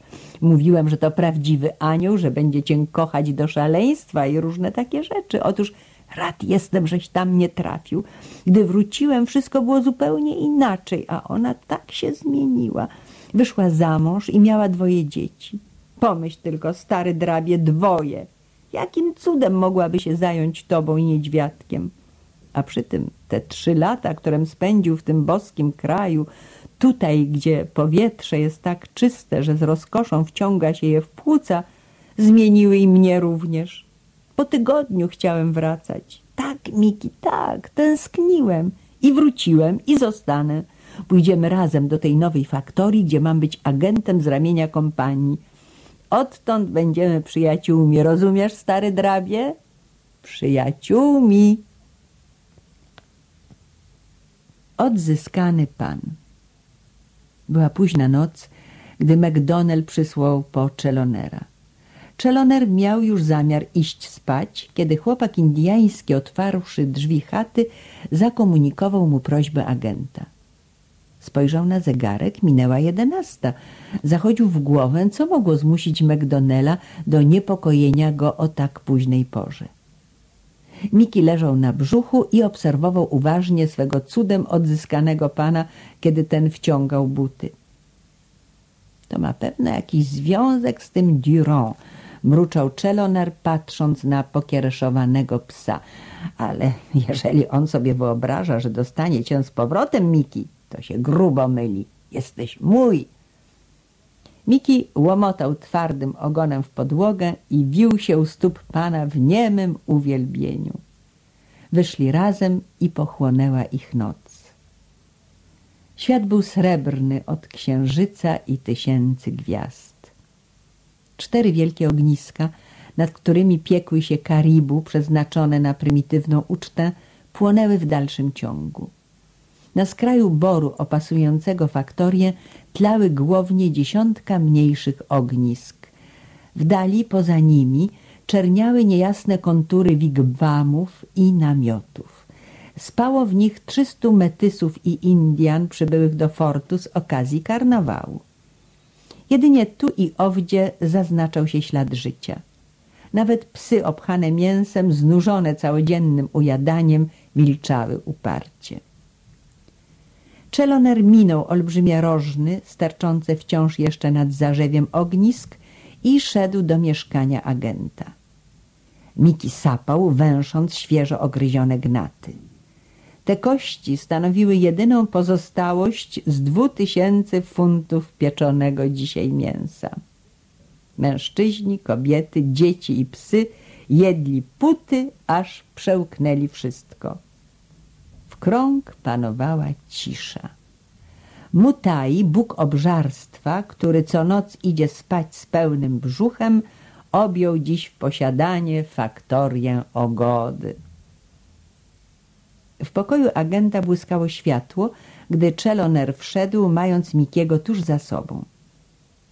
McDonnell palił fajkę, puszczając gęste kłęby dymu. Na twarzy miał wyraz zakłopotania i przykrości. Durand tu był, rzekł. To zły człowiek. Obawiam się skandalu. Gdybyś go przynajmniej nie uderzył. James Oliver Curwood, Włóczęgi Północy. Taśma szósta, koniec ścieżki drugiej.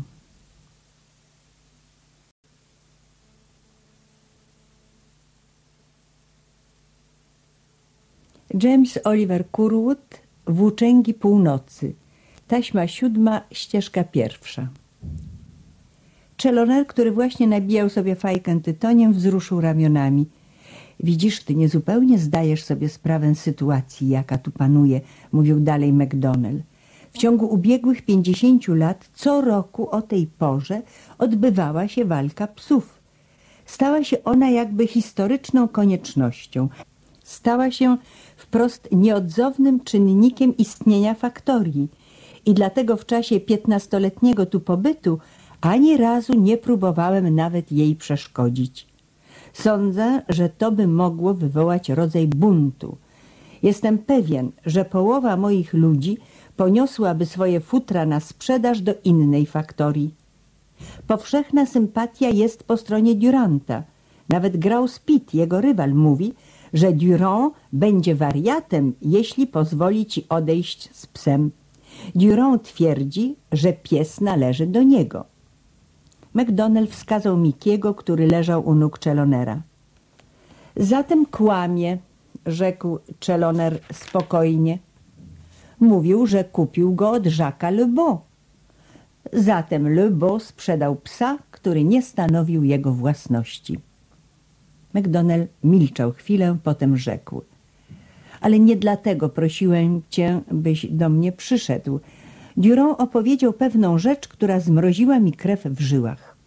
Jutro twoja karawana rusza do faktorii nad jeziorem Reindeer, czy tak? O świcie. Więc czy byś mógł z jednym Indianinem, którego ci dam, i wziąwszy tylko jeden zaprząg, zatoczyć półkole w stronę Jackson Knee? Stracisz tydzień, ale i tak złapiesz jeszcze swoich ludzi, nim dojdą do faktorii, a mnie wyświadczysz wielką przysługę, bo tam stała się okropna rzecz. Spojrzał znów na Mikiego. O Boże! westchnął. Czeloner czekał. Wydało mu się, że przez barki agenta przebiegł nagły dreszcz. Poszedłbym sam, powinienem był pójść tam nawet osobiście, ale to odmrożone płuco zmusza mnie do siedzenia w domu całą zimę, bo tu w oczach zalśnił mu nagły błysk, znałem Nanette Lebeau, gdy była od taką piętnastoletnią dziewczynką. Widziałem, jak rosła. Gdybym wówczas nie był żonaty, zakochałbym się w niej. Czy znasz ją? Czyś kiedyś widział Nanette Lebeau? Czeloner wstrząsnął głową przecząco. Anioł, jeśli w ogóle anioły chodzą po ziemi, oświadczył McDonnell poprzez rudą gęstwem brody. Mieszkała wraz z ojcem poza Jackson Knee. Ojciec jej zamarzł na śmierć pewnej nocy, gdy przecinał jezioro Red Eye. Zawsze myślałem, że Jacques Le Beau zmusił ją potem, by za niego wyszła. Może go zresztą wcale nie znała, a bała się samotności. Tak czy inaczej ożenił się z nią. Widziałem ją po raz ostatni przed pięciu laty. Niekiedy dochodziły mnie dziwne słuchy, ale nie wierzyłem. Przynajmniej nie wierzyłem wszystkiemu. Nie wierzyłem, że Le Beau bije ją i katuje dla kaprysu. Nie wierzyłem, że raz wlókł ją za włosy po śniegu i o mało jej nie uśmiercił. Sądziłem, że to plotki, a dzieliło mnie od ich chaty przeszło siedemdziesiąt mil. Ale teraz wierzę. Durand przybył właśnie stamtąd i mam wrażenie, wyjawił sporo prawdy, byle odzyskać psa. Spojrzał znów na Mikiego. Widzisz, Durand mówił, że Le Beau złapał psa w sidła, wziął ze sobą do chaty i męczył potem okropnie, trenując do walki. Gdy Durand zobaczył psa, zapragnął go mieć za wszelką cenę i kupił go od Żaka. Ten, chcąc pokazać temperament zwierzęcia, zaczął je doprowadzać do szału, okładając kijem i batem. Nanetta chciała ukrócić barbarzyństwo. Le Beau rzucił ją wtedy o ziemię, bił i targał za włosy. Nagle pies skoczył na mężczyznę i rozerwał mu gardło. Oto jak się rzecz ma. Durand opowiedział całą prawdę, gdyż bał się, że każe zastrzelić psa jako niebezpiecznego mordercę. Z tego względu proszę, żebyś pojechał drogą na Jackson Knee. Chcę, żebyś przeprowadził śledztwo i uczynił co można dla Nanette Le Beau. Mój Indianin zabierze ją potem do faktorii. McDonnell mówił to zupełnie spokojnie, z właściwym Szkotom opanowaniem, ale dziwny dreszcz przebiegł raz jeszcze jego barki. Czeloner wielce zdumiony patrzał na agenta. Chcesz powiedzieć, że Miki, ten pies, zabił człowieka? Tak, zabił. Durand mówi, że w ten sposób, jak dziś w czasie walki, zagryzł wilczura grał spita. Czeloner przesunął zwolna spojrzenie na łeb Mikiego, a McDonnell dodał. Lecz wilczur grał spita był więcej wart niż tamten człowiek. Jeżeli to, co mówią o Jacques Lebeau jest prawdą, to dobrze się stało, że umarł. Czeloner, czy myślisz, że to ci nie sprawi wielkiego kłopotu pojechać tamtędy i odwiedzić Nanetę? Pojadę, rzekł Czeloner, kładąc dłoń na głowie psa. W ciągu dobrej pół godziny McDonnell opowiadał różne rzeczy o Nanecie Lebeau. Kiedy wreszcie Czeloner wstał, agent odprowadził go do drzwi. Strzeż się Duranta, uprzedzał. Ten pies jest dla niego więcej wart niż cała dzisiejsza wygrana, a mówią, że ryzykował grubo. Grał Spit zapłacił mu słono, ale już się ze sobą pogodzili. Wiem o tym, więc uważaj. Czeloner wyszedł i zatrzymał się na chwilę pod jasnym lśnieniem księżyca i gwiazd. Miki stał tuż, z łapami na piersi pana, łbem sięgając niemal ramion. Czy pamiętasz, stary, jakiś wypadł z czółna? pytał Czeloner miękko. Czy pamiętasz, że ty i niedźwiadek byliście związani razem, zaczęliście się bić i polecieliście przez burtę? Pamiętasz? Na Boga, ten sam wodospad, który was porwał, o mało i mnie nie chwycił. Byłem pewien, że zginęliście obaj. Ciekaw jestem, co stało się z niedźwiadkiem. Miki zaskomlił w odpowiedzi i drżał całym ciałem. A od tej pory zabiłeś człowieka. Ciągnął Czeloner dalej, jakby nie mogąc pogodzić się z tą myślą. Teraz zabiorę cię do tej kobiety. To najdziwniejsze. Wrócisz do niej i co, jeżeli ona każe cię zastrzelić? Puścił przednie łapy psa i ruszył w stronę chaty.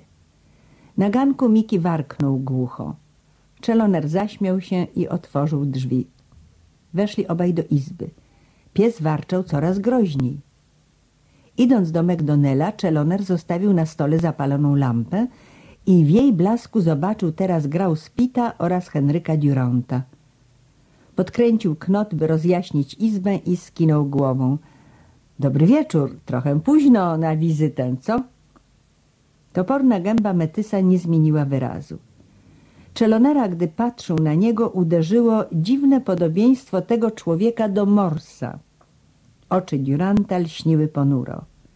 Twarz w miejscu, gdzie trafiła pięść Czelonera, miał opuchniętą. Miki zesztywniał cały i wciąż głucho warcząc wlasł pod tapczan swego pana. Durand wskazał go palcem. Przyszliśmy po tego psa, rzekł. Nie dostaniecie go, Durand, odparł Czeloner, usiłując zachować spokój wobec sytuacji, która przejmowała go dreszczem. Mówiąc, starał się odgadnąć, dlaczego grał Spit i Durand przyszli razem. Obaj byli olbrzymiego wzrostu, potworni. Instynktownie stanął tak, by między nimi a sobą mieć stół. Przykro mi, że się uniosłem, ciągnął dalej. Nie powinienem był uderzyć was, Durand. Jestem winien, przyznaję. Ale pies należy do mnie. Zgubiłem go w krainie Jackson Kni i jeśli Le Beau pojmał go w sidła i sprzedał, to sprzedał zwierzę, które doń nie należało. By postąpić uczciwie, gotów jestem zapłacić za psa tyle, ile daliście za niego. Więc ile? Grał Spit wstał. Durand pochylił się poprzez stół. Czeloner, patrząc nań, nie rozumiał, w jaki sposób jeden cios mógł tego człowieka powalić. Nie, nie jest na sprzedaż. Głos Duranta był ochrypły i tak niski, że zdawał się z trudem wychodzić z gardła. Przesycała go tłumiona nienawiść. Czeloner widział, jak na rękach Francuza zaciśniętych na krawędzi stołu nabrzmiewają węzły mięśni. Przyszliśmy po tego psa. Czy pozwoli pan go zabrać? Zwrócę, coście za niego zapłacili, Durand, jeszcze dołożę. Nie, on jest mój. Czy pan nam go teraz odda? Nie. Ledwo padło to słowo, a już Durand runął naprzód całym ciężarem i całą siłą mięśni. Czeloner nie spodziewał się, że atak nastąpi tak szybko. Francuz zwalił się na niego z rykiem nienawiści i obaj gruchnęli o ziemię. Stół się wywrócił, a wraz ze stołem i lampa. Ogień błysnął ostro i zgasł, pogrążając izbę w ciemności. Przez jedyne okno padała tylko smuga księżycowego światła. Czeloner nie oczekiwał takiego biegu wypadków. Sądził, że Durand przedłuży targ, a mając na względzie kolosalny wzrost swoich przeciwników, postanowił w trakcie dyskusji nieznacznie stanąć obok tapczana. Pod poduszką miał rewolwer. Teraz było za późno. Durand siedział mu na piersi, w ciemności szukając gardła i kiedy Czeloner wyrzucił dłoń w górę, chcąc chwycić Francuza za krtań, usłyszał, jak grał Spit odpycha stół na bok. W następnej chwili przewalali się po podłodze w smudze księżycowego blasku i Czeloner ujrzał pochylony nad sobą potworny cień Metysa. Głowa Duranta była wygięta pod naporem jego ramienia, ale jedna z rąk Francuza sięgała mu do gardła. Grał Spit zobaczył, co się dzieje i wykrzyknął parę chrapliwych słów. Szalonym wysiłkiem Czeloner przetoczył siebie i swego wroga z kałuży światła w ciemny kąt. Gruby kark Duranta trzeszczał. Grał Spit rzucił znów gardłowym głosem parę pytających słów. Czeloner ześrodkował całą energię w chwycie ramienia i Durand nie odpowiedział nic. Potem ciężar Metysa spadł na obu walczących i ręce jego poczęły szukać gardła Czelonera. Twarde palce zmacały wpierw brodę Duranta, później szyję Czelonera. Gdyby te okropne cęgi zwarły się choć na dziesięć sekund, Czeloner byłby zginął. Ale nagle grał Spit wydał okropny ryk zakończony jękiem.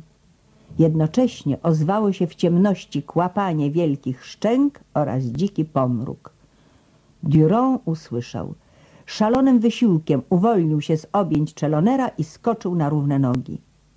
Czeloner natychmiast stanął obok tapczana z rewolwerem wymierzonym w stronę napastników. Wszystko to stało się niezmiernie prędko. Od chwili, gdy na początku walki przewrócono stół, upłynęła zaledwie minuta. Ale teraz, kiedy sytuacja układała się dla Czelonera tak pomyślnie, doznał on raptem uczucia potwornej grozy. Błyskawicznie uświadomił sobie ów moment, gdy Miki zagryzł wilczura grał spita. A oto w mroku izby usłyszał okropny, zdławiony jęk i łomot padającego ciała. Miki, Miki, krzyknął tu, do mnie! Rzucił rewolwer i podskoczył do drzwi, otwierając je szeroko. Na miłość boską wołał, idźcie, idźcie! Ciemny kształt przeleciał obok. Czeloner wiedział, że to uciekł Durand. Teraz skoczył do czarnych brył przewalających się po ziemi i wpił palce w luźną skórę na karku Mikiego, co sił rwąc go wstecz i wykrzykując wciąż imię psa. Zobaczył, jak grał Spit pełznie ku drzwiom, zobaczył, jak staje na nogi, rysując się ostro na tle gwiezdnego nieba i zataczając się uchodzi w dal. A potem uczuł, że Miki ciąży ku ziemi, pod rękami muskuły psa wiotczały mu i miękły. Czeloner klęczał jeszcze chwilę obok, wreszcie wstał, zamknął drzwi i zapalił światło. Uniósł przewrócony stół i umieścił na nim inną lampę. Miki nie ruszał się wcale. Leżał płasko na brzuchu, trzymając łeb między przednimi łapami i spoglądał na Czelonera dwojgiem pytających ślepi. Czeloner wyciągnął ręce. Miki! W jednej chwili Miki skoczył mu łapami na pierś, a Czeloner mocno utulił psa ramieniem. Spojrzał na podłogę, objął wzrokiem plamy krwi i strzępy ubrania rozrzucone tu i ówdzie. Miki, stary chłopie, jestem ci bardzo wdzięczny, rzekł. Radosna era Następnego ranka karawana Czelonera złożona z trzech sań oraz czterech ludzi ruszyła na północny zachód, aby dotrzeć do jego nowej faktorii znajdującej się koło ujścia rzeki Koszran. W godzinę później Czeloner mknął prosto na zachód ku Jackson Kni, mając ze sobą lekkie sanki oraz sforę pięciu psów. Tuż za nim dążył Indianin ze służby McDonnella, wiodąc zaprząg, którym Nanetta miała się udać do faktorii Ogody. Czeloner nie widział już więcej Grauspita ani Henryka Duranta i uznał, że agent ma rację, twierdząc, że obaj traperzy umknęli z faktorii wnet po nieudanym zamachu. Zapewne ucieczkę ich przyspieszyła wieść, że patrol królewskiej konnej policji w drodze do faktorii York ma tego dnia zawadzić o Fort Ogody. Dopiero w chwili odjazdu Miki został wyprowadzony z chaty i przywiązany do kierownicy sań Czelonera. Gdy ujrzał pięć pociągowych psów, zesztywniał cały i dawny dziki charchot powstał mu w gardle. Wobec łagodnej przemowy pana zrozumiał jednak wkrótce, że te zwierzęta nie należą do wrogich istot i choć na razie tolerował je tylko, to z czasem począł im nawet okazywać pewną przyjaźń. Zresztą zaprząg Czelonera składał się z poczciwych stworzeń urodzonych na południu i pozbawionych domieszki krwi wilczej. W ciągu ubiegłych 24 godzin wypadki toczyły się wokół Mikiego w tak szybkim tempie, że choć od fortu Ogod dzieliło ich już kilka mil, Pies trwał jednak wciąż w ogromnym podnieceniu. W głowie snuły mu się dziwaczne obrazy. To, co zaszło przed niewolą u Jacques'a Lebeau, było ogromnie dalekie i mgliste. Nawet pamięć o Niuły ginęła pod rojowiskiem silnych przeżyć w chacie Nanetty i w faktorii Ogody. Widział też teraz, wciąż, niby na jawie, gromady ludzi, psów i wiele innych dziwnych rzeczy, których nie oglądał nigdy przedtem.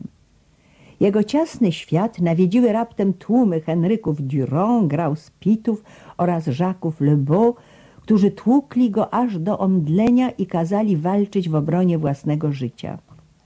W chwili zemsty wytoczył z nich krew, ale wciąż jeszcze oczekiwał ich nadejścia. Wspomnienie mu szeptało, że oni są wszędzie – Wydawali się tak liczni jak wilcze stada, tak liczni jak w ten czas, gdy tworzyli milczący krąg wokół klatek. W tym świecie pełnym zjaw i nieprzewidzianych wydarzeń były trzy, niezmiennie i zawsze tylko trzy bliskie istoty. Czeloner, Nanetta i dziecko. Reszta kłębiła się jak groźny chaos. Miki dwukrotnie zawracał wstecz, dziko warcząc, gdy idący śladem Indianin zbliżał się zanadto. Czeloner widział te odruchy i rozumiał ich powód. Spośród rojowiska obrazów najżywszy i najwyraźniejszy był jednak wizerunek Nanetty Lebeau. Tak, górował niezaprzeczenie nawet nad wizerunkiem Czelonera. Odzwierciedliła się w nim delikatna pieszczota miękkich dłoni, łagodne brzmienie głosu, zapach ciała, włosów i sukni, słowem cała jej kobiecość. A nieodłączną częścią Nanetty, jak dłoń jest nieodłączną częścią ramienia, było dziecko. Czeloner nie mógł zrozumieć, co się dzieje w duszy psa. Tego wieczora Długi czas siedział przy obozowym ognisku, próbując nawiązać zerwane nici dawnej przyjaźni. Ale udało mu się to tylko częściowo. Miki był oporny. Zdawało się, że wszystkie nerwy są w nim napięte do ostatnich granic. Raz po raz spoglądał na zachód i ilekroć węszył w tym kierunku, narastał mu w piersi cichy skowyt. Pełen zwątpienia, Czeloner mocnym rzemieniem uwiązał go na noc obok namiotu. Już dawno ułożył się do snu, a Miki siedział wciąż jeszcze tuż obok sosny, do której go przywiązano. Było zapewne około dziesiątej i noc stała się tak cicha, że trzask polan smolnych w ognisku brzmiał mu w uszach jak świst bata. Oczy miał czujnie otwarte. Opodal płomieni widział nieruchomą, spowitą w koce postać starego Indianina. Nieco dalej psy pociągowe kuliły się, milcząc w głębi wygrzebanych w śniegu legowisk. Księżyc stał tuż nad głową, a o milę lub dwie głucho wył samotny wilk, unosząc śpiczasty pysk kul śniącej tarczy. Ten głos, niby odległe wołanie, wzburzył jeszcze bardziej tętniącą krew Mikiego. Zwrócił się w stronę, skąd leciał dźwięk. Chciał posłać odpowiedź. Chciał podnieść łeb w górę i żalić się wobec księżyca, lasu i gwiezdnego nieba. Lecz tylko szczęknęły mu kły i spojrzał na namiot, w którym spał Czeloner. Opadł brzuchem w śnieg, ale łeb miał wciąż czujnie uniesiony ku górze. Księżyc jął właśnie opadać ku zachodowi. Ogień wygasł i głownie już się tylko żarzyły nikłą poświatą. Wskazówki zegarka Czelonera minęły północ, a Miki wciąż czuwał podniecony. Aż wreszcie zew płynący z mrocznej dali owładnął nim całkowicie, szybko i cicho przeciął zębami wiążący go rzemień. Już wolny obwąchał krawędź namiotu Czelonera. Wtulił ogon między tylne łapy. Czuł, że zdradza pana, na którego czekał od tak dawna, który tak często towarzyszył mu w snach. Nie zastanawiał się, ale instynktownie doznawał silnego przygnębienia. Wiedział, że wróci, był pewien, że wróci, ale teraz musi odejść. Chyłkiem zagłębił się w mroku. Sprytnie jak lis przekradł się między śpiącymi psami. Dopiero gdy obóz legł o dobre ćwierć mili poza nim, wyprostował skulone cielsko i niby szary, chybki cień pognał w świetle księżyca ku północy. Nie wahał się w wyborze tempa. Wolny od bólu ran, silny w łapach, o płucach równie mocnych jak płuca wilcze, mknął niestrudzenie. Króliki, porywając się spod jego nóg, nie zwodziły go z prostej drogi. Nawet czując tuż ostrą woń wydry, nie skręcił z raz obranej linii. Poprzez bagna i gęste bory, przez jeziora i potoki, przez pustkowia i pogorzele wiódł go nieomylny zmysł orientacji. Raz jeden przystanął na chwilę, by ugasić pragnienie w miejscu, gdzie silny prąd strumienia nie dozwolił wodzie zamarznąć. Ale i tu, łyknąwszy śpiesznie nieco chłodnego płynu, skoczył dalej. Księżyc spływał po niebie coraz niżej, aż znikł za horyzontem. Gwiazdy poczęły blednąć, małe gwiazdeczki zgasły, większe stały się mętne i senne. Siny, upiorny brzask otulił knieje. W ciągu sześciu godzin dzielących północ od świtu Miki przebył trzydzieści mil drogi. Wreszcie zatrzymał się. Legł na brzuchu pod skałą u szczytu urwiska i przyglądał się narodzinom dnia. Wypoczywał z rozwartą paszczą, ciężko dysząc, aż niebo na wschodzie zapłonęło matowym złotem zimowego słońca. Potem nad linią boru trysnęły pierwsze błyski promieni słonecznych, jak smugi karabinowego ognia z ponad obronnego muru. Wtedy Miki powstał i jął obserwować cud poranku. Poza nim w odległości pięćdziesięciu mil leżał Fort Ogod. Przed nim, oddalona o dwadzieścia mil, stała chata Nanetty. Stępując urwiska, Miki zwrócił łeb w stronę chaty.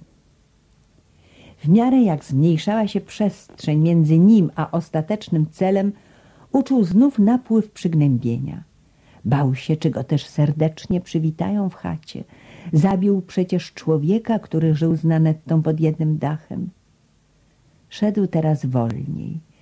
Już przed południem od mieszkania Nanetty i dziecka dzieliła go zaledwie półmilowa przestrzeń. Delikatnym powonieniem wyczuł w powietrzu obecność dymu. Dążył śladem tej woni, idąc po kryjomu i niepewnie, aż wreszcie mógł objąć wzrokiem polanę, na której rozpoczęła się nowa faza jego życia. Zobaczył klatkę, gdzie więził go Jacques Le Beau. Drzwi były wciąż otwarte, tak jak je zostawił Durand po dokonaniu kradzieży. Zobaczył śnieg zryty w miejscu, gdzie ongiś skoczył na potwora i zaskowyczał cicho. Stał wprost drzwi chaty. Były szeroko otwarte. Nie mógł dostrzec śladów życia, lecz mógł je wyczuć.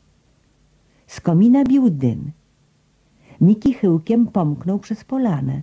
W ruchach jego malowała się wielka, pokorna prośba o przebaczenie, jeśli uczynił jakie zło, błaganie, by istoty, które wielbił, nie odegnały go precz. Dotarł do drzwi i zajrzał w głąb izby. Ziała pustką. Na netty nie było. Raptem uszy psa strzeliły ku przodowi, a kark zesztywniał i słuchał, słuchał, słuchał, łowiąc łagodny, szczebiotliwy dźwięk płynący z kołyski. Miki przełknął ślinę, pisnął jak najcieniej i pazury jego łap szczęknęły po podłodze, gdy szedł przez pokój, stanął i uniósł wielki łeb nad krawędź łóżeczka. Tu leżało dziecko. Ciepłym ozorem ucałował je raz jeden i z głębokim westchnieniem wyciągnął się na ziemi obok kołyski. Usłyszał kroki. Weszła Nanetta, mając pełne ramiona koców. Zaniosła je do sąsiedniej alkowy i dopiero wracając zobaczyła psa. Na razie stanęła zaskoczona. Potem krzyknęła krótko i podbiegła bliżej. Raz jeszcze uczuł jej dłonie na swym karku. Skomlił jak szczenie, tuląc do jej piersi wielki łeb. A Nanetta śmiała się i łukała głośno, a dziecko w kołysce szczebiotało, wierzgając nóżkami obutymi w małe mokasyny. Gdy diabeł umyka, nadchodzi raj, mówią Indianie Cree. Wraz ze śmiercią Jacques'a Le Beau diabeł umknął z życia Nanetty. Była piękniejsza niż kiedykolwiek. Z głębi jej źrenic jaśniało niebo. Przestała być niewolnicą drżącą przed batem i kijem pana. Wróciła jej młodość, była szczęśliwa. Szczęśliwa, że ma dziecko, że jest swobodna, że słońce lub gwiazdy i księżyc płoną jej nad głową. Szczęśliwa przede wszystkim, że czeka ją nowe życie. Tego wieczora, kiedy rozczesywała piękne sploty, Miki jak dawniej przysunął się do niej. Lubił zatapiać pysk w jej bujnych włosach, lubił ich słodką woń, lubił kłaść łeb na kolanach kobiety. A Nanetta mocno tuliła psa do piersi, tak jak tuliła własne dziecko, gdyż Miki przecież dał jej wolność, nadzieję i szczęście. To, co się stało z Żakiem Lebeau, nie było już tragedią. To był sprawiedliwy odwet. Bóg przysłał psa i kazał mu uczynić to, co by uczynił brat lub ojciec. Kiedy następnego dnia o zmierzchu Czeloner przybył do chaty, Nanetta właśnie czesała włosy. A gdy zobaczył ją tak, z oczyma lśniącymi w blasku lampy, uczuł nagle, że świat zmienił się zupełnie i że już od lat wszystko, cokolwiek uczynił, wiodło jedynie ku tej chwili. Włóczęgi północy, taśma siódma, koniec ścieżki pierwszej.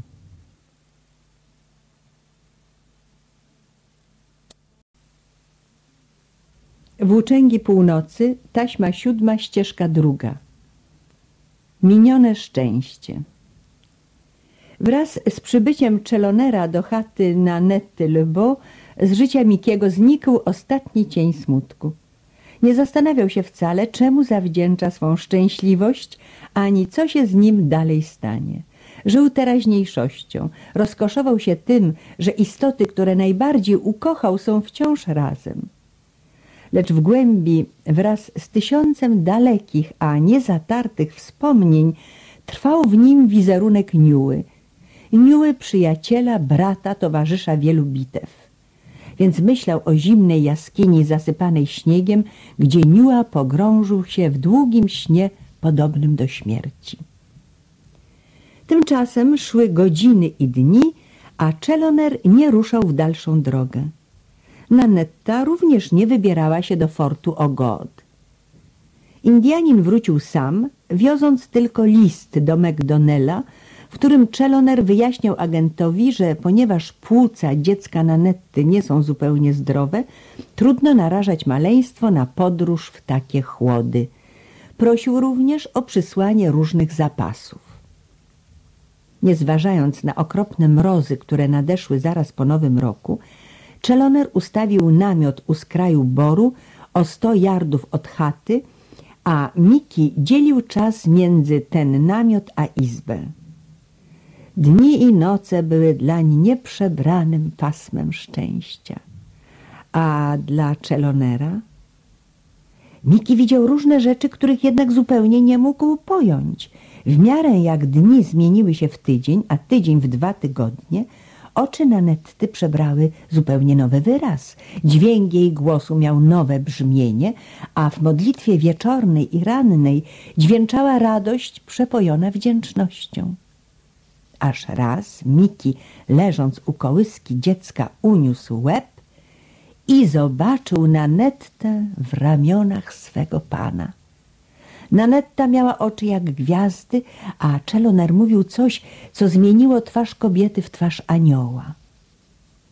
Miki zgłupiał, zgłupiał jeszcze bardziej, gdy Czeloner puścił Nanettę, zbliżył się do kołyski i uniósł dziecko w górę. Kobieta, patrząc czas jakiś na tych dwoje oczyma pełnymi szczęścia, ukryła nagle twarz w dłoniach i rozpłakała się. Miki warknął. Lecz w tej chwili Czeloner objął Nanettę, a ona tuliła to jego, to dziecko i łukając szeptała dziwne słowa, których pies nie mógł wcale pojąć. Wiedział jednak, że nie powinien warczeć ani gryźć. Czuł podświadomie, że zaszła jakaś rzecz niezwykła. Głośno przełknął ślinę i patrzał. Nieco później Nanetta skoczyła ku niemu, klękła obok i opasała go ramieniem, jak przed chwilą Czelonera. A Czeloner tańczył po izbie, niby rozbawiony sztubak i przemawiał do dziecka, a potem ukląkł obok psa i krzyknął – O Boże, Miki, mam rodzinę! A Miki usiłował pojąć słowa pana. Tego wieczora po kolacji Widział, jak Czeloner rozplata wspaniałe warkocze Nanetty i czesze jej włosy. Śmieli się przy tym niby dwoje szczęśliwych dzieci, a Miki w dalszym ciągu próżno starał się zrozumieć. Gdy Czeloner miał się już udać do swego namiotu, przed odejściem wziął Nanettę w ramiona, całował ją i gładził lśniące sploty, a ona objęła dłońmi jego twarz, śmiała się i płakała niemal ze szczęścia. I Miki wreszcie zrozumiał. Wiedział już, że dla wszystkich mieszkańców chaty nadeszła radosna era. Teraz, gdy życie szło spokojnie i bez wstrząsów, Miki na nowo zajął się polowaniem. Opanowała go gorączka szlaku.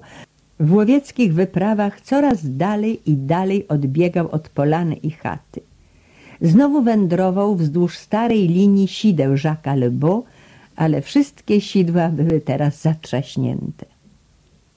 Miki stracił wiele z dawnej przebiegłości. Utył. Nie wyczuwał już groźby w każdym poszumie wiatru. W trzecim tygodniu pobytu Czelonera w chacie, w dniu, który znaczył kres mroźnej pory i rozpoczynał cieplejszy czas, pies znalazł starą, śmiertelną pułapkę umieszczoną wśród bagien oddalonych od polany o całe dziesięć mil. Lebeau sporządził tę pułapkę na rysie, lecz żadne zwierzę nie tknęło przynęty wielkiego kawała mięsa karibu zmarzłego na kość. Miki Począł je ciekawie obwąchiwać. Nie bał się już wcale. Wszelka groźba przestała dlań istnieć. Oblizał mięso, szarpnął je zębami i ogromna kłoda runęła w dół, omal nie druzgocąc mu karku. Chybiła ocal. Lecz w ciągu następnych 24 godzin Miki przywalony pniem był bezsilny jak kaleka. Usiłował jednak walczyć i wreszcie, zwyciężywszy ciężar kłody oraz straszną niemoc, zdołał odpełznąć nieco w bok. Tymczasem pocieplało znacznie, spadł miękki śnieg, zacierając wszelkie ślady i szlaki. Miki wlókł się przez ten biały puch, zostawiając za sobą głęboką kolejinę jak wydra idąca przez bagno, gdyż zad miał zupełnie bezwładny. Chociaż kość pacierzowa nie pękła, to jednak cios i ciężar pnia sparaliżowały go na jakiś czas. Wędrował teraz w kierunku chaty, ale każdy ruch był dla niego okropną męką. Sunął zaś naprzód tak wolno, że w ciągu godziny przebył zaledwie ćwierćmilową przestrzeń. Do zmroku oddalił się od pułapki tylko o dwie mile. Wlazłszy w gęstwę młodych drzewek, przeleżał tam do świtu. Cały następny dzień nie ruszał się z miejsca. Nazajutrz, czyli w cztery dni po opuszczeniu chaty, ból w karku zelżał. Ale gdy ruszył w dalszą drogę, mimo wysiłku, posunąć się mógł jedynie o parę cali. Dobry duch lasu opiekował się nimi tym razem, gdyż po południu trafił na padło jelenia zabitego przez wilki, a zjedzonego tylko częściowo. Mięso było zmarzłe na kość, ale pies zabrał się doń chciwie. Potem znalazł sobie schronisko pod konarami zwalonych drzew i przeleżał tam dziesięć dni pomiędzy życiem a śmiercią. Gdyby nie jeleń, zdechłby na pewno. Co dzień lub co drugi dzień tylko pełz do padliny i to mięso chroniło go od zupełnego wyczerpania. Dopiero ku końcowi drugiego tygodnia mógł pewnie stanąć na nogach. Po piętnastu dniach choroby wrócił do chaty. U skraju polany niejasno wyczuł jakąś zmianę. Co prawda chata stała na dawnym miejscu, na pozór nie różniła się niczym od tej, którą Miki opuścił przed dwoma tygodniami. Lecz z komina nie bił dym, a okna były białe od szronu. Biały całun śniegu leżał wokół ścian. Miki począł iść ostrożnie ku drzwiom, nie widział żadnych śladów. Pod progiem puszyła się głęboka zaspa. Zaskomlił i poskrobał w drzwi, nikt mu nie odpowiedział, nie usłyszał żadnego głosu. Wrócił na skraj boru i czekał. Czekał cały dzień, niekiedy zbliżając się do chaty i węsząc, by się przekonać, że nie popełnił omyłki.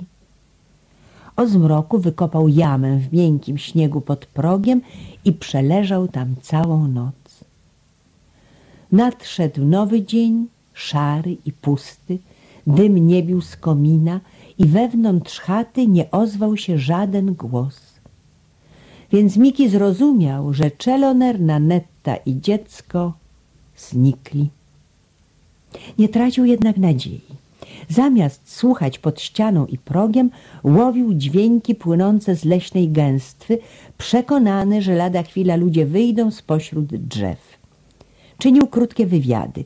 Biegł z tej, to z tamtej strony chaty, daremnie obwąchując świeży śnieg i raz po raz chwytając wiatr. Nad wieczorem zabrnął w las, polując na królika. Gdy zabił go i zjadł, wrócił znów na polanę i przespał drugą noc w śniegu pod progiem. Spędził w tym samym miejscu noc trzecią i czwartą. Trzeciej nocy pod gwiaździstym niebem usłyszał dalekie wycie wilków i również zawył żałośnie. Nie szło mu o danie odpowiedzi dzikim współbraciom. Głos miał przepojony beznadziejną rozpaczą. Ogarnęła go teraz samotność, głębsza niż kiedykolwiek. Coś zdało mu się szeptać do ucha, że minione szczęście było tylko snem, że stoi znów wobec dawnego świata pełnego gruźb, pustki, chłodu i nieustannej walki o byt. Jego zmysły, chwilowo przytępione radosnym ubóstwianiem istot zamieszkałych w chacie, stały się znów czujne i bystre. Poznał na nowo ostry dreszcz niebezpieczeństwa płynącego z samotności i zrobił się tak nieufny, że czwartego dnia smykał wokół polany chyłkiem jak wilk. Piątej nocy nie spał już na polanie, lecz znalazł sobie wykrot w głębi boru. Sny miał dziwne i niespokojne. Nie marzył o swym panu, o kobiecie lub dziecku, ani też nie przeżywał pamiętnych chwil pobytu w forcie Ogod. Sen ukazał mu nagie, skaliste zbocze zawalone górą śniegu oraz ciemną, głęboką pieczarę. Był znów w towarzystwie dawnego przyjaciela i drucha niedźwiedzia Niuły. Próbował go zbudzić. Czuł ciepło jego ciała i słyszał senny pomruk. Potem walczył otoczony zewsząd krzakami czarnych porzeczek i wraz z Niułą umykał przed wściekłą niedźwiedzicą, która owładnęła ich parowem. Gdy ocknął się nagle z sennych marzeń, drżał cały i miał mięśnie napięte jak postronki. Warknął w mroczną dal. Oczy miał jak dwie płomienne kule. Zaskomlił potem cicho i tęsknie, a gdy umilkł, nasłuchiwał jakiś czas w nadziei, że Niua mu odpowie. Jeszcze cały miesiąc przebył w pobliżu chaty. Przynajmniej raz na dzień, a czasem i nocą odwiedzał polanę. Coraz częściej wspominał Niuę.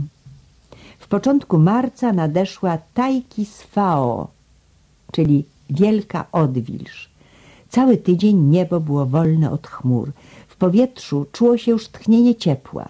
Śnieg pod nogami zmiękł, a na słonecznych zboczach wzgórza i urwisk topniał szybko, spływając w dół strugami wody lub sunąc w luźnych płatach jak miniaturowe lawiny. Świat dygotał od naporu sił życiowych. Wszędzie biło serce wiosny, a w duszy Mikiego powstawało zwolna przekonanie, nadzieja, niemal pewność. Teraz Niua się zbudzi. Przyszło to ku niemu jak wreszcie zrozumiały głos. Szeptały o tym perliste strumienie, śpiewał ciepły wiatr pozbawiony mroźnych porywów, mówiły mu o tym nowe wonie bijące z ziemi więc łowił upragnioną pewność w słodkim zapachu wilgotnych leśnych podłoży. Był podniecony, wszędzie słyszał wyraźny zew i już wiedział, teraz Niua się zbudzi. Usłuchał wezwania. Leżało to w naturze rzeczy. Teraz jedynie siła fizyczna mogła go powstrzymać. Ale wędrował inaczej niż w swoim czasie z obozu Czelonera do chaty na Netty le. Wtedy miał przed sobą wyraźny cel, wyraźną dążność, która go pchała naprzód. Obecnie wchodził w grę silny impuls, nie zaś rzeczywistość. W ciągu dwóch, trzech dni podróż swą ku zachodowi odbywał jakby niepewnie i z przerwami. Potem ustalił kierunek i piątego dnia wczesnym rankiem wyszedł z gęstej kniei na równinę, a przez jej szerokość dojrzał strome zbocze wzgórza. Spoglądał na nie jakiś czas, nim zdecydował się wreszcie pójść dalej. W jego mózgu wizerunek Niuły stawał się coraz wyraźniejszy. Przecież w gruncie rzeczy dopiero wczoraj lub najwyżej dwa dni temu rozstał się z przyjacielem. Wtedy stok wzgórza był zasypany śniegiem, a ziemia tonęła w mroku. Teraz śnieg prawie zupełnie znikł, a na błękitnym niebie lśniło jaskrawe słońce. Miki obwąchał podnóże zbocza, nie zapomniał ścieżki wiodącej do jaskini. Nie czuł zbytniego podniecenia, gdyż czas przestał dla niego istnieć. Wczoraj opuścił pieczarę, dziś wraca do niej. Ruszył wprost do wrót kryjówki Niuły, obecnie szeroko rozwartych, wsunął w głąb łeb i barki, a potem wciągnął powietrze. Ależ ten leniuch jest niemożliwym śpiochem, śpi w dalszym ciągu. Miki czuł woń niedźwiedzia. Gdy natężył słuch, słyszał jego obecność. Przelazł przez płytką zaspę nawianą u wejścia i ufnie zagłębił się w ciemnej czeluści. Usłyszał łagodny, senny pomruk i ciężkie westchnienie. Omalże się nie potknął o Niuę, który zmienił nieco legowisko. Niua sapnął, a Miki lekko zaskowyczał. Wtulił pysk w nowe wiosenne futro niedźwiedzia i węchem odnalazł jego ucho. W gruncie rzeczy toż to było wczoraj. Pamiętał wszystko doskonale, więc szarpnął zębami ucho Niuły i począł ujadać niskim, gardłowym głosem, takim jak dawniej. Zbudź się, Niua mówił, zbudź się. Śnieg stopniał i dzień taki śliczny, zbudź się. A Niua przeciągnął się i westchnął głęboko. Miki odnajduje Niuę. Po słonecznej stronie wzgórza panującego nad doliną siedział na gałęzi Meszaba, stary Indianin Kri. Meszaba, przed wielu, wielu laty zwany Olbrzymem, był bardzo wiekowy. Nawet w księgach agenta z faktorii Ogody nie znajdowano żadnej wzmianki dotyczącej jego urodzin. Nie wspominały o nim również dokumenty Albany House, Cumberland House, Norway House lub fortu Churchilla. Być może istniał jakiś ślad jego przyjścia na świat dalej na północy, nad jeziorem Labisz, w starym forcie Resolution lub też forcie McPersona. Meszaba miał twarz zoraną bruzdami, spaloną wichrem i słońcem jak stary rzemień, a na czoło policzki i ramiona opadały mu białe jak śnieg włosy. Ręce miał bardzo szczupłe, nos zaostrzony wiekiem, ale oczy po stu latach prawie równie bystre jak w czasach dzieciństwa płonęły mu wciąż niby dwa karbunkuły. Karbunkuł to jest dawna nazwa drogich kamieni koloru czerwonego. Teraz błądziły po dolinie. Poza plecami Indianina, oddalona o milę, stała nędzna chatynka zbudowana ongi przez traperów, w której Meszaba żył samotnie. Ubiegła zima była długa i mroźna, to też Indianin rad z nadejścia wiosny wgramolił się na zbocze, by zaznać pieszczoty słońca i popatrzeć na odrodzony świat. W ciągu godziny oczy jego, niby czujne źrenice starego sokoła, wędrowały w górę i w dół krajobrazu. Ciemny bór jodłowy opasywał daleki kraniec doliny. Pomiędzy borem a stokiem górskim słała się łąka, miejscami pokryta jeszcze topniejącym śniegiem, miejscami świeżą, zieloną murawą. O sto yardów w prawo Myszaba widział ponadto ostry występ skalnego urwiska wdzierający się w dolinę. Zresztą ta skała była mu obojętna.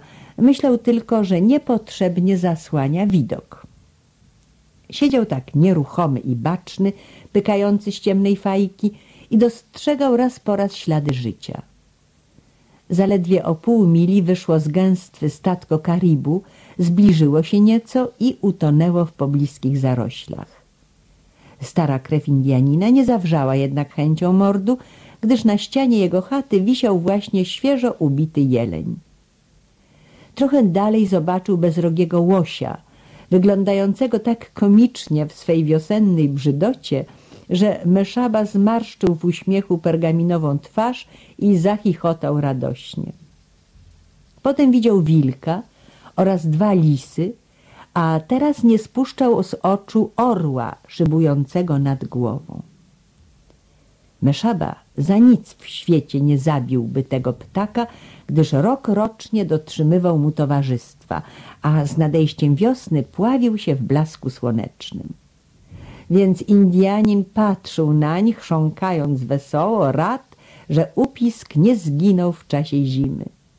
Kete i Eti Sisiu szeptał sam do siebie z przesądnym błyskiem oczu.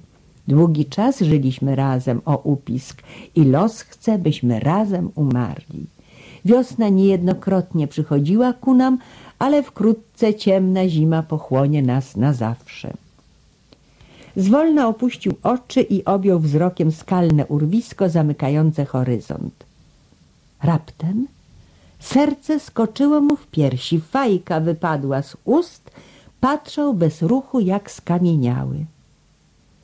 Na płaskim głazie, oddalonym mniej niż o sto yardów, stał młody, czarny niedźwiedź. Jego wiosenne futro lśniło w słonecznym blasku jak wygładzony drzet. Ale nie ten widok wywołał zdumienie Meszaby. Tuż obok Wakaja tkwił inny zwierz. Nie niedźwiedź tym razem, ale potężny wilk. Indianin powolnym ruchem uniósł rękę i przetarł oczy, pewien, że coś musi mu mącić wzrok. Jak długo żył, nie słyszał nigdy, by wilk był przyjacielem niedźwiedzia. Z natury rzeczy dzieliła ich nienawiść. Przyroda rzuciła między tych dwoje najgłębszą waśń, jaka kiedykolwiek istniała w kniei. Dlatego też Meszaba zwątpił na moment o bystrości swych oczu. Ale w następnej chwili upewnił się, że cud istotnie się spełnił. Wilk bowiem zwrócił łeb w jego stronę i to był na pewno wilk. Olbrzymi, kościsty zwierz, którego barki sięgały barków niedźwiedzia. Potężny, o wielkim łbie. Serce Meszaby drgnęło ponownie, gdyż wiosną kita wilka jest obfita i puszysta, a to stworzenie miało ogon nagi jak bóbr. Och, Nimusz, sapnął Meszaba, to jest pies.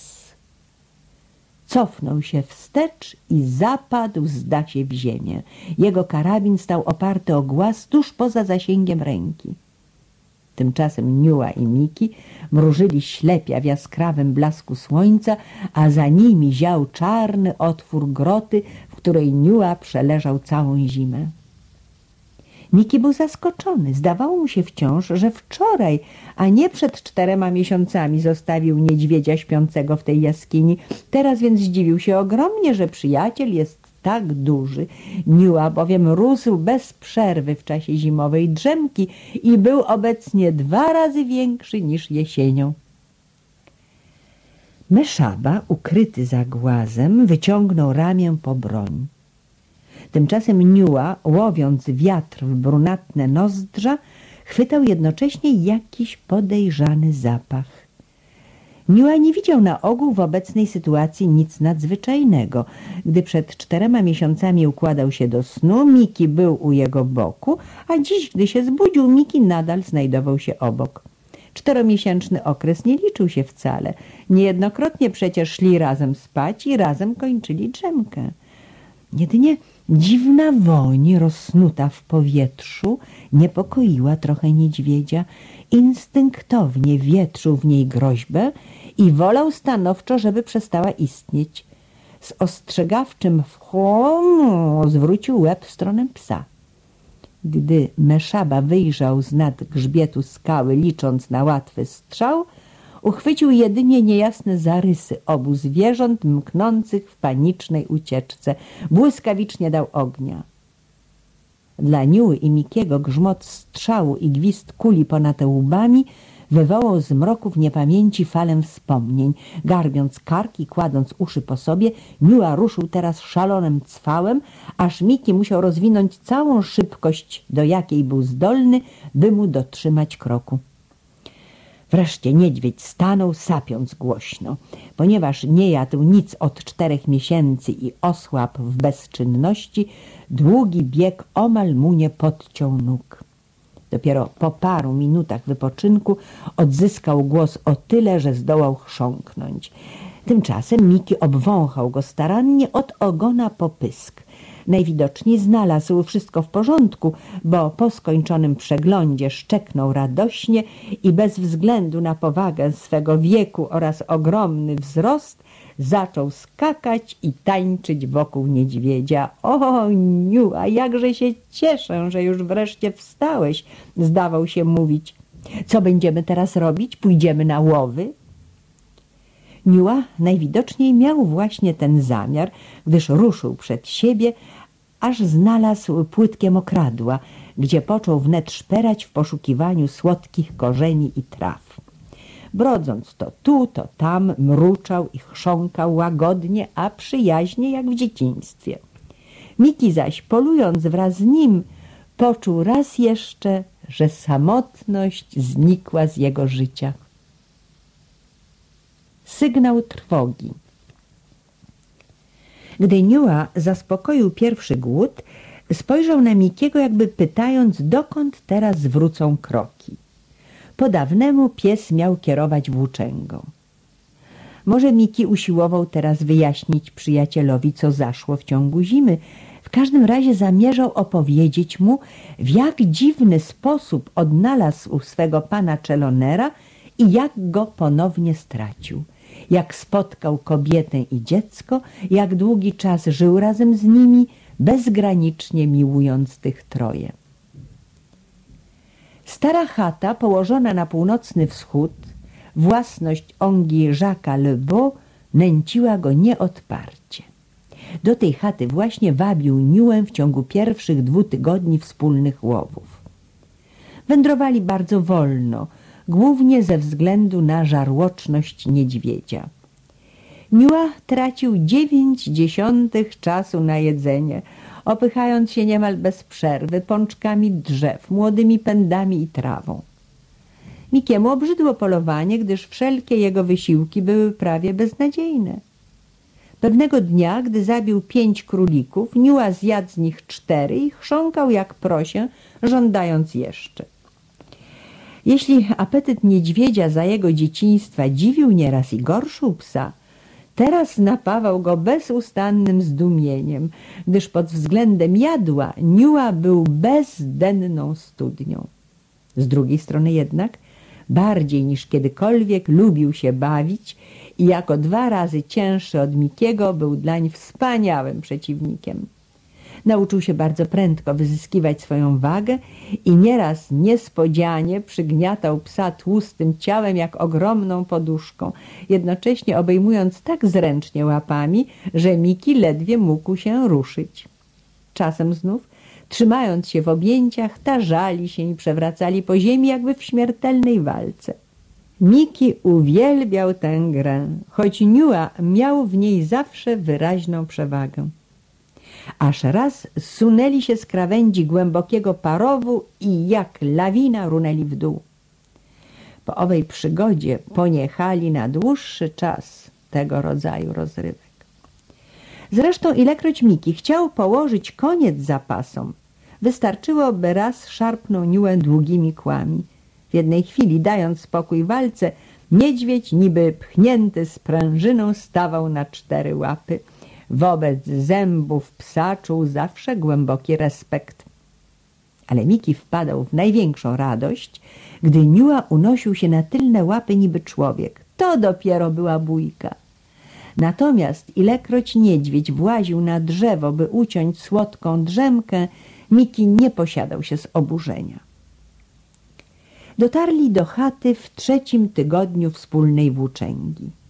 Nie zaszły w niej żadne zmiany, więc Miki ponuro zwiesił ogon, gdy ze skraju polany spoglądali na domostwo. Ani dymu, ani śladu życia. Tylko szyba była stłuczona, zapewne przez jakąś ciekawą bestię, niedźwiedzia lub rosomaka. Miki zbliżył się do okna i wspiął się ku niemu, zaglądając do wnętrza. Woń trwała wciąż, choć tak nikła, że ledwie mógł ją wyczuć. Wielka izba ziała pustką. Nie było w niej nic prócz pieca i paru prymitywnych sprzętów, reszta znikła.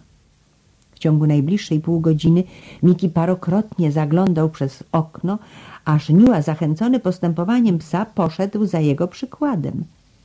I on również ułowił słabą woń pozostałą w izbie.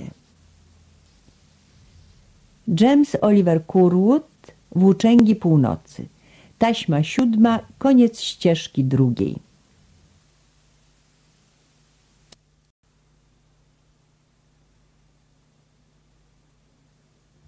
James Oliver Curwood, Włóczęgi Północy, taśma ósma, ścieżka pierwsza.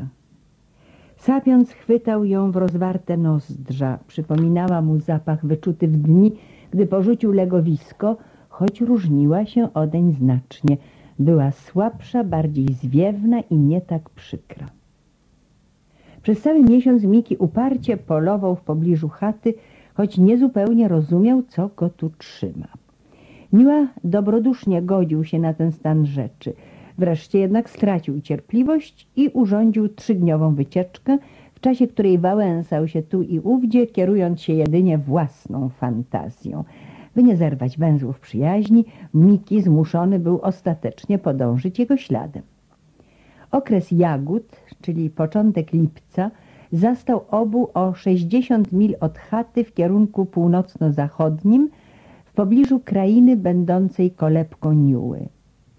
Ale w roku Bibinek Emgide, czyli suszy i pożarów, jagód było bardzo mało. Wraz z połową lipca delikatna strzeżoga zawisła ponad lasami. Deszcz nie padał od trzech tygodni, nawet noce były suche i upalne. Agenci kompanii co dnia niespokojnym wzrokiem spoglądali na swe rejony, a w początku sierpnia każda faktoria miała już patrole złożone z Indian i Metysów, które przebiegając bór we wszystkich kierunkach strzegły go od pożaru. Ci spośród mieszkańców Kniei, którzy na lato nie przenosili się do fortów, trwali w lękliwym oczekiwaniu. Co rano, co wieczór i co noc traperzy pieli się na wyniosłe drzewa i poprzez drżący welon strzeżogi szukali kłębów dymu lub łuny ognia. Od dawna już wiatr wiał uparcie z południowego zachodu, a tchnienie jego było tak upalne, jakby leciał z nadskwarnych piasków pustyni. Jagody uschły na krzakach, owoc jarzębiny zgrzybiał i zczerniał, łożyska strumieni świeciły nagim dnem, mokradła zmieniły się w spękane złoża torfu, a liście topoli wisiały martwe i skręcone w rurki. Nawet leśny bywalec zaledwie raz lub dwa razy w życiu widuje liście topoli pozbawione tak dalece wszelkich soków żywotnych. Jest to kiski wechun, czyli sygnał trwogi. Wróży on nie tylko możliwą śmierć wśród morza płomieni, lecz wieści również sezon zimowy ubogi w futra, wieści głód. Gdy nadszedł dzień 5 sierpnia, Miła i Miki znaleźli się w krainie wielkich błot. Panowała tu nieopisana spiekota. Miła wywalił ozór, a Miki dyszał ciężko. I tak obaj wlekli się wzdłuż płytkiej strugi, ciemnej jak mogiła, a martwej jak cały ten kraj. Nie było widać słońca. Promienie jego próżno starały się przebić gęstą oponę mgły, która zwisała nad ziemią coraz niższa i coraz bardziej zwarta.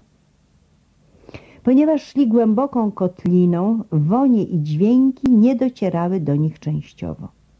Już o pięć mil dalej usłyszeliby z pewnością grzmot kopyt i racic oraz trzask gałęzi łamanych naporem wielkich zwierząt, które umykały przed śmiertelną grozą ognia.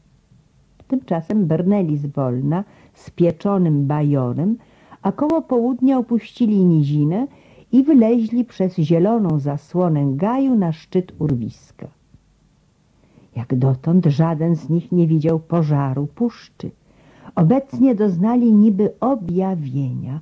Wszelkie doświadczenie było tu zbyteczne. Instynkt praojców w jednej chwili przesycił ich ciało i mózgi.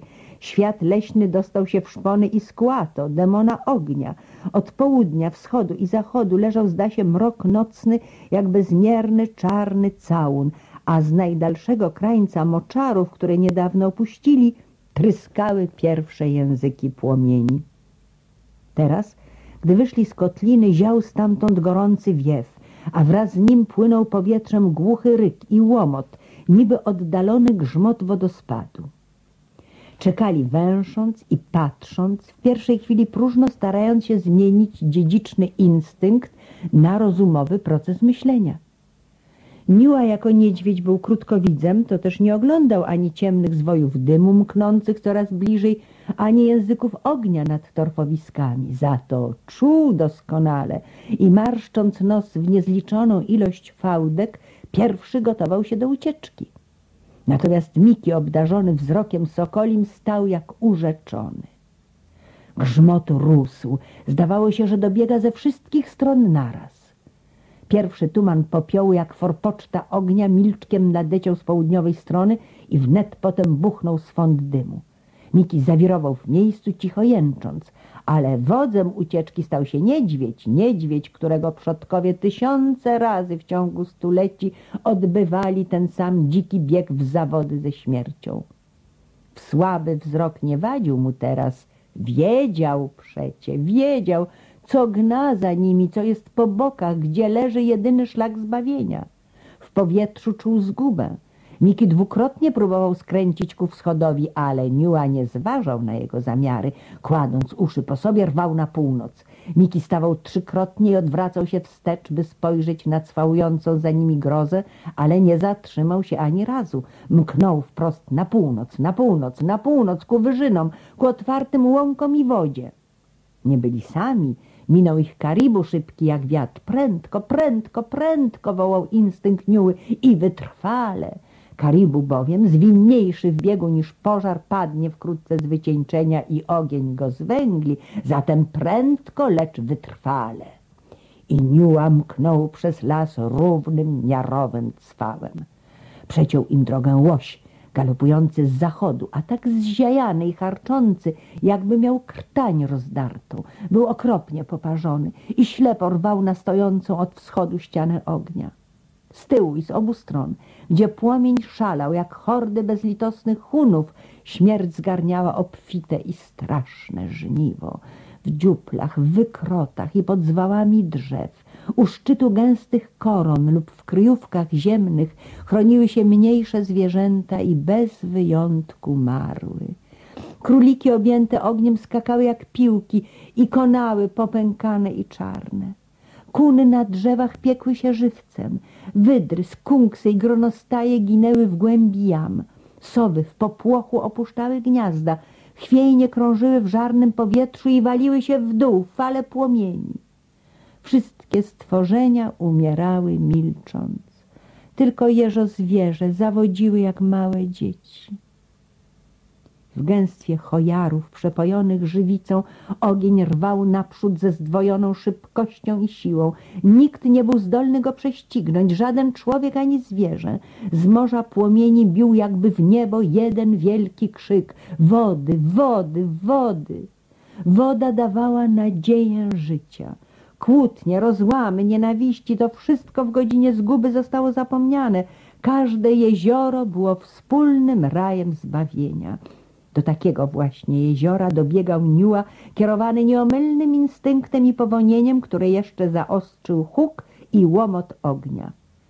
Miki doszczętnie zgłupiał. Zmysły miał przyćmione, nosem tylko łowił swąd spalenizny, to też ślepo dążył za przyjacielem. Ogień opasał już zachodni brzeg jeziora. Było ono niewielkie i miało kształt prawie kolisty. Średnica jego wynosiła najwyżej 200 yardów.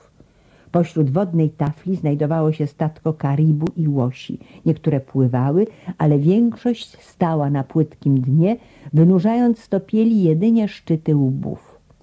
Sporo krótkołapych stworzeń uwijało się tu i ówdzie, wiosłując nogami tylko tyle, by się utrzymać na powierzchni. Na brzegu, gdzie Niua i Miki przystanęli na chwilę, ogromny jeżozwierz skrzeczał i kwiczał zawzięcie, jakby gderząc na wszystkich, że mu przeszkodzono spokojnie zjeść obiad. Uspokoił się jednak wreszcie i wszedł do wody. Nieco dalej lis, skulony tuż nad brzegiem, czekał jeszcze, nie chcąc zmoczyć cennego futerka – aż mu śmierć w oczy zajrzy. Inny lis, który przepłynął właśnie jezioro, umykając z przeciwległej łachy, opasany już wałem płomieni, gramolił się na brzeg ociekający wodą i zmięty jak szmata. Najwidoczniej sądził, że tu będzie bezpiecznie. Tymczasem jednak z gęstwy wypadł sapiąc stary niedźwiedź, dwukrotnie większy od niuły, skoczył w wodę i odpłynął na środek jeziora. Drobne zwierzątka smykały, pełzły i czaiły się u mielizny. Czerwono-okie gronostaje, sobole, kuny, króliki, wiewiórki, koszatki oraz tłumy myszy. Aniuła, który w normalnym czasie pożarłby chciwie ten cały ludek, nie zwracał nań teraz najmniejszej uwagi i zwolna wkroczył w toń jeziora. Miki podążył śladem przyjaciela, aż woda doszła mu do barków. W ten czas stanął. Ogień był tuż, mknąc z szybkością wyścigowego rumaka. Ponad zwartą osłoną starodrzewu płynęły tumany popiołu, kłęby dymu i sadzy. Czarny welon okrył jezioro, a pośród okropnego chaosu żaru i ciemności słychać było dziwne, przejmujące grozą głosy. Brzmiał jękliwy bek młodego łosia palonego żywcem, straszliwy ryk jego matki, wycie konającego wilka oraz pełen przerażenia szczek lisa. Poprzez gęstniejący dym Niua sapnął w stronę Mikiego, jednocześnie ruszając w pław. Miki odpowiedział krótkim skowytem i również zaczął płynąć, trzymając się tak blisko czarnego drucha, że pyskiem sięgał jego boku. Znalazłszy się na samym środku jeziora, Niua uczynił tak jak inne zwierzęta. Wiosłował łapami tylko tyle, by nie pójść na dno. Dla Mikiego, który był niezwykle kościsty i nie posiadał wcale tłuszczu, rzecz przedstawiała się gorzej. By nie utonąć, musiał trwać w ciągłym ruchu. Kilkanaście razy opłynął Niuę, aż zrozumiawszy sytuację, oparł przednie łapy o kark niedźwiedzia. Wokół jeziora stał teraz ognisty mur. Sosny i jodły przepojone żywicą trzaskały ostro, a w rozedrganym powietrzu płomienne języki biły na pięćdziesiąt stóp wzwyż. Ryk rozpętanego żywiołu grzmiał niepowstrzymanie. Ginęły w nim wszelkie dźwięki bólu, rozpaczy i agonii. Panował okropny żar. W ciągu paru straszliwych minut powietrze, które Miki wciągał w płucach, paliło żywym ogniem. Miła co chwila nurzał łeb w wodzie, ale Miki instynktownie wzdragał się go naśladować. Na równi z wilkiem, rysiem i lisem gotów był raczej umrzeć niż dać nurka. Pożar minął tak szybko, jak się pojawił. Drzewa do niedawna lśniące zielenią były teraz zwęglone i czarne. Wraz z zanikiem płomieni cichł ich trzask i łomot. Brzmiał już tylko w oddali niby stłumiony ryk. Zwierzęta brnęły zwolna ku ciemnym, dymiącym łachom. Wiele zmarło spośród tych, co szukały schronienia w jeziorze. Najgorzej powiodło się jeżo zwierzom. Wszystkie utonęły. Na brzegu panował silny żar i jeszcze długie godziny tlały resztki ognia. Przez resztę dnia i całą następną noc żadne żywe stworzenie nie opuściło płytkich mielizn, Nikt jednak nie próbował ukrzywdzić sąsiada.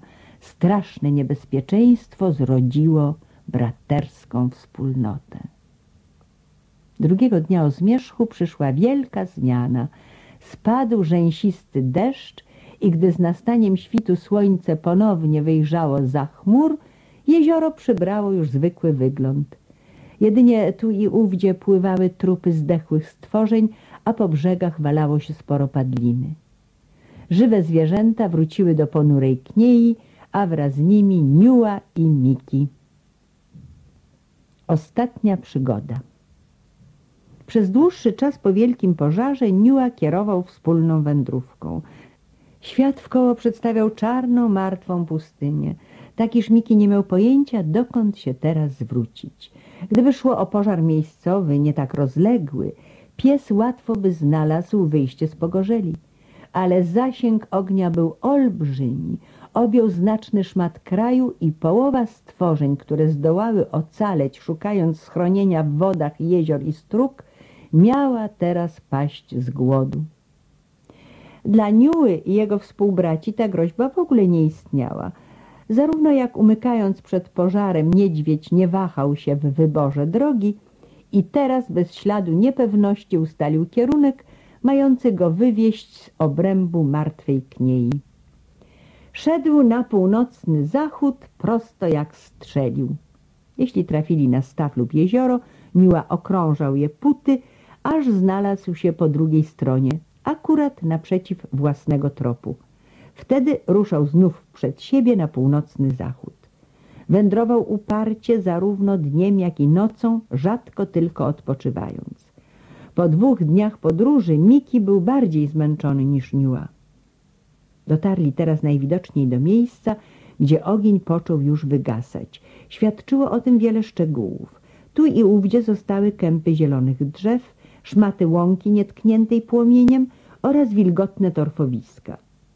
Wśród bajor i chaszczy ucztowali obficie, gdyż te oazy ocalałe z pogromu zawierały moc łatwej zdobyczy. Jednak po raz pierwszy Niua nie zgodził się na dłuższy postój, choć jadła było w brud. Szóstego dnia podróży znaleźli się o sto mil od jeziora, w którym szukali schronienia w czasie pożaru. Był to prześliczny kraj, usiany szmaragdem gajów, płatami wielkich łąk, taflami jezior, pocięty siecią potoków oraz tysiącem drobnych urwisk, istny raj łowiecki. Ponieważ znajdowało się tu wiele zbiorników wód, moc stawów, strug i rzeczułek, ziemia mniej ucierpiała od posuchy niż dalej na południu. Miki i Niua polowali w tych stronach cały miesiąc, odzyskując siły i dobry humor. Początku września, bobrując u skraju mokradeł, ujrzeli dziwną rzecz. Miki osądził na razie, że to jest chata, o wiele jednak mniejsza niż te, które dawniej widywał.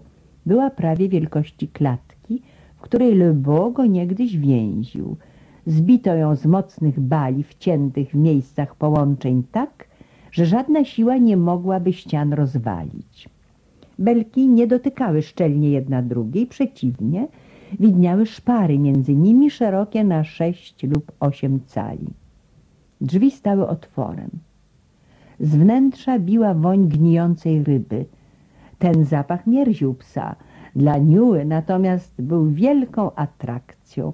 To też niedźwiedź uparcie tkwił w pobliżu, choć Miki usiłował odciągnąć go dalej. Wreszcie Miki, oburzony zepsutym smakiem przyjaciela, dał mu spokój i sam jeden ruszył na łowy. Minęła długa chwila, zanim Niua odważył się wsunąć łeb i barki w rozwarte drzwi. Czuł coraz wyraźniej ostry zapach i małe ślepki lśniły mu pożądliwością. Ostrożnie wlazł do wnętrza dziwacznej budowli. Nic się nie stało.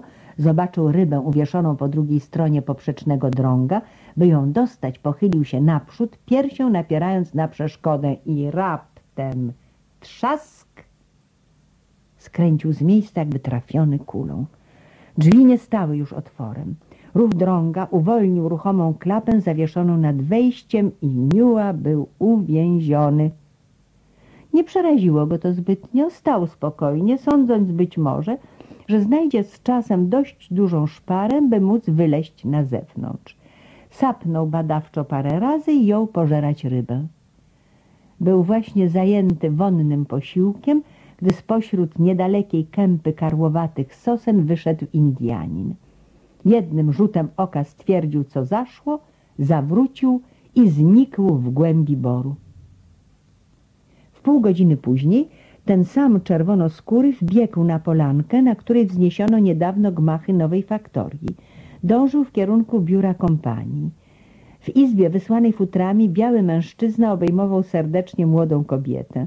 Indianin zobaczył to i uśmiechnął się. Nad jeziorem Bain zwano tych dwoje Sekihivewin, czyli zakochani. Niedawno misjonarz udzielił im ślubu, a potem odbył się wielki festyn. Gdy Indianin wszedł, kobieta i mężczyzna wstali, przy czym kobieta uśmiechnęła się. Była śliczna, miała lśniące oczy i policzki świeże jak kwiat. Indianin uczuł w piersi przypływ uwielbienia. Złowiliśmy niedźwiedzia, rzekł, ale to Nepeo, samiec. Nie ma niedźwiadka na netto. Biały człowiek roześmiał się. Czy doprawdy nie uda się nam schwytać niedźwiadka dla ciebie na netto? spytał. A przysiągłbym, że łatwo dostaniemy tę niedźwiedzicę i jej małe. Samiec? No, to trzeba go będzie uwolnić mu tak. Futro teraz nic nie warte. Czy chcesz pójść z nami na netto? Z uśmiechem kiwnęła głową, a w głosie dźwięczała nuta miłości i szczęścia. Uj, to będzie tak przyjemnie darować mu wolność. Czeloner szedł przodem z siekierą w dłoni, trzymając Nanettę za rękę. Z tyłu kroczył mutak, na wszelki wypadek niosąc karabin. Pewnej chwili Czeloner stanął i ukryty za zwartym igliwiem chojarów wyjrzał przez szparę wśród gałęzi, a potem rozszerzył ją, by Nanetta mogła swobodnie patrzeć. Kobieta pochyliła się i objęła wzrokiem klatkę oraz jeńca. Niła, bardzo teraz podniecony, krążył po swym więzieniu. Nanetta wstrzymała oddech. Nagle krzyknęła głośno, ściskając palcami dłoń męża. Nim zrozumiał, co zamierza uczynić, rozsunęła iglaste konary i wybiegła na polanę. Tuż obok klatki leżał Miki, przyjaciel wierny w godzinie próby.